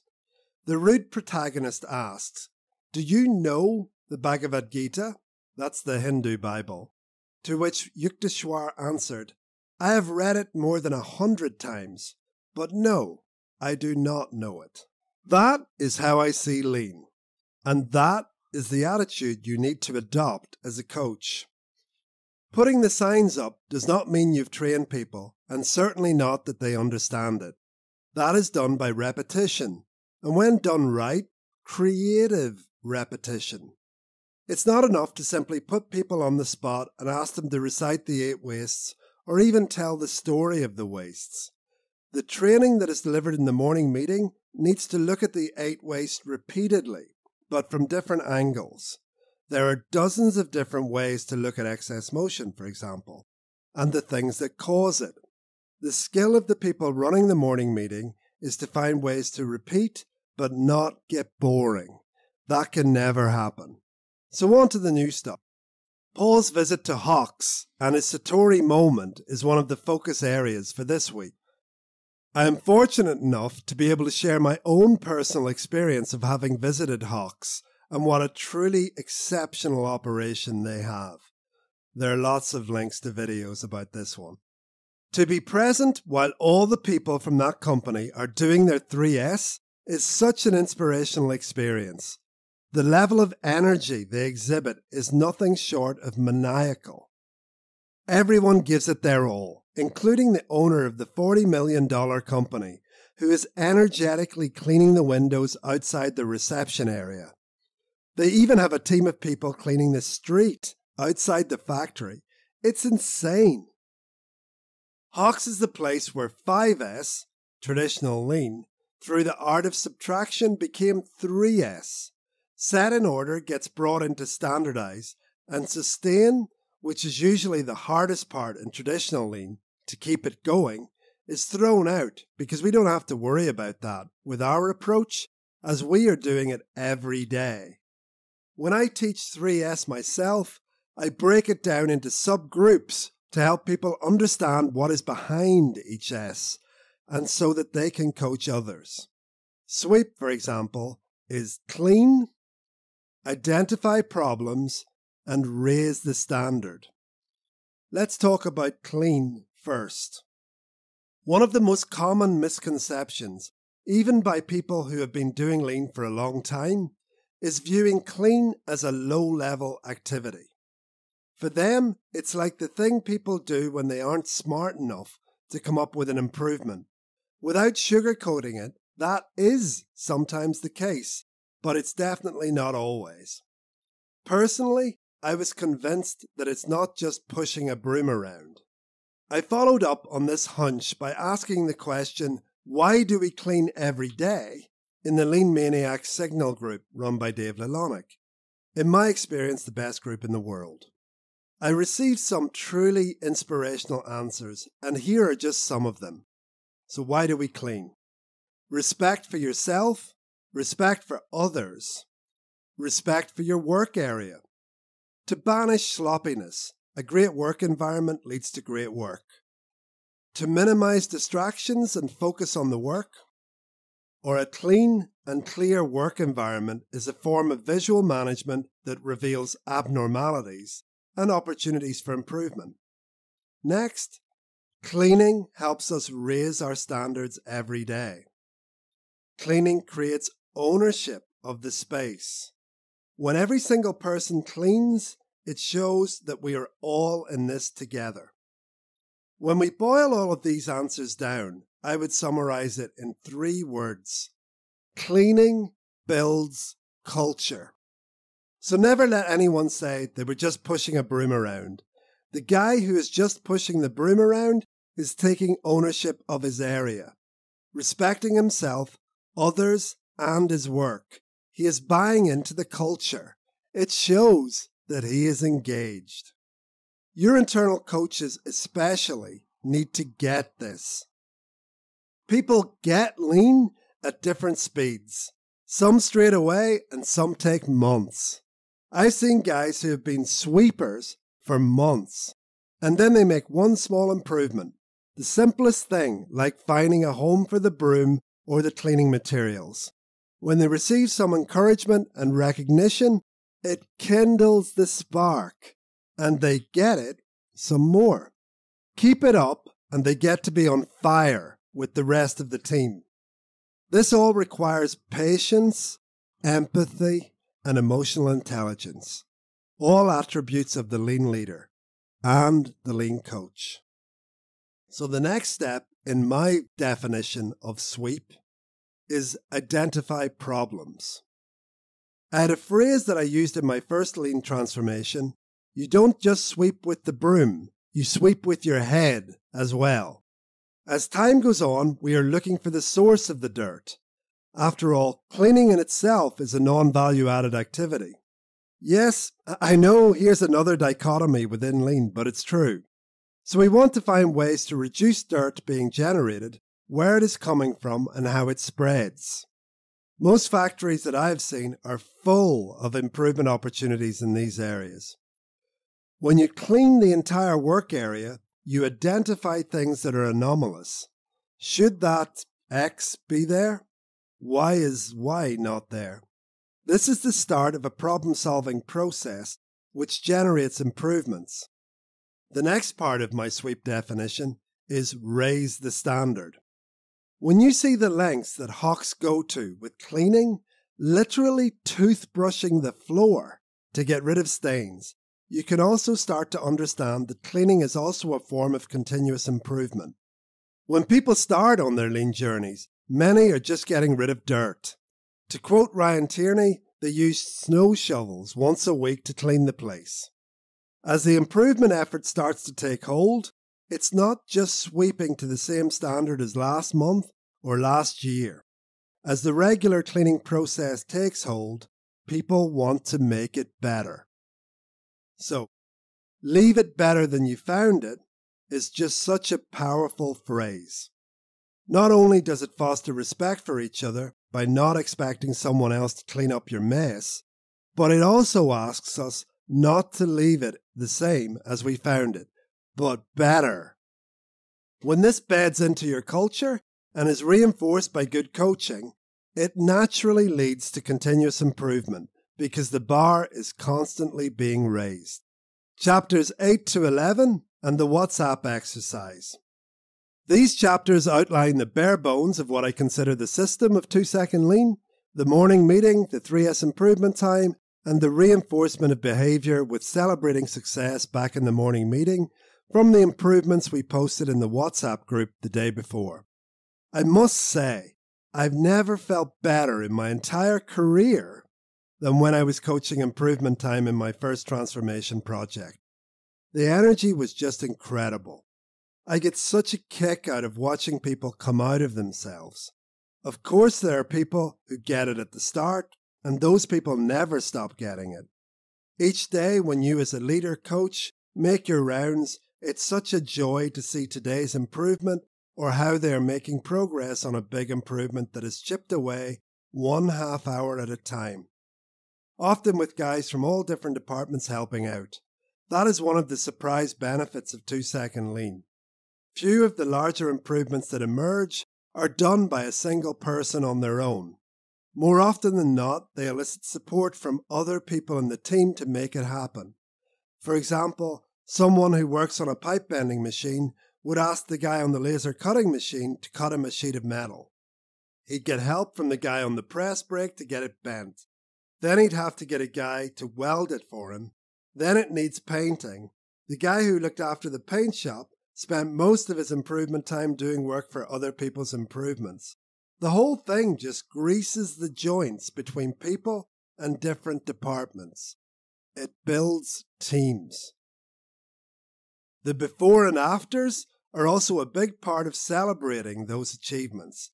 I describe them as the petrol on your lean fire. It's critical that your coaches constantly celebrate and encourage. So, so far in Learning Club, we had some engagement in the WhatsApp group. Usual early adopters posting their stuff. It was good, but not great.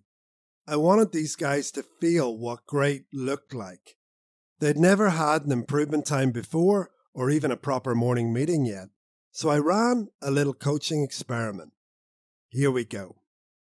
Right, people, you each have 20 minutes to go to your personal workspace and either 3S it or make an improvement and I need a before and after from every single one of you posted in the WhatsApp group, and we'll give a prize for the best one. Videos earn extra points over photographs. Now, off you go. Now, this could have been a disaster, like all these first time experiments, but it really didn't work out like that. I was waiting back in the meeting room, and within 15 minutes, WhatsApp was pinging like anything. Sure enough, in 20 minutes, the 12 people were back in the room, a little breathless and full of energy. The room felt amazing, but that wasn't it. I didn't have time to make a video or compile what the guys had done. I hadn't even thought of that. So my in the moment solution was just to scroll through the media section in WhatsApp, live off of my laptop. So off we went, for most people, it was their first time making a video that non family members would see. Most guys did a voiceover and did a good humoured job of explaining what they did, just pointing the camera at their work. Even for those, everyone was laughing, cheering, and clapping at every after.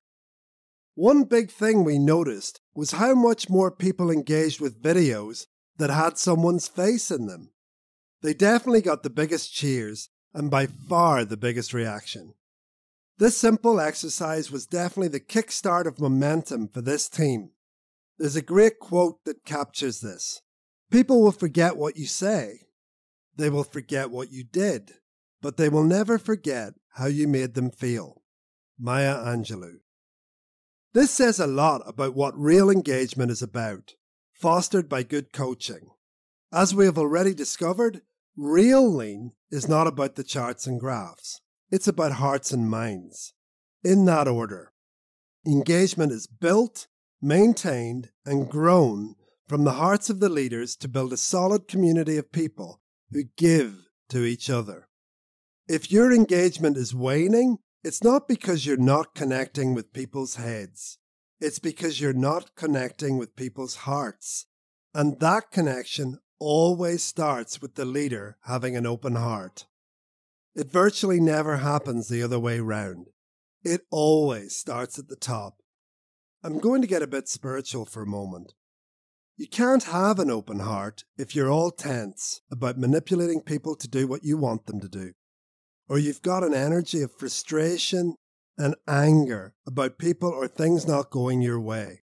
As always, improvement starts with I, and it always starts with the leadership team giving and getting that cycle going, getting things unstuck.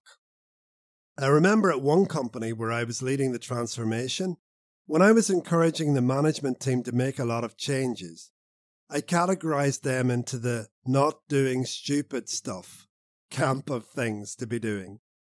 Things like giving people a hard time, really treating grown adults like naughty children when they were changing safety gloves because they were expensive, cleaning up and decorating the works canteen not to be a totally horrible and depressing place to eat your lunch, skimping on tools and maintenance, basic things like that, not high level stuff. I got pushback because I was told, You're always just wanting to give them stuff. What about them giving to us? Unfortunately, in my experience, it simply does not work like that. If you want to break a cycle of behavior or start a more virtuous one, it has to start with management making the change. And that means management opening their hearts and giving. It also might take a little while before the return is evident. These things need to be done in the spirit of just being the right thing to do. My buddy Alex calls this the circle of trust. Management makes a move, the shop responds.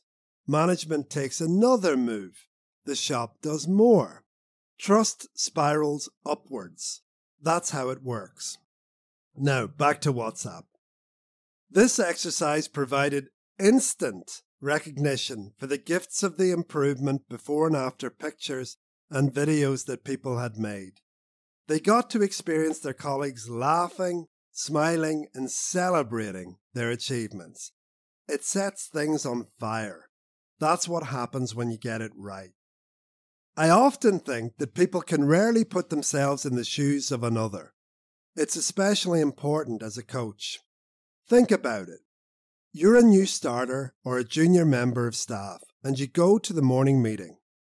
These big people tell you that they want you to make improvements and post in the company WhatsApp group. So after a week or two, you get the courage to make a post. It took guts for you to do that.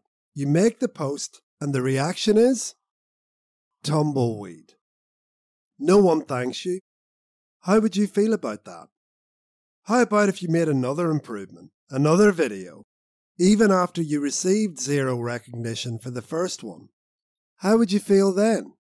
This stuff isn't rocket science. So the lesson we need to hear in this instance that 100% needs to be built into your 2 second lean routine is where you will make sure that every single improvement contribution is recognized and that the really above and beyond contributions are truly full on celebrated. That team from Learning Club are core in driving things forward in these early weeks. They were going to be the first leaders of the morning meeting, and just as importantly, were going to be the 12 apostles of lean. We made it clear that they were the ones who were going to build momentum in the WhatsApp group, setting the tone by making improvements themselves, and coaching their respective teams to get going with their improvement efforts. So, week four of Learning Club, where we really focused on explaining what Triple X leadership means. We've touched on Triple X in the Candor chapter, but we'll go into it in more depth here. The first point is super important. The more senior the person, the more important it is that they take this on board. Triple X stands for extraordinary, exceptional, example. There's a great video by Paul Akers on this subject. Please check it out. Our Learning Club coaches must exhibit Triple X by taking the lead, making the improvements, coaching the team, and posting to the WhatsApp group every single day, at least once, and they need to encourage their people. The Triple X leader always shows appreciation for other people's efforts. They thank people face to face and on WhatsApp. They celebrate them in the morning meeting and they get excited about other people's improvements. I'm lucky here that I naturally get really excited by the smallest improvements that people in the team make. Some of the ones that have touched me personally would not seem that great to someone else. Things like the first improvement that someone with very poor English who has been super quiet makes, like mounting a broom on his workstation. It might not seem like rocket science, not an Instagram improvement, but it shows that this person is engaging. It shows that he wants to get involved and do better. To say it again, at these early stages, the improvements don't matter. Engaging people does. Another skill that the lean leader or internal coach needs to develop is the art of deflection. This is not like the normal corporate BS world where everyone tries to take credit for everything, regardless of whether they did it or not. I had an old boss who used to say, Success has many fathers, but failure is an orphan. In another toxic organization, someone actually presented my department's improvement work and results as their own, not realizing I was in the room. In a lean company, especially as a triple X leader, it's the opposite of that. Try to give the credit to others and take less of the credit yourself. I'm not saying to lie, but be magnanimous about how credit is distributed. Deflect it, if possible, onto someone else in the wider team, especially to newer, less senior members. Now, all of that is a high bar, but why allow that bar to be any lower? This is such an important point for leader coaches to understand. Lean only ever fails because the leaders are not consistently triple X, coming from the heart and therefore not setting the engagement that it all stems from. If your lean process is having problems, the first place to look as leader coaches is in the mirror. The next triple X point is to never say no. Support encourage, and listen. You might think this is crazy, but it's so important, especially in the early days of two second lean. I've seen awful leaders pour cold water on the embryonic ideas of a team member, and it's one of the fastest ways to kill your lean culture. Unless someone's idea will negatively impact safety or quality or incur a big expenditure that is more than likely going to be a waste, Encourage everyone's ideas, even if you, as a coach, have a much better idea. The most important thing, especially in these early days, is that everyone's ideas are welcomed and, as far as possible, taken on board. I've watched so called leaders um and ah when a team member is being an enthusiastic puppy full of improvement ideas, only to have their good energy dashed because it's not quite perfect, or more importantly, not perfect enough in the leader's eyes.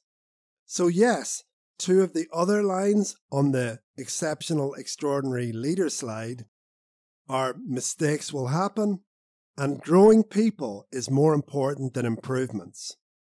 Engaging and building it is the main objective.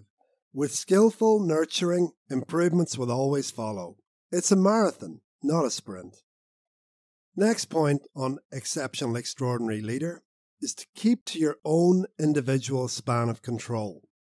It's another common issue when an organization starts on the road of 2 second lean is that some people want everyone else to improve apart from them. So when a coach makes their rounds on the Gemba during improvement time, which is one of their most important tasks, is that they receive improvement suggestions like, hey, why don't we change the ERP system? That's the enterprise resource planning system that the entire company is run on. And then my life would be easier. Why don't we buy a new XYZ multi million dollar thing? Then everything would be better. One important task of the coach is to bring the individual's attention down to their own span of control. Fix what bugs you and what you have the power right now to change. That is what our expectation is, and bring them back to that. It's not that we won't fix or change the big stuff, it's just that it is not where the focus is right now. Let's get the team to show what great improvements we can make right now and as we do that more and more, the company will get more confidence to back bigger changes and make more investments to make improvements happen. Now, it was time to get this thing going. With our Black Box Learning Club, this was the last weekly session before we would get going with Lean proper, and this meant starting the morning meetings. We continued with Learning Club for another few weeks, the content of which shall be discussed in the concluding chapter consistency. So, the takeaways from the coaching chapter.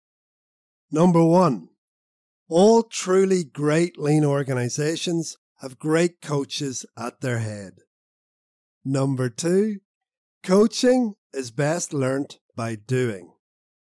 Number three, a learning club provides a great platform to grow your internal coaches and set expectations.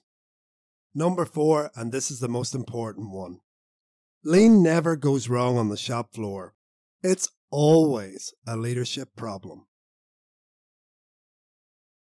Chapter 4 The Fourth C Consistency. Success is neither magical nor mysterious. Success is the natural consequence of consistently applying basic fundamentals. E. James Rohn. There are so many k words that I could have chosen for this chapter. Kata, which means routine in Japanese. Kaizen, which in Japanese means small steps of continuous improvement. And continuous improvement as a term in itself but I settled for consistency. I chose that word deliberately because it's not very glamorous. Consistency could sound like the boring part of the lean recipe, the rinse and repeat part, but it cannot be left out. And providing the other C's are being dealt with, it's where the engagement is built, improvement happens, and results are delivered. Consistency in this sense is about putting one foot in front of the other. I climbed Kilimanjaro in 2014, and it was by far the toughest physical challenge I've ever taken on. We hiked for 12 plus hours a day for five days, never got more than a few hours sleep every night due to the freezing temperatures, and I had to wear the same basic clothes for the last couple of days due to my gear getting wet and with no way of drying it. It was hard. On summit morning, we had to get up at 3 a.m. in the dark and hike up to the top to be there in time for sunrise. It was also by far the coldest temperature we had to hike in because it was the middle of the night and the highest altitude. The water froze in my drinking bottle inside my backpack because it was so cold. I was absolutely exhausted due to the lack of sleep and the previous five days' exertions. It was a pretty miserable period, I can tell you.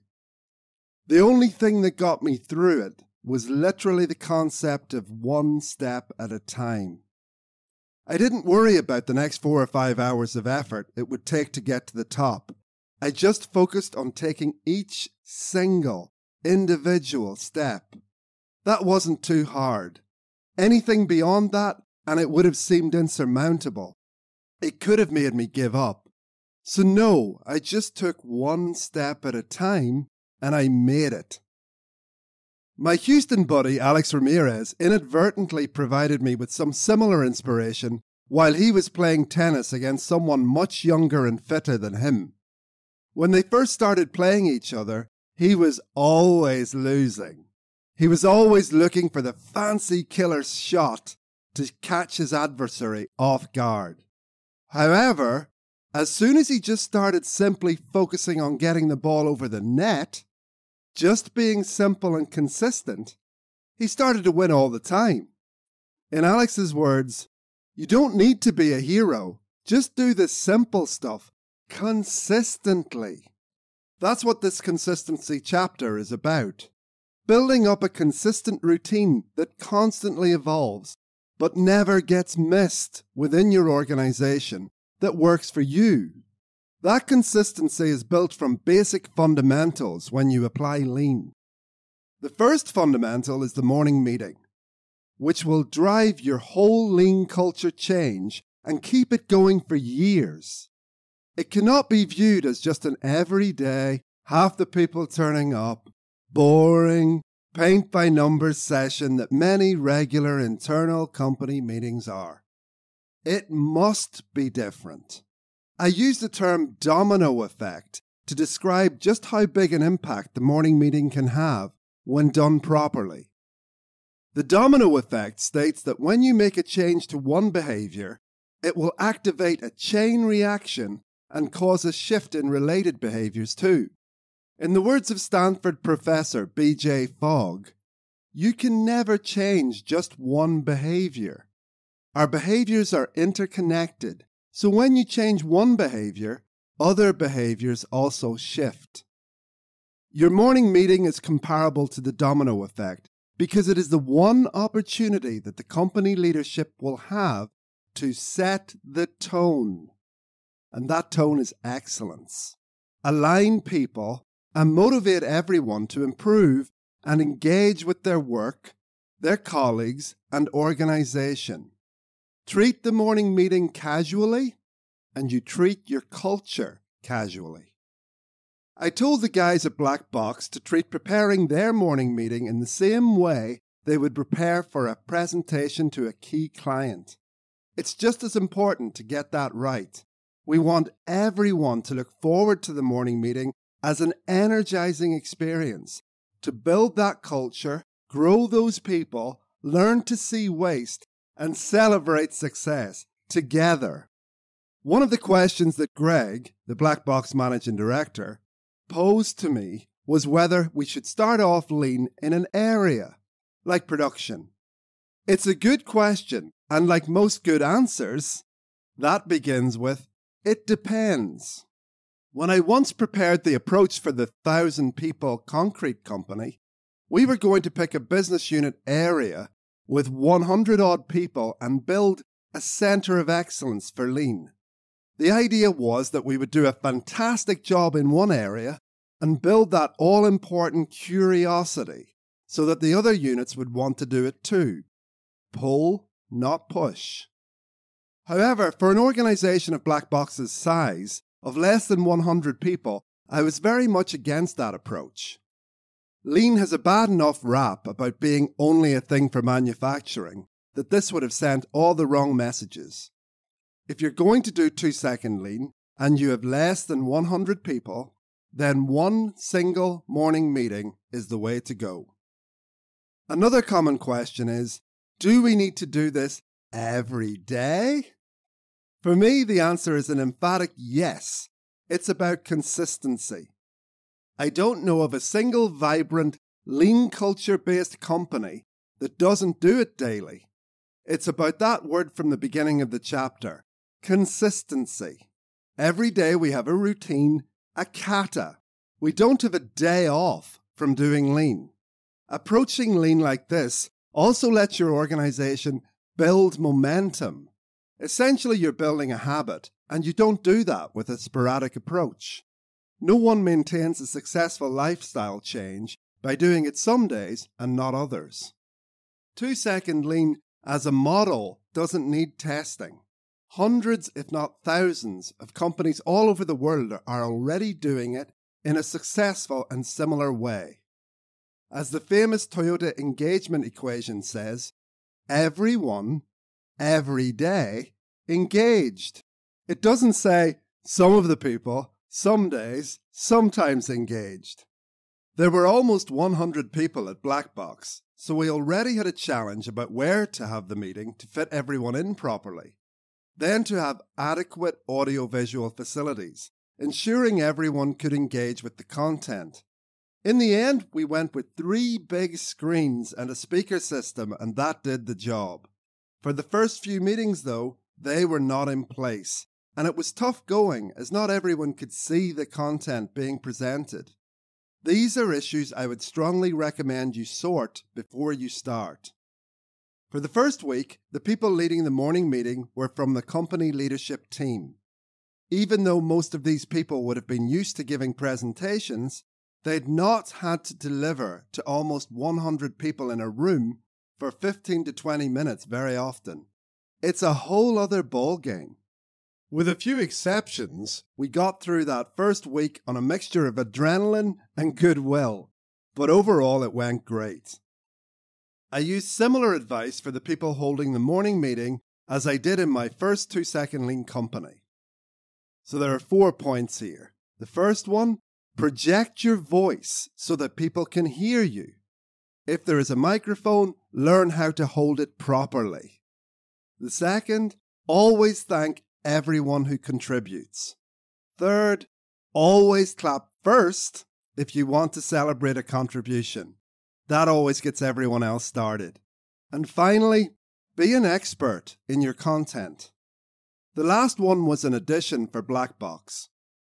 Many of the guys, and I include girls in that grouping, were spending too much time just reading their slides versus engaging with their audience, using the slides as a crutch. Frankly, that's really boring. It's perfectly fine for a newbie or a non leadership person to be nervous and not a television standard presenter. I'd argue that it's even a really good thing because the rest of the team connects with that person who is getting outside their comfort zone. The lack of a polished performance is actually a positive in that case because it builds team spirit.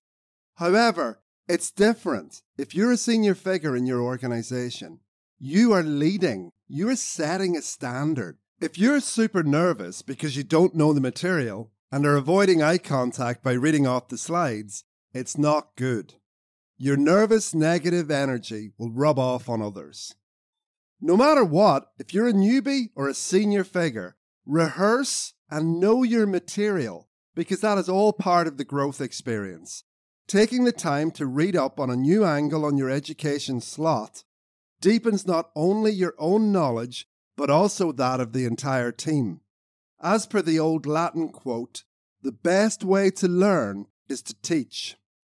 The guys at Black Box were pretty exceptional on this point from the get go because it was not just a single figure leading the morning meeting for those first days and weeks.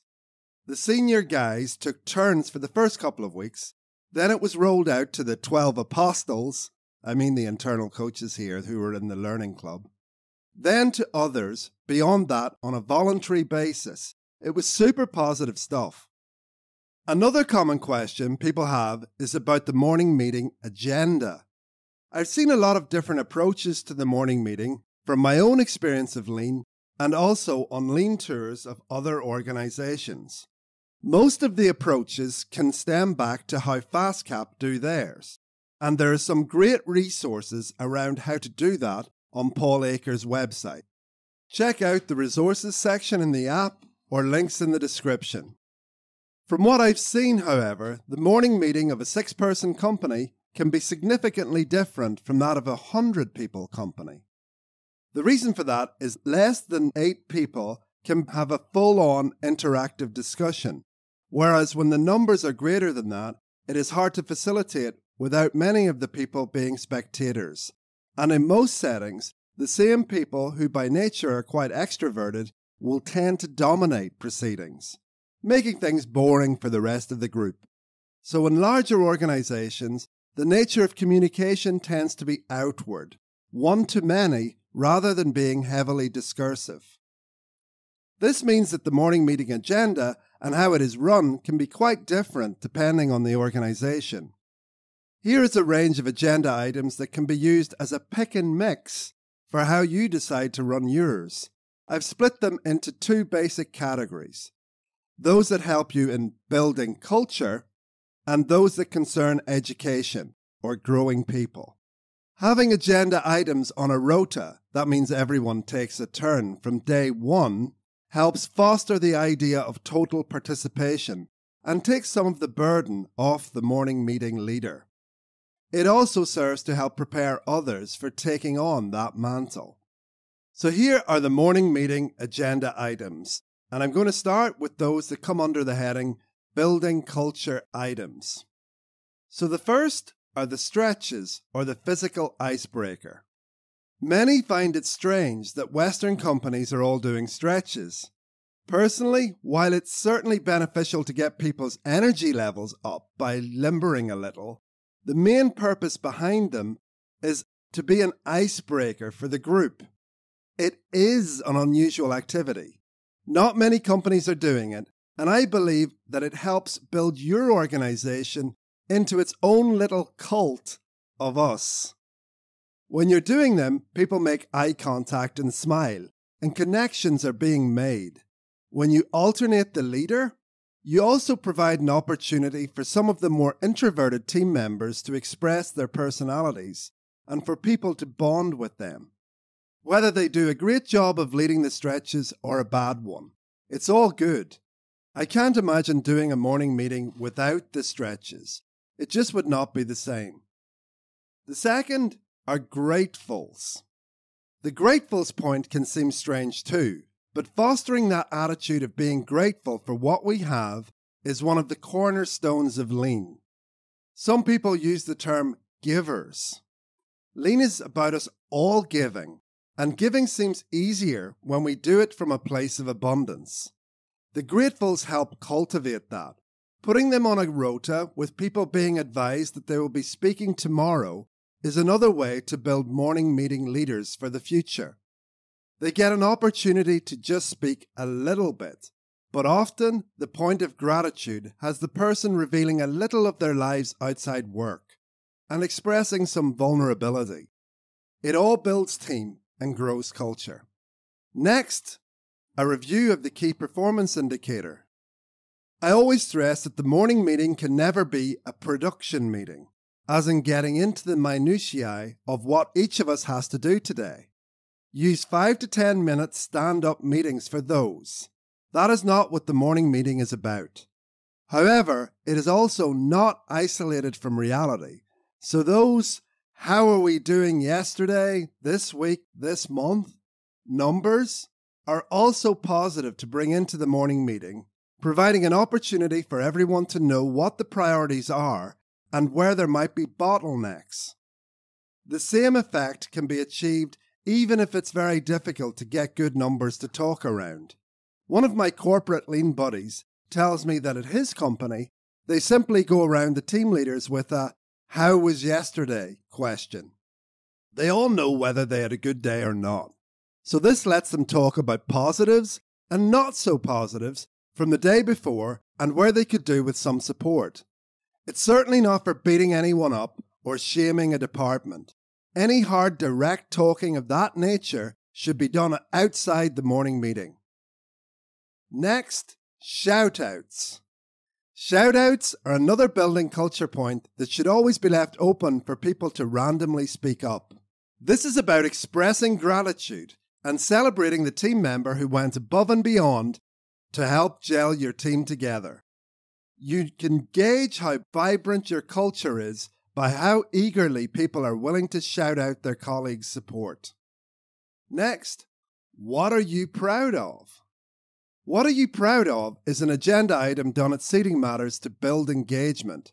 According to Ryan Tierney, everyone has something they're proud of and they want to tell people about. This is especially good when it has absolutely nothing to do with the workplace, as it demonstrates people are giving of themselves to the team when they share. Last time I participated in the morning meeting at Seating Matters, the lady holding the meeting presented a photo of her with her grandchildren, telling everyone how much joy she got from being around them and how proud she was of them. It was so heartwarming. It is this opening up and revealing their real non work team members' selves that is the real fuel in your engagement locker. It's far from just engaging with management. It's about engaging with the team at multiple levels. This builds trust, engagement, and commitment to the cause. Next, lean principles. This is an agenda point that I used with an agenda during my first two second lean implementation. We had so many problems with culture around lack of mutual respect and blaming people when things went wrong. I developed the company lean principles as I encountered different cultural problems to get the ownership and the wider team to face them and adopt another approach. I used principles like no BMW to inject humour into serious subjects. I'd ask who knew what BMW stood for. I'd get all kinds of car related answers, ranging from the humorous to the serious. My reveal would be that it meant blaming, moaning, and whining. I don't want to hear any more of that around here, and we get a few laughs. Another one to advance change on this similar topic was attack the blank, not the blank. Ask for guesses as to what the blanks represented and then do a reveal. It means attack the process, not the person. I'd repeat the new point for a few days before moving on to another one. And when I had developed 21 in total, I put that on a daily repeat rota that we would cycle over day after day to deepen it further into our culture. Repetition. The next is quote of the day. I used to use this item with a similar agenda. I was not just looking for some pretty sounding words. I generally wanted to convey a serious message behind the quote I used. Lean quotes from the founding fathers of Lean are also brilliant as education tools. Finding a quote can also be a task that the person chairing the morning meeting can have as part of their preparation as your culture becomes more mature. Depending on the number of people in your meeting, you can choose whether this part of your meeting is an opportunity to discuss the concept behind the quote in more depth or not. Next culture building point is celebrate success. This is an essential piece of culture building that the best lean organizations do at the end of their morning meeting. At the very least, show the best of yesterday's improvements from the team. The best practice is to put every single before and after and at least a clip of each improvement video into a less than a four minute video at the end of the morning meeting to finish it on a motivational high. People love to see their bit, and it's best if the voiceover narrative shouts people out by name. When I first started putting YouTube improvement videos and compilations of them into the WhatsApp group of the original company where I did 2 Second Lean, I found out through the back door that people were sharing them with friends and family. It was a bit like, as we say in Ireland, being on the telly. I love this kind of recognition and the feeling of appreciation that it generates. Often these guys have never had the words thank you said to them with regards to work, and now someone is making crazy cool videos and bigging them up in front of the company. And in some cases, with lean videos that are seen by thousands of people all over the world in the lean community. What's not to like about this? Showing that video at the end of the meeting sets the tone for the team to go out and do it all, all over again. Next point on the culture building are the recognition awards. Nobody would normally associate Lean with the Oscars, but I've seen the connection in action. I came up with the idea while working with the guys at Black Box.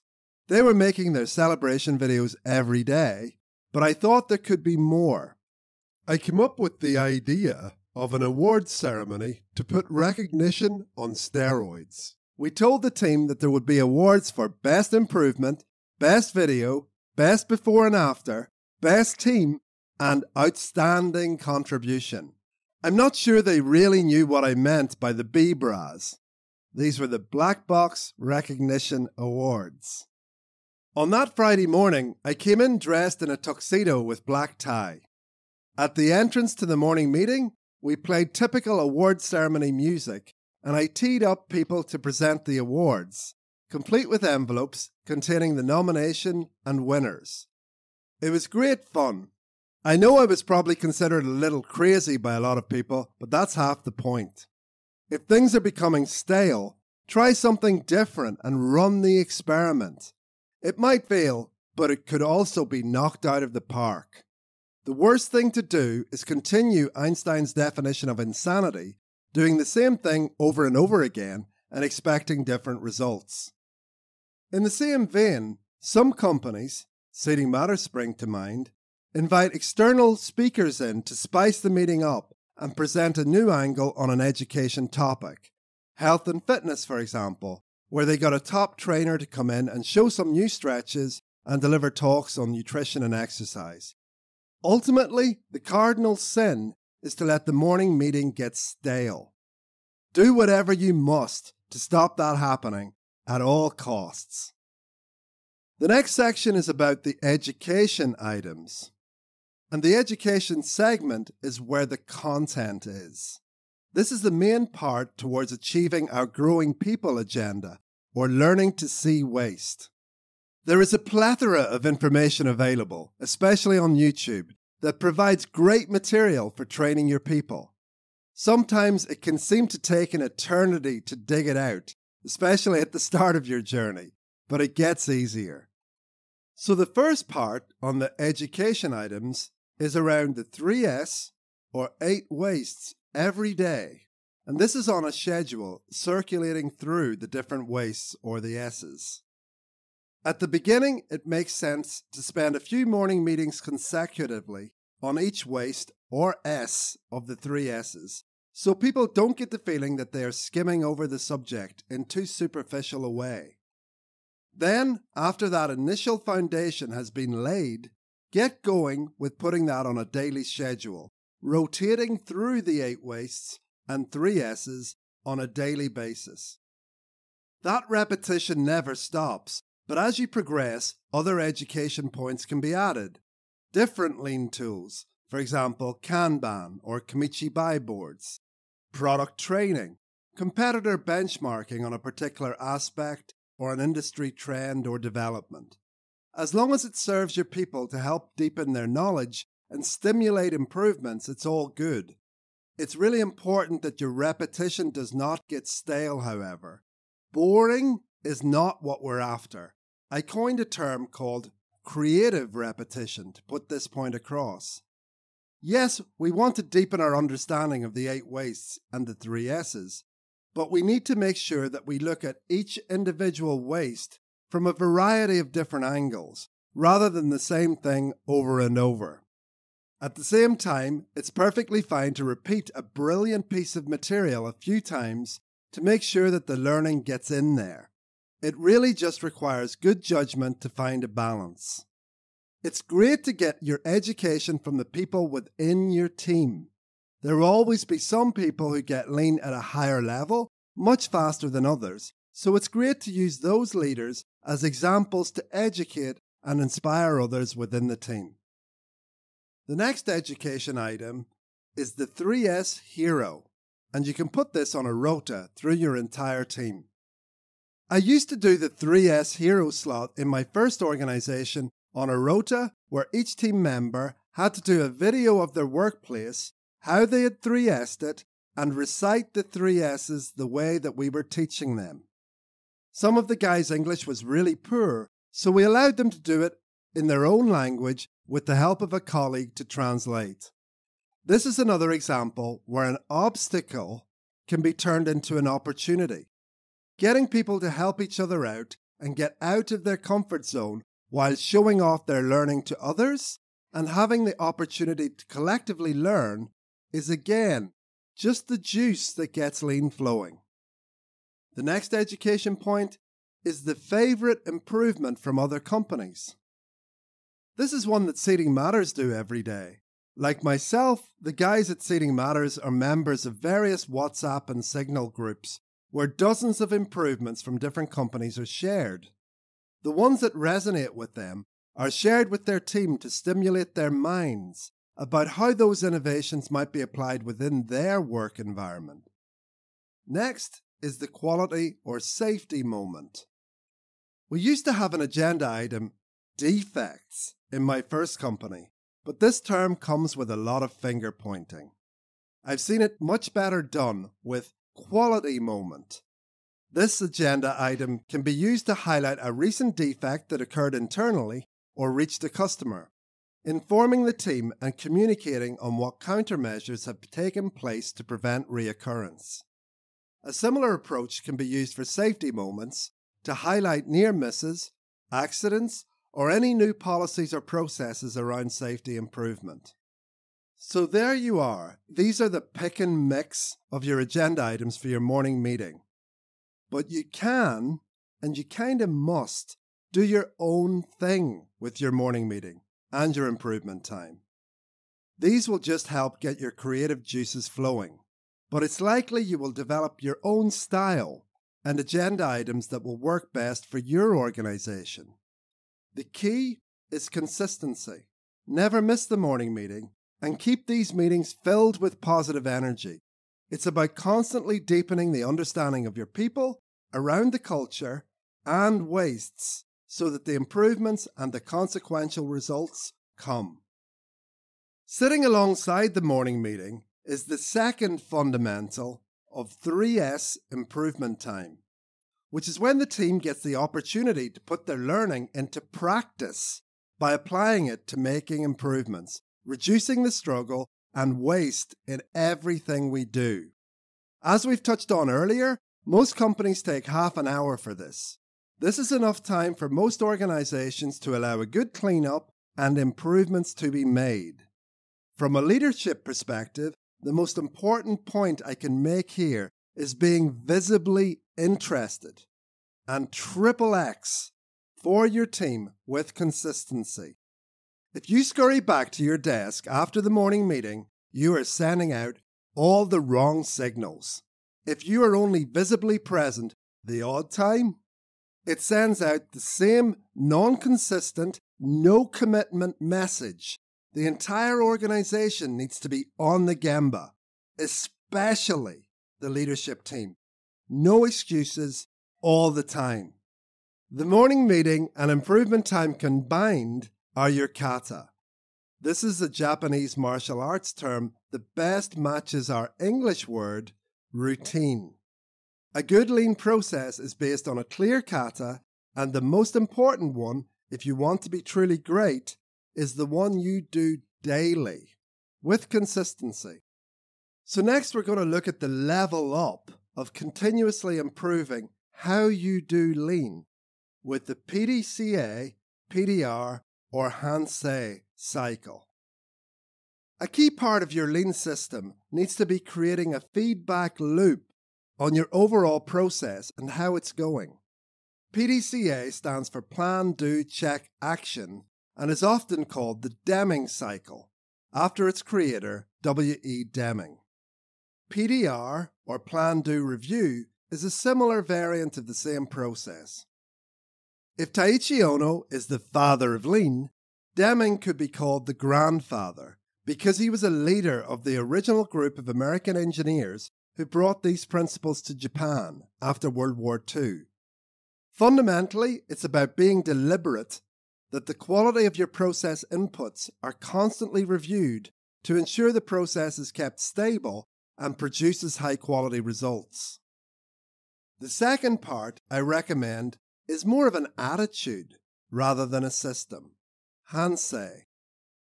This Japanese word has various meanings depending on the definition you use, but the overall meaning I choose to coach is to look back with regret. I first learnt about the principle in Japan on my lean study mission. We had an amazing visit to a Japanese primary school at lunchtime. There were about 500 kids having lunch in this canteen, happy as anything, smiling and talking with each other. In spite of that, our group could still converse with each other without raising our voices. The kids went up and collected their trays of healthy food, already telling the server if there was anything they did not think they would eat, to minimize any wasted food. When they were finished with their meals, they put all the materials in the right recyclable waste containers, and there was hardly any waste. Quite a lot different to things in the West. When they were leaving the dining room, each child went up individually to say thank you to the kitchen staff who had prepared their meal, and next, you won't believe what they were going to do. The next part of lunchtime was about the entire school cleaning it. The schools don't have janitors over there. The kids do everything themselves vacuuming and polishing floors and windows, weeding the lawns and flower beds, even taking the old leaves out from underneath bushes. The energy was incredible, and it was really clear from their attitudes that they were happy to do this. They were happy and smiling, having fun. It wasn't like watching forced labour. However, I still have not got to the most impressive part. At the end of cleaning time, each class got together for their Hansei. There is no official leader. The kids say things like, I wasn't really on form today, I was just messing around. Sorry for that. I'll do better tomorrow. Not everyone, just a few, and it wasn't a shaming exercise. The other kids would be giving back an attitude of, That's okay, thanks for telling us, we will do better tomorrow. It was amazing for me to witness. I was so impressed. The level of maturity these kids exhibited was just jaw dropping. And they were only nine years old. When I was coaching with Black Box, I explained to the guys that regularly looking back with regret was a great practice and spirit to cultivate. I encouraged them to ask, How did I do after the morning meeting they had led? with a spirit that went beyond, Great, buddy, but actively to want constructive criticism as to how we could do it better next time, either as an individual or as a team. Each week on Friday afternoon, we did a Hansei to reflect on the things gone well and the things gone not so well from the previous week, looking at various ways that we could improve that all important engagement. I discovered years ago that there is a whole different flavour to using those terms rather than the traditional things gone wrong, things gone right approach. It encourages more honesty and less blame within the team and gets the creative juices flowing. We are all learning together. We came up with a proxy metric for our engagement to ascertain how we were doing. This was to count how many media posts we were getting in our WhatsApp group and use them as an indicator for how many improvements we were making and what the level of engagement was.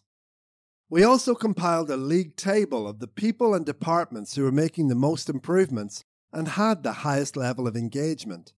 These numbers were also communicated to everyone in the morning meeting. The idea is to pull others along and provide extra recognition for those going above and beyond. Black Box, being a sport fitness company with a strong culture associated with that, had a group of people who loved competing.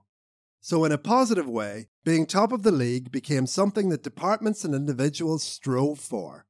It put a smile on people's faces it was fun, and while this might not work in every company, the key is to find what is fun to your people and builds team and drives engagement consistently.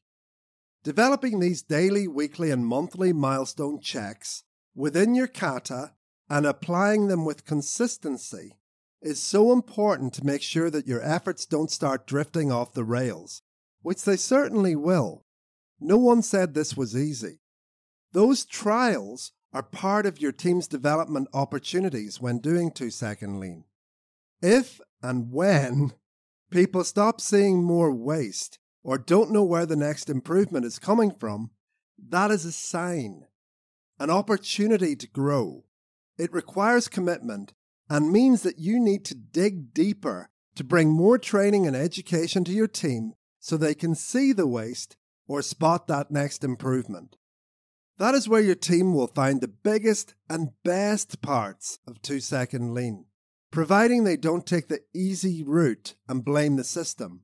It's not the system, it's their depth of understanding that is lacking. So now we're going to talk about the four P's priority, practice, patience, and persistence. I was really fortunate at this stage of my black box coaching in that I came across a social media post from a guitar tutor friend of mine talking about how to learn to play that I don't think I made clear enough. A friend of mine is the guy in the studio with me helping me record this audio book. Hello, Adrian Curran. Thank you. so, Adrian spoke about practice, persistence, and patience. I thought it had great crossover potential to doing lean. You need to do it regularly, and by that we mean every day. Practice. You need to keep at it, even when you don't feel like it. Persistence. And lastly, the results are unlikely to come in a day or two. It takes time before you see evidence of success, and that takes patience. In spite of lean being the art of subtraction, I added another P to it priority. Because none of that happens if you don't make lean a priority. It's actually more important than any of these, as without it, none of the rest has a chance. To illustrate this, I will use the example of my own guitar playing. When I was a kid, I had a guitar, and I learnt about a dozen chords, but because I was a good singer and used to play in bands that way, I never felt motivated to learn to play the guitar at a good level. For my 40th birthday, I spent about $1,000 on a nice Takamine guitar because I thought now was the time to put more effort into learning how to play. I did it for a few weeks and then stopped. I still couldn't play any tune properly, despite that I knew the chords. I knew what to do, as in how to play the guitar intellectually, but I'd never made it a priority to put in the time to practice necessary to become a good guitar player, or had the patience and persistence to get those results. The priority was the problem. The rest I can do for other things, like meditation, for example. I haven't missed a morning meditation in over three years. My meditation practice is the foundation that the rest of my life is built on, and I derive tremendous benefits from it. At the time of writing, I'm now learning to become a high level meditation teacher, and I'm very comfortable to be able to come from a place of strong experience to do so. The only difference between meditation and the guitar? Priority. I was recently talking with another senior corporate lean buddy about this stuff, who is now helping other divisions and units within his massive organization to apply two second lean. However, the mentality of a typical corporate mindset can be a huge barrier. Everyone is so focused on their KPIs, and only the KPIs, delivering their short term results up the chain, and I can categorically say that if that is your focus and emphasis when trying to apply lean, then your efforts will be short lived. In real cultural transformation, results are often the last thing that becomes evident. The focus always has to be around engagement. That's about wholehearted buy in from everyone, total participation. This is especially important at the beginning of your lean journey. If it's about getting results, your people will smell your lack of authenticity about this just being another tool. You will not get engagement, and you will fail on your journey before you even really started. So it's all about engagement. Engagement, engagement. When you get engagement, which can be measured in smiles and body language, the next thing you will see are improvements as people jump on the train in their own time. Each person's individual level of understanding develops at their own personal pace as they get it. Pull with only a little push. Grow the people, build the culture, and the rest will follow. Push is reserved only for people actively stopping the process from moving forward, destructively resisting it. Two words apply to them with zero tolerance. Get out. As the improvements gather steam, you will start to see the results improving. It can take a few months. Generally, physical transformation of the workplace happens in weeks, and real tangible improvements start to trickle out over the first weeks, but really months to get momentum. Then the results start to take off and keep going off the chart as your kata develops consistency and momentum. That only takes place with priority, practice, persistence, and patience, or alternatively put, candor, commitment, coaching, and consistency. It's all a matter of leadership, human behavior, and not a little bit of love. A little used word in business circles. All challenges are opportunities to grow. True lean is not felt in the head, it is felt in the heart. It is a heart based exchange between souls. If your lean journey is ever going in a direction you don't like, look in the mirror as a leader to discover where you are going wrong. Then open your heart to your people in a spirit of understanding to know what needs changing. Often, it will be you that needs to change. Sometimes they will realize that they need to change, and other times, as a leader, you will need to change the people or change the people. No matter what happens, every obstacle is an opportunity for growth. Every interaction, every challenge starts with I. The real learning is not done during the easy times. It happens when things are tough. The learning doesn't occur when someone else solves the problem for you. It only truly happens when you search for your own solutions by digging deeper and finding ways to make things work. There is an Indian parable that I really love about the caterpillar struggling to get out of the cocoon. It can struggle for an entire day to push itself out, and when it succeeds, it becomes a beautiful butterfly.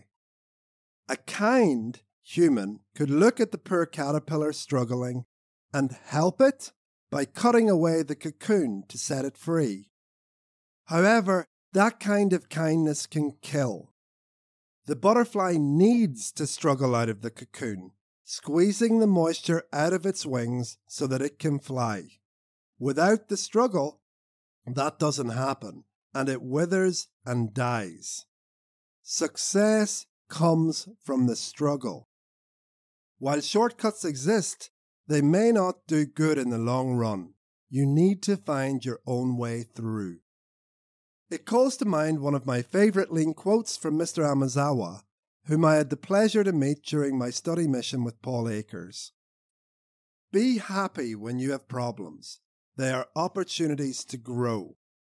You will always have challenges in life. It's designed that way. You can waste your energy trying to resist what is, pulling yourself into stress, anxiety, and drama, or you can consciously relax, open your heart, and ask, What am I supposed to be learning from this?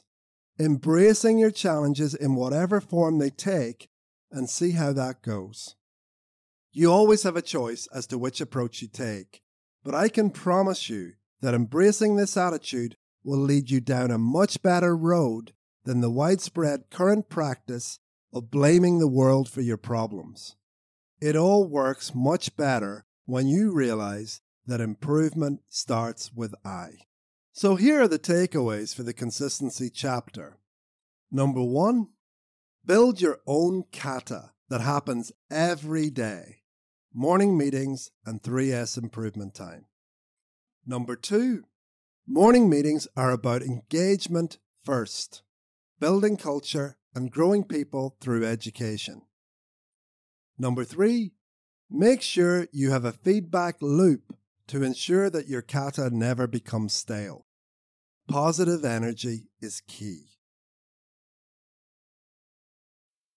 Chapter 5 The Fifth C Continuous Learning. And there's more. That quote's from Jimmy Cricket. He's a very cheesy Northern Ireland comedian. When I asked for contributions to this book from my lean friends, I expected my friend Ryan Tierney of Seating Matters to pick commitment. I expected him to describe some huge barrier he'd had to overcome to become one of the best SME lean companies on the planet. He surprised me when he picked this chapter of continuous learning as his contribution.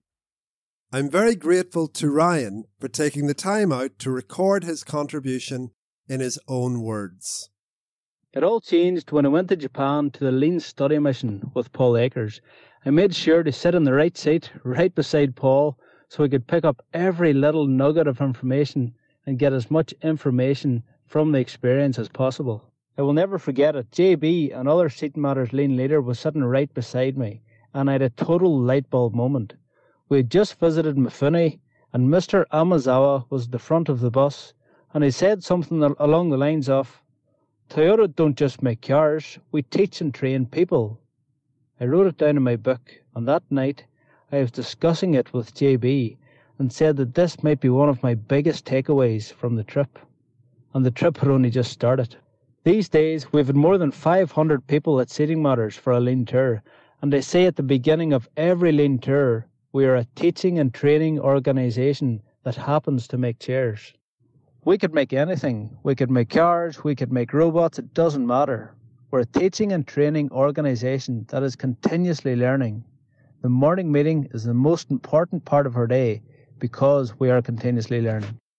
Every single day in the morning meeting, we pick a different learning topic, and every single person has to take their turn holding that, that meeting and revising the material the night before to deepen their understanding of that topic to a level where they can teach it to others. That all started with that light bulb moment in Japan. Toyota is a teaching and training organization. I thought, this is unbelievable. This is exactly what we are. So I'd like to say thanks to Ryan for that story and for all his help and support during this journey so far. This point is totally key to doing lean the right way. It's not about the visuals, and certainly not the graphs and wallpaper of traditional Western corporate lean. They have their place, but they are not central to building a sustainable culture, as we've seen. To continuously keep improving, lean organizations have to be continuously learning at the level of the individual, at the level of I, to sustain and deepen their culture. The morning meeting is at the heart of that process and everyone in the organization needs to recognize that this is the purpose to teach and train people. Originally, consistency was the end of this book, but like all lean maniacs, I never stopped learning. I grasped some new things while I was writing it that I just couldn't help sharing. So that's why I added this additional chapter. And it really helps illustrate this point. Learning starts with I. Lean people never, ever stop, and they have a hunger for learning. I hope you find these final two sections useful. There are two points. Your eight wastes may not be the same as Toyota's, and the importance of standards.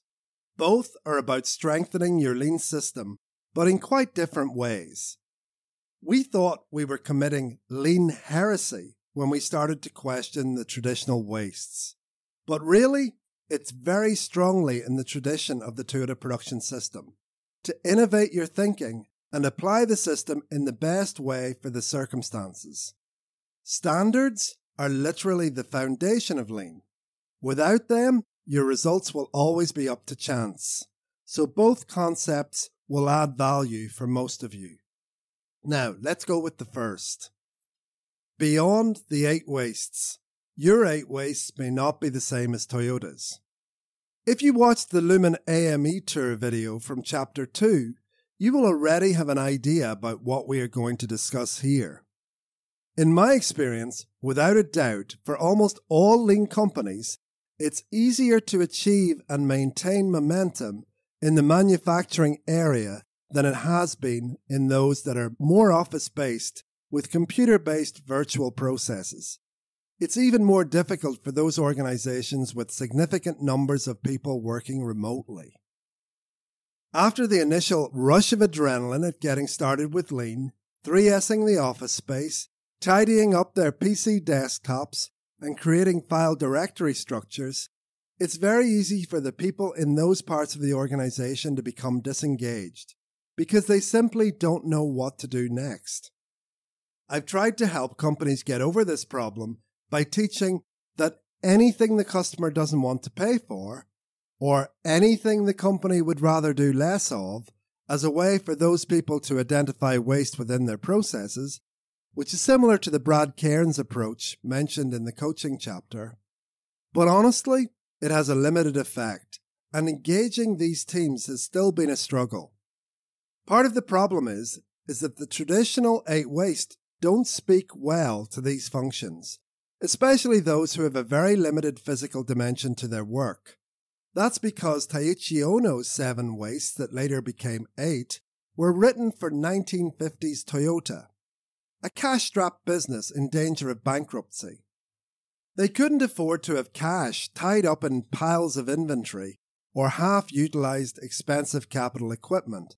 So the waste he came up with were business killers for them. But now those same wastes are being shoehorned into third millennium companies, many of whom have completely different challenges or wastes with little or no physical product. They could hardly be more different to post World War II Toyota. My business partner at Lumen Electronics, Patrick McGee, was the man to spot this and have his Satori or awakening moment while watching Paul Akers interview lean legend Norman Bodek, may he rest in peace, during a trip in Japan. Norman described this exact issue as the reason why over 98% of American companies fail at doing lean. We certainly had this problem at Lumen Electronics. We were able to apply the traditional eight waste very well to our physical and especially manufacturing processes, but most of the value we create is at a computer, designing electronic circuits or writing embedded software code. Simply put, many of the eight wastes were totally irrelevant. For example, we didn't overproduce engineering work. We didn't even own a forklift. And trying to say that inventory was analogous to computer files costing a few dollars a month on a server is literally beyond a joke. It makes a mockery of the real wastes. Meanwhile, we certainly had real business challenges that our Kaizen activities were having a limited impact upon.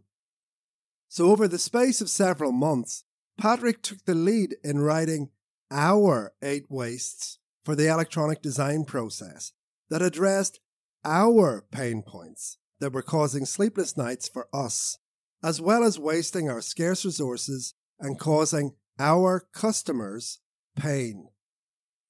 Patrick used me as a sounding board, and while we had some seriously robust discussions, what we were doing for many lean companies was heresy. But after those few initial skirmishes, Patrick managed to convince me that this was the right track. Eventually, we came up with our eight wastes, which are as follows. Project ambiguity. This is when it's not clear what the scope of a project is, or its deliverables, and leads to customer dissatisfaction because what we deliver is not what they expected. Or from our side, where we spend days working for free to give a feature or level of performance that was not planned at the outset. This is our mother of all wastes for this process, as when we experience this, many other wastes are multiplied, just like traditional overproduction. The next was called variations, where non standard components or processes are used, which adds complexity to delivering a technical outcome or causes issues in the supply chain when launching into production. The third was bad code. Code that is buggy, that means it doesn't work well, or just as bad is difficult to comprehend by anyone but the author. This causes masses of non value added time by another engineer trying to work out the tech stack, managing that handover before they can start adding value, i.e., physically changing the code.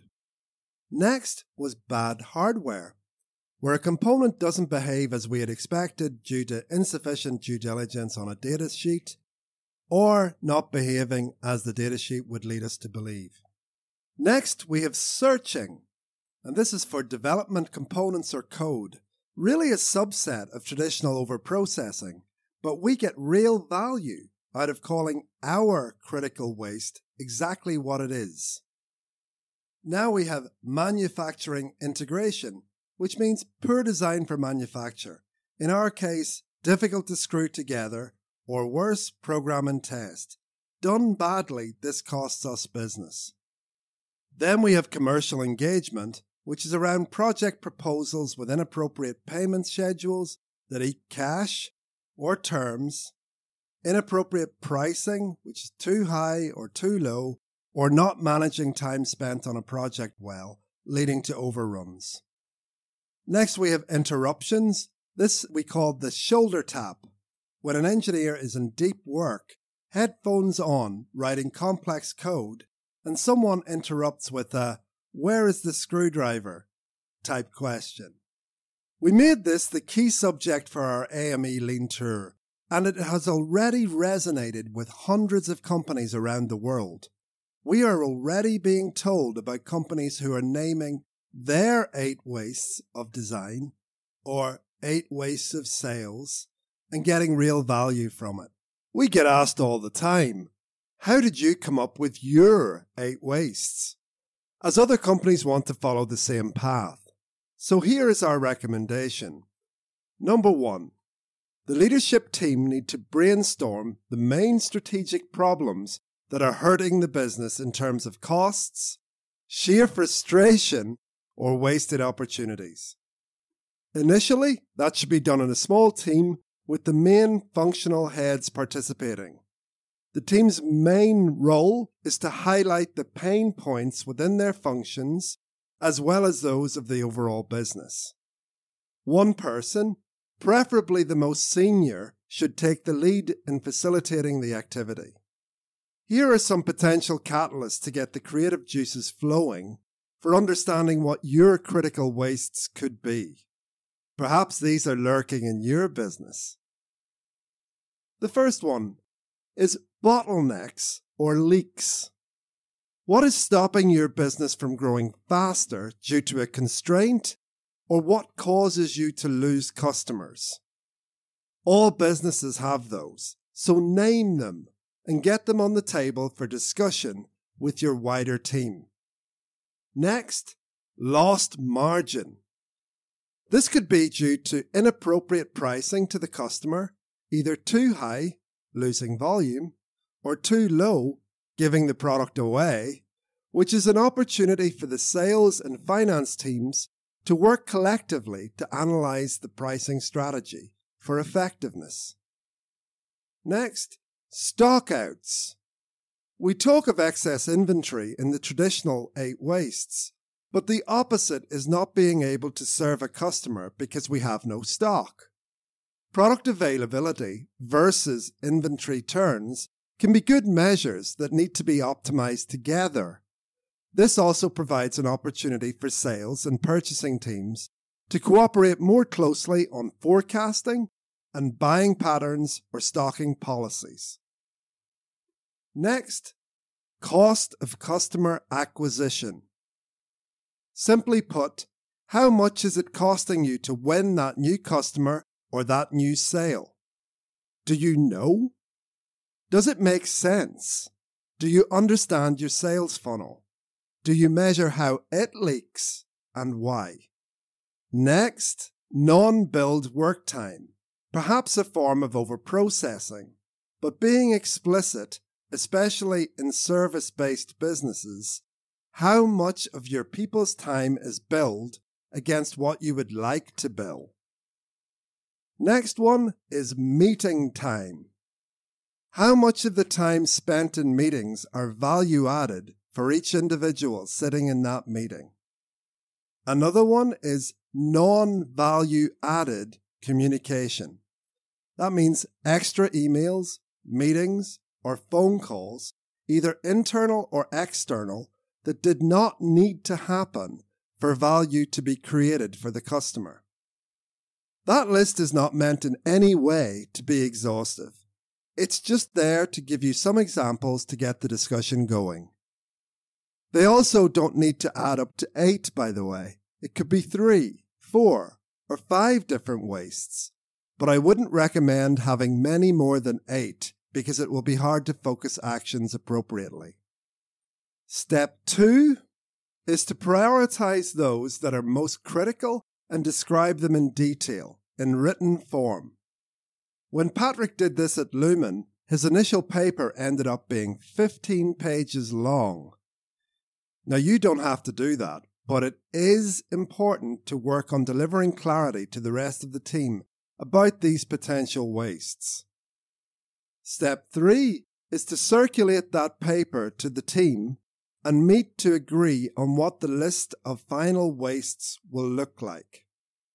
Step four is to start to make those new wastes part of the morning meeting education process.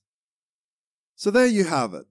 We got a huge benefit out of naming the waste. Rather than leaving the vague description of what waste was as the traditional what the customer doesn't want to pay for, being specific was like putting on a pair of waste vision goggles for our people. Once you see it, you can't unsee it. And we are now much more effective at working at and reducing those wastes. We reckon our wastes will also evolve with time. We have already made huge strides at eliminating the waste of project ambiguity by having paid discovery phases with customers to identify the key technical issues and precisely define project deliverables at the outset, as well as taking a lot more care to put precision into our project proposals. As the effects of these improvements become evident, we will find other wastes that might become more important and need to be named. I recommend every company doing lean takes this approach during their lean journey. Remember, everything in life is a process or the outcome of a process and is therefore imperfect and has waste in there. Be smart and name that waste together with your people. This is the second post book learning I wanted to give you. And we're going to call that the value of standard operating procedures. Patrick and I had been working together for about a year developing the Lumen business into new areas, and taking our lean culture a little higher every day. When one day Patrick asked me to raise the standard about how we documented the standard work or operating procedures for the program, assembly, and test processes on a new product we were launching to the market a fall detection and transmitter product for aged care settings. Historically, if processes like these had been documented at all at Lumen, it would have been a wall of text that anyone except the technician who wrote it could not have possibly understood. Several times before, we had tried to set up a process to run some parts without person X present. When we dug out the SOP hidden in some folder away from the Gemba, it was unintelligible, useless as a tool. Therefore, we knew that we needed to do better if we ever wanted to scale the business at Lumen without relying on the tribal knowledge stuck in a few people's heads. Back to Patrick and me. No problem, I replied, because I'd written dozens of SOPs before, particularly at my first two second lean company. I said, no problem, even though I knew it was a pain in the taking photos of the process with my phone, taking notes, messing about with Excel, iteration after iteration, and so on. It often took an entire afternoon to document all but the simplest processes this way, but I thought I would take one for the team. I already had a couple of different standard operating procedure templates that I had previously developed to use as a base. After I spent the afternoon documenting just a small part of the process, I showed the shiny new SOP to Paddy, expecting a well done, mate. The response was not what I expected. I got a meh. Well, I think that's what my teenage daughter says when she's not happy about something. And uh, how long did that take? When I told him it was the entire afternoon, Patrick asked, But don't you have a software company? It was the ultimate fix what bugs you.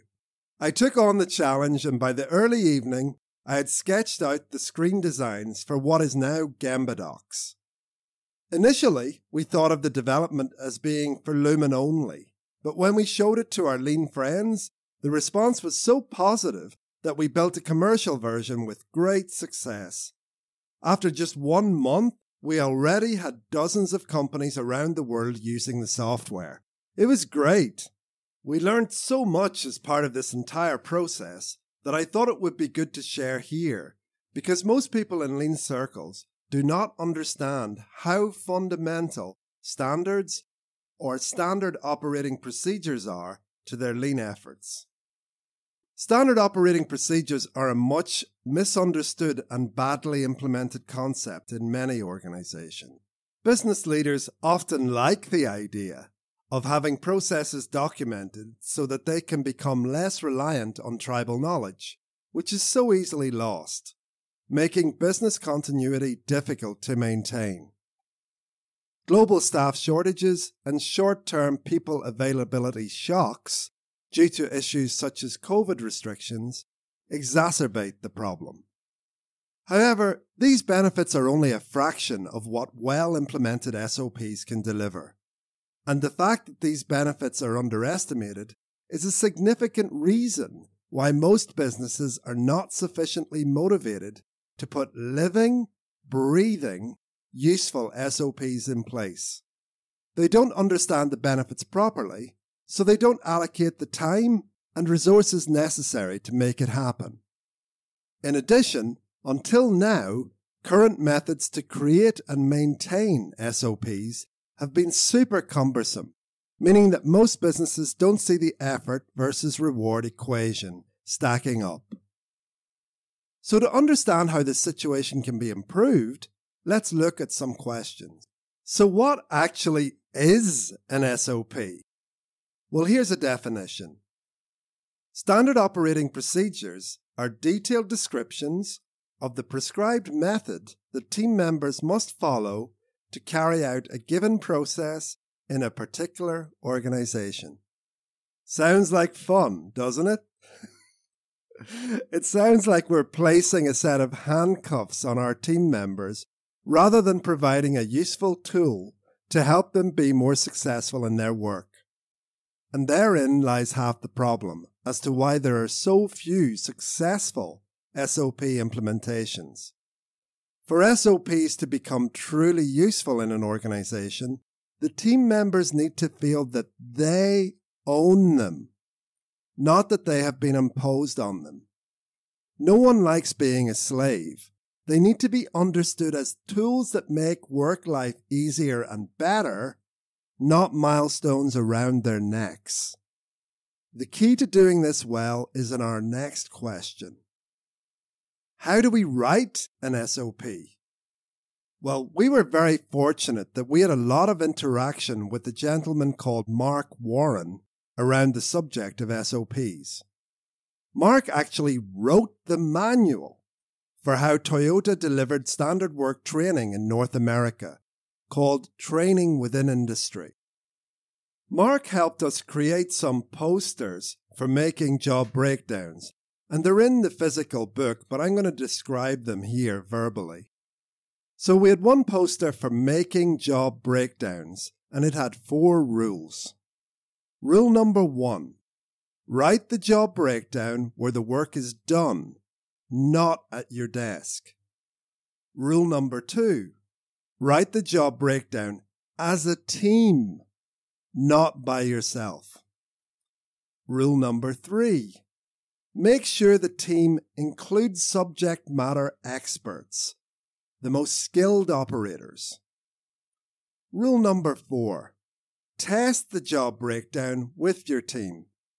Practice to make sure it is not missing critical details and define appropriate coaching units. I know this is important from experience. During my first ever real job back in automotive, one of my tasks was to write standard operating procedures and quality procedures for the ISO 9000 manual.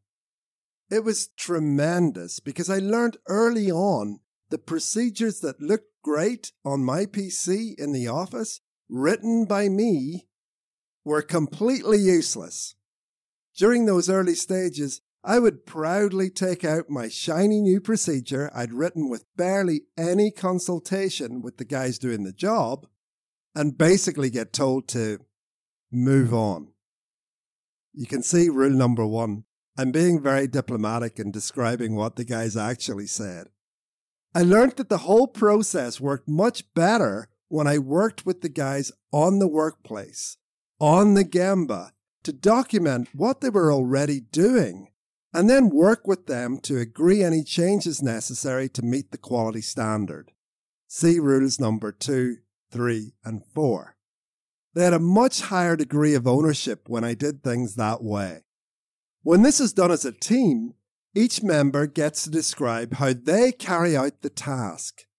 Often, everyone does it a little bit differently. And when this is surfaced, everyone gets to contribute and evaluate each other's method. This leads to what I call the best of method, where the team agrees on a compilation of each member's best ways of doing a task, which is better than anyone's individual approach before. Not only does this create ownership within the team, but this process of creating a new baseline raises the standard of how that process is carried out for everyone.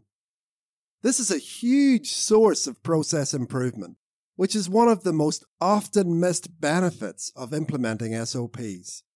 It is also a great way of building team cohesion. In my early automotive days, I also learned another crucial lesson that few people are truly aware of. This is in bold writing in the book. If you are going to create an SOP, if it adds burden to the people doing the job, and that burden is not 100% necessary and understood, the standard will definitely not be followed. You will turn yourself into a police person, trying to enforce the law all the time. It's key that the standard makes getting a high quality outcome easier, not more difficult. Easy, simple, high quality processes are followed. Difficult, complex processes are always a struggle. Remember this. So, a question we often get asked is how to keep SOPs current, or even more important, make sure they are followed. SOPs can't be viewed as monuments. By that I mean that once they are put in place, they are never supposed to move.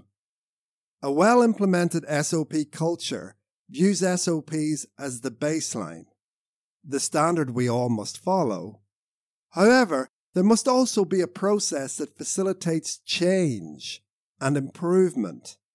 This is most often the place where well intentioned SOP efforts fall down.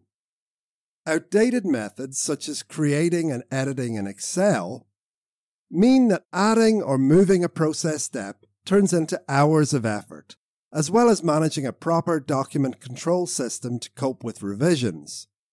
These tasks often fall on one overburdened individual who becomes the bottleneck, and eventually people just start to bypass the system.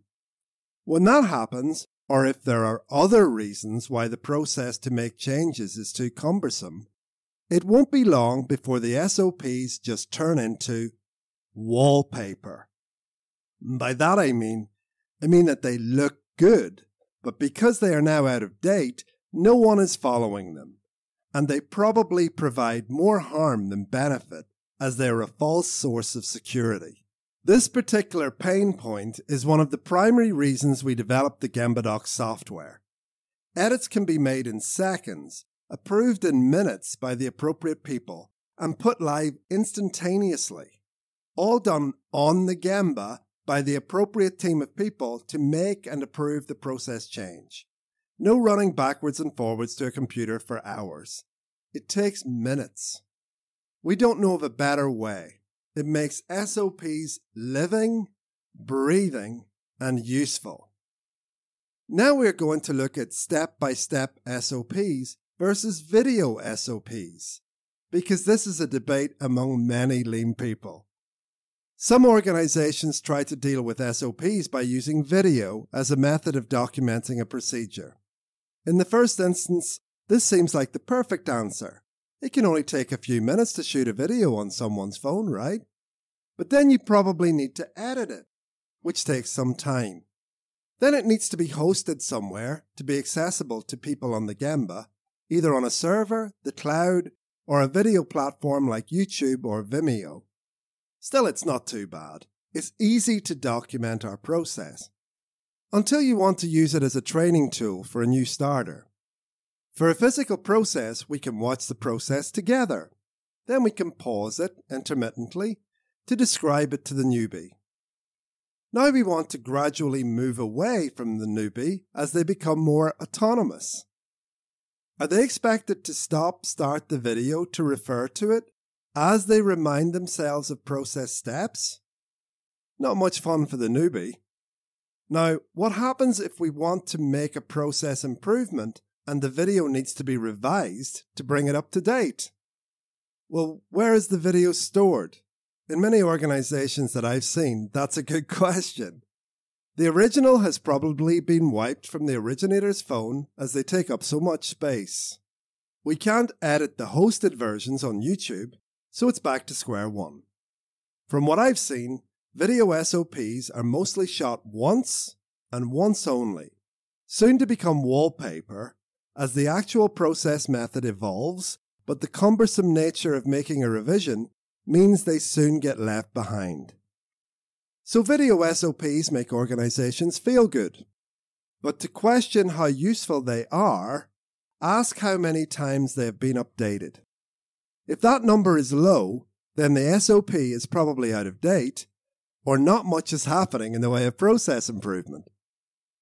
In our organizations, some processes are on revision 10, and they have only been operating for six months. We make improvements and update our SOPs instantaneously on our Gembadocs software. That's why we recommend step by step SOPs over video any day.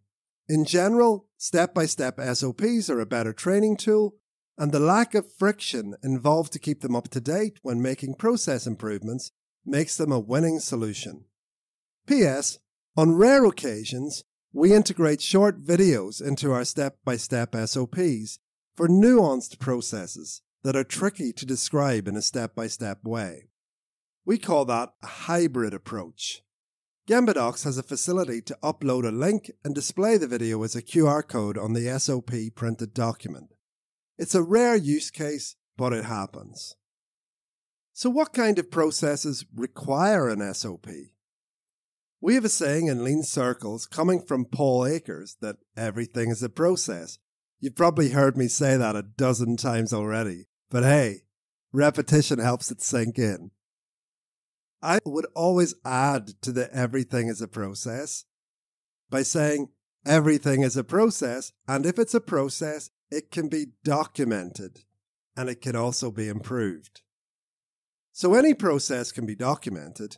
Here are the two categories. The first would be a core value adding process for an organization. The normal example that people consider here are often around manufacturing processes. It's true that these kind of SOPs, especially step by step, originate from that sector. However, that's not the end of the story. Any business critical process, particularly those key to adding value for a customer, should be documented. An organization does not have to have a physical product for this to be the case. Think of a dentist surgery or a hospital setting, for example. There is a process from receiving, registering a patient through to myriad different forms of assessment and treatment in the process of this organization. So these kinds of processes can be both physical, a manufacturing or distribution process, or virtual, computer based. Both will benefit from having an SOP developed to improve quality, cost, and consistency of customer experience. The second type of process that you can document for an SOP is a simple to do process. For example, turning on a machine, changing a printer cartridge, and so on. So for this second type, the simple to do, it's important to put the answer where the question is. How many times have we encountered these kinds of interruptions to the flow of our day?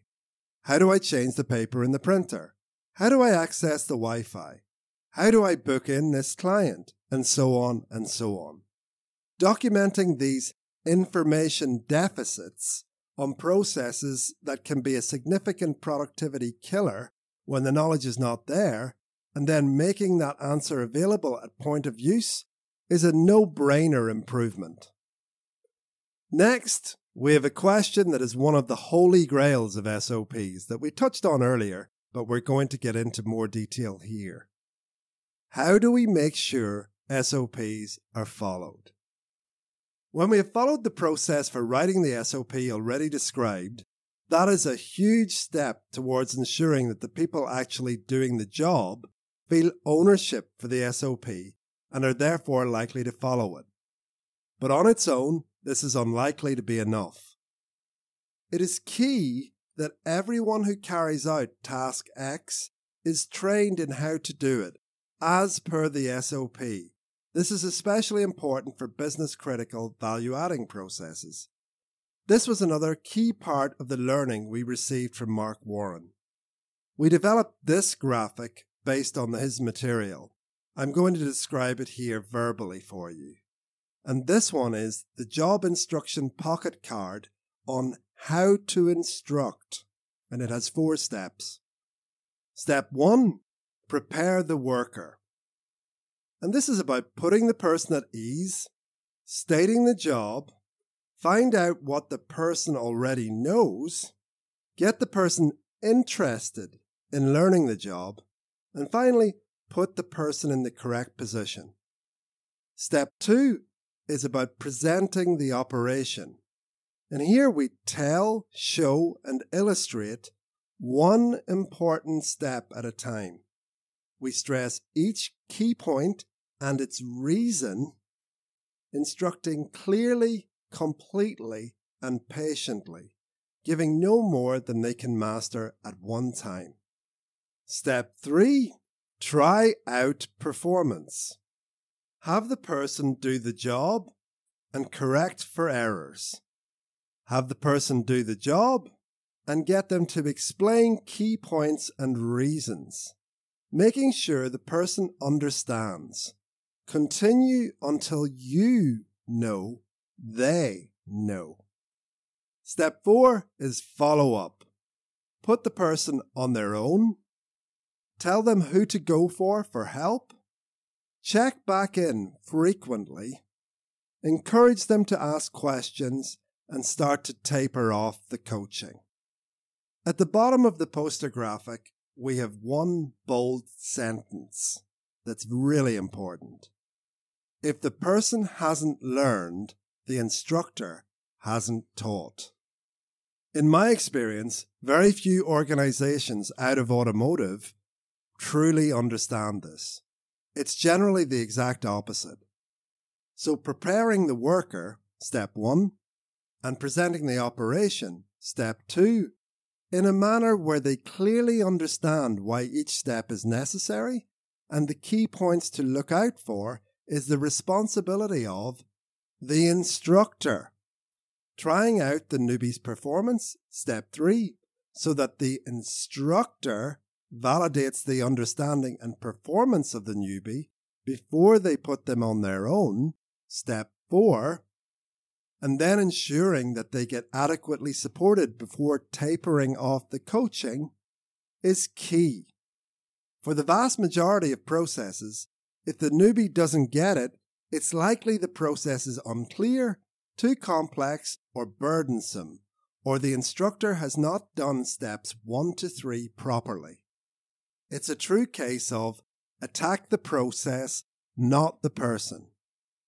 Failure in this area is a key reason why so many businesses have a problem with churn of new starters who do not stay long in the business while creating a huge burden on the long term team members who constantly have to support the new starts, causing further reductions in productivity because they aren't actually adding value. It's a great example where pulling the andon and understanding the root causes of the problem really helps. Very often, the problems lie in these areas poorly documented standards and training processes that stress out the new starts and the existing long term people alike. Management need to understand this and support a change in approach. The results can be miraculous. So training is evidently key, but it doesn't just end there. So we need to understand how to access standard operating procedures. How team members can access them is so important. How often have we seen work instructions, how to's, or manuals put into a file and then stored away in some drawer or cupboard just to gather dust? Hardly a way for them to live, breathe, and be useful standards within an organization. So, no matter the SOP, it's key that the standard is easily accessible at point of use and that all relevant team members know how to access them. SOPs can be made accessible in the following ways. 1. They can be printed out and displayed in full. 2. A QR code that can be scanned by a mobile device to display the SOP. This can also be put onto applicable process documentation and automated within an ERP system. 3. A Lean Bible where SOPs can be accessed via URL links for reference. 4 they can be accessed via mobile desktop application when they have been generated with specific software like Gembadocs. The appropriate method depends on the application. Incidentally, we designed the Gembadocs software to have a always the latest URL, meaning that if they are kept in a Lean Bible or ERP system, the URL when clicked or the QR code when scanned will always display the latest version of the SOP without the user or administrator needing to do anything else. How cool is that? But let's look at why we would bother doing any of this. Like, why are standard operating procedures important? In the physical book, there is a diagram that shows my now favorite lean quotation of all time from Taiichi Ohno, the father of lean. And the quotation is Without standards, there can be no improvement. So why would Taiichi make such a bold proclamation? The graphic shows a slippery slope, and at the bottom is where most companies' processes are, with no standards, no documented processes at all, or just as bad what I call wallpaper standards that aren't kept up to date and that no one is using or following. Still, management divorced from the Gemba get to think they have SOPs in place, when clearly, to any objective view, they do not. It's just sloppy.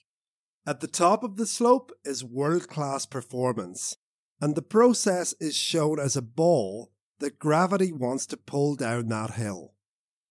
To get the ball up the hill, we see a series of chocks similar to the little wedges used to stop an aircraft wheel from moving. Think backstop. These are standards, which, when well implemented, stop the process from falling down the hill into sloppiness again. Kaizen improvement is shown as an upward movement of the backstop, which is accomplished by a process of develop, document, and follow. we created the GembaDoc software to reduce the burden of this develop, document, follow process, making it possible to create or edit standard operating procedures within minutes, not hours or days. It really is a game changer, making it possible to create and maintain those backstops that prevent the solid ball of your process from rolling down the quality, cost, and customer experience hill. The next diagram makes that even more clear that standards are literally the foundation of lean. The schematic is often used to demonstrate the Toyota production system, represented as a house of lean, with customer satisfaction and business success as the apex of the roof, supported by the pillars of just in time, respect for people or culture, and Jidoka techniques. The foundation of the temple is stability and standardization, with standard operation, standard operating procedures as one of those key principles. When I hold training workshops for GembaDoc's customers, one of the lines I always use is You can have all the culture you want, but without stability and standardization, your lean efforts are built on sand. It is that important. Adding an improvement to that chaos is just adding another variation that will likely stay in place for a day or two by just some of the people carrying out the process, then disappear. Lean guru Masaaki Imai, founder of the Kaizen Institute, describes this phenomenon better than I ever could. He says, It is impossible to improve any process until it is standardized. If the process is shifting from here to there, then any improvement will just be one more variation that is occasionally used and mostly ignored. One must standardize and thus stabilize the process before any continuous improvement can be made. How often have you or your team made a great change to a process only to come back a few days later to find out that no one is following it? It can be very frustrating.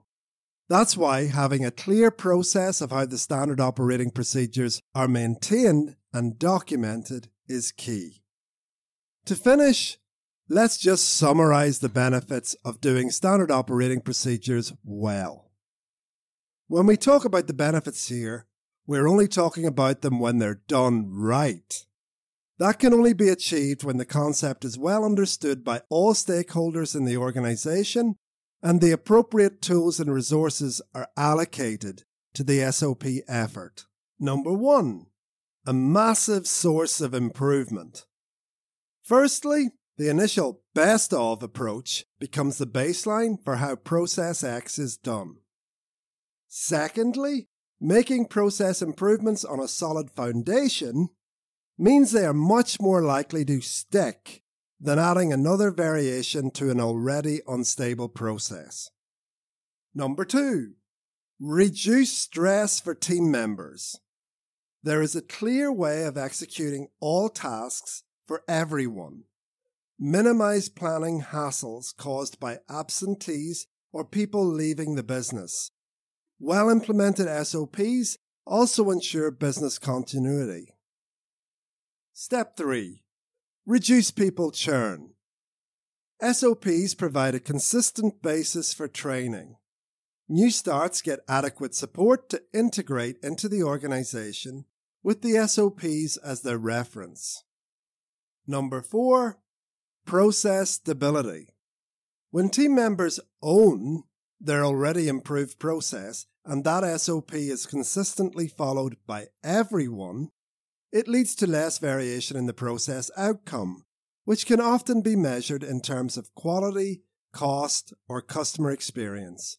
Overall, less waste.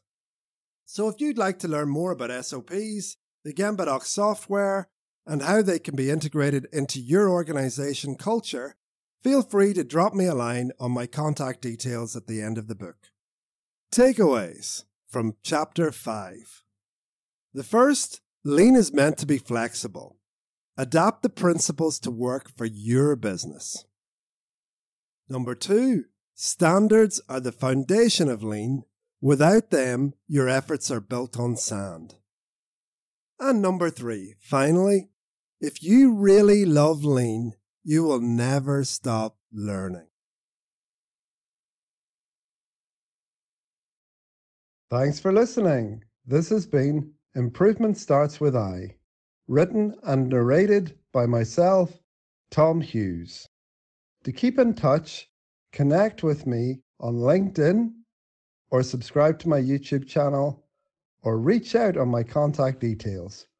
All of these are contained in the links in the description or in the resources section of the Lean Play app. Best of luck on your lean journey. God bless.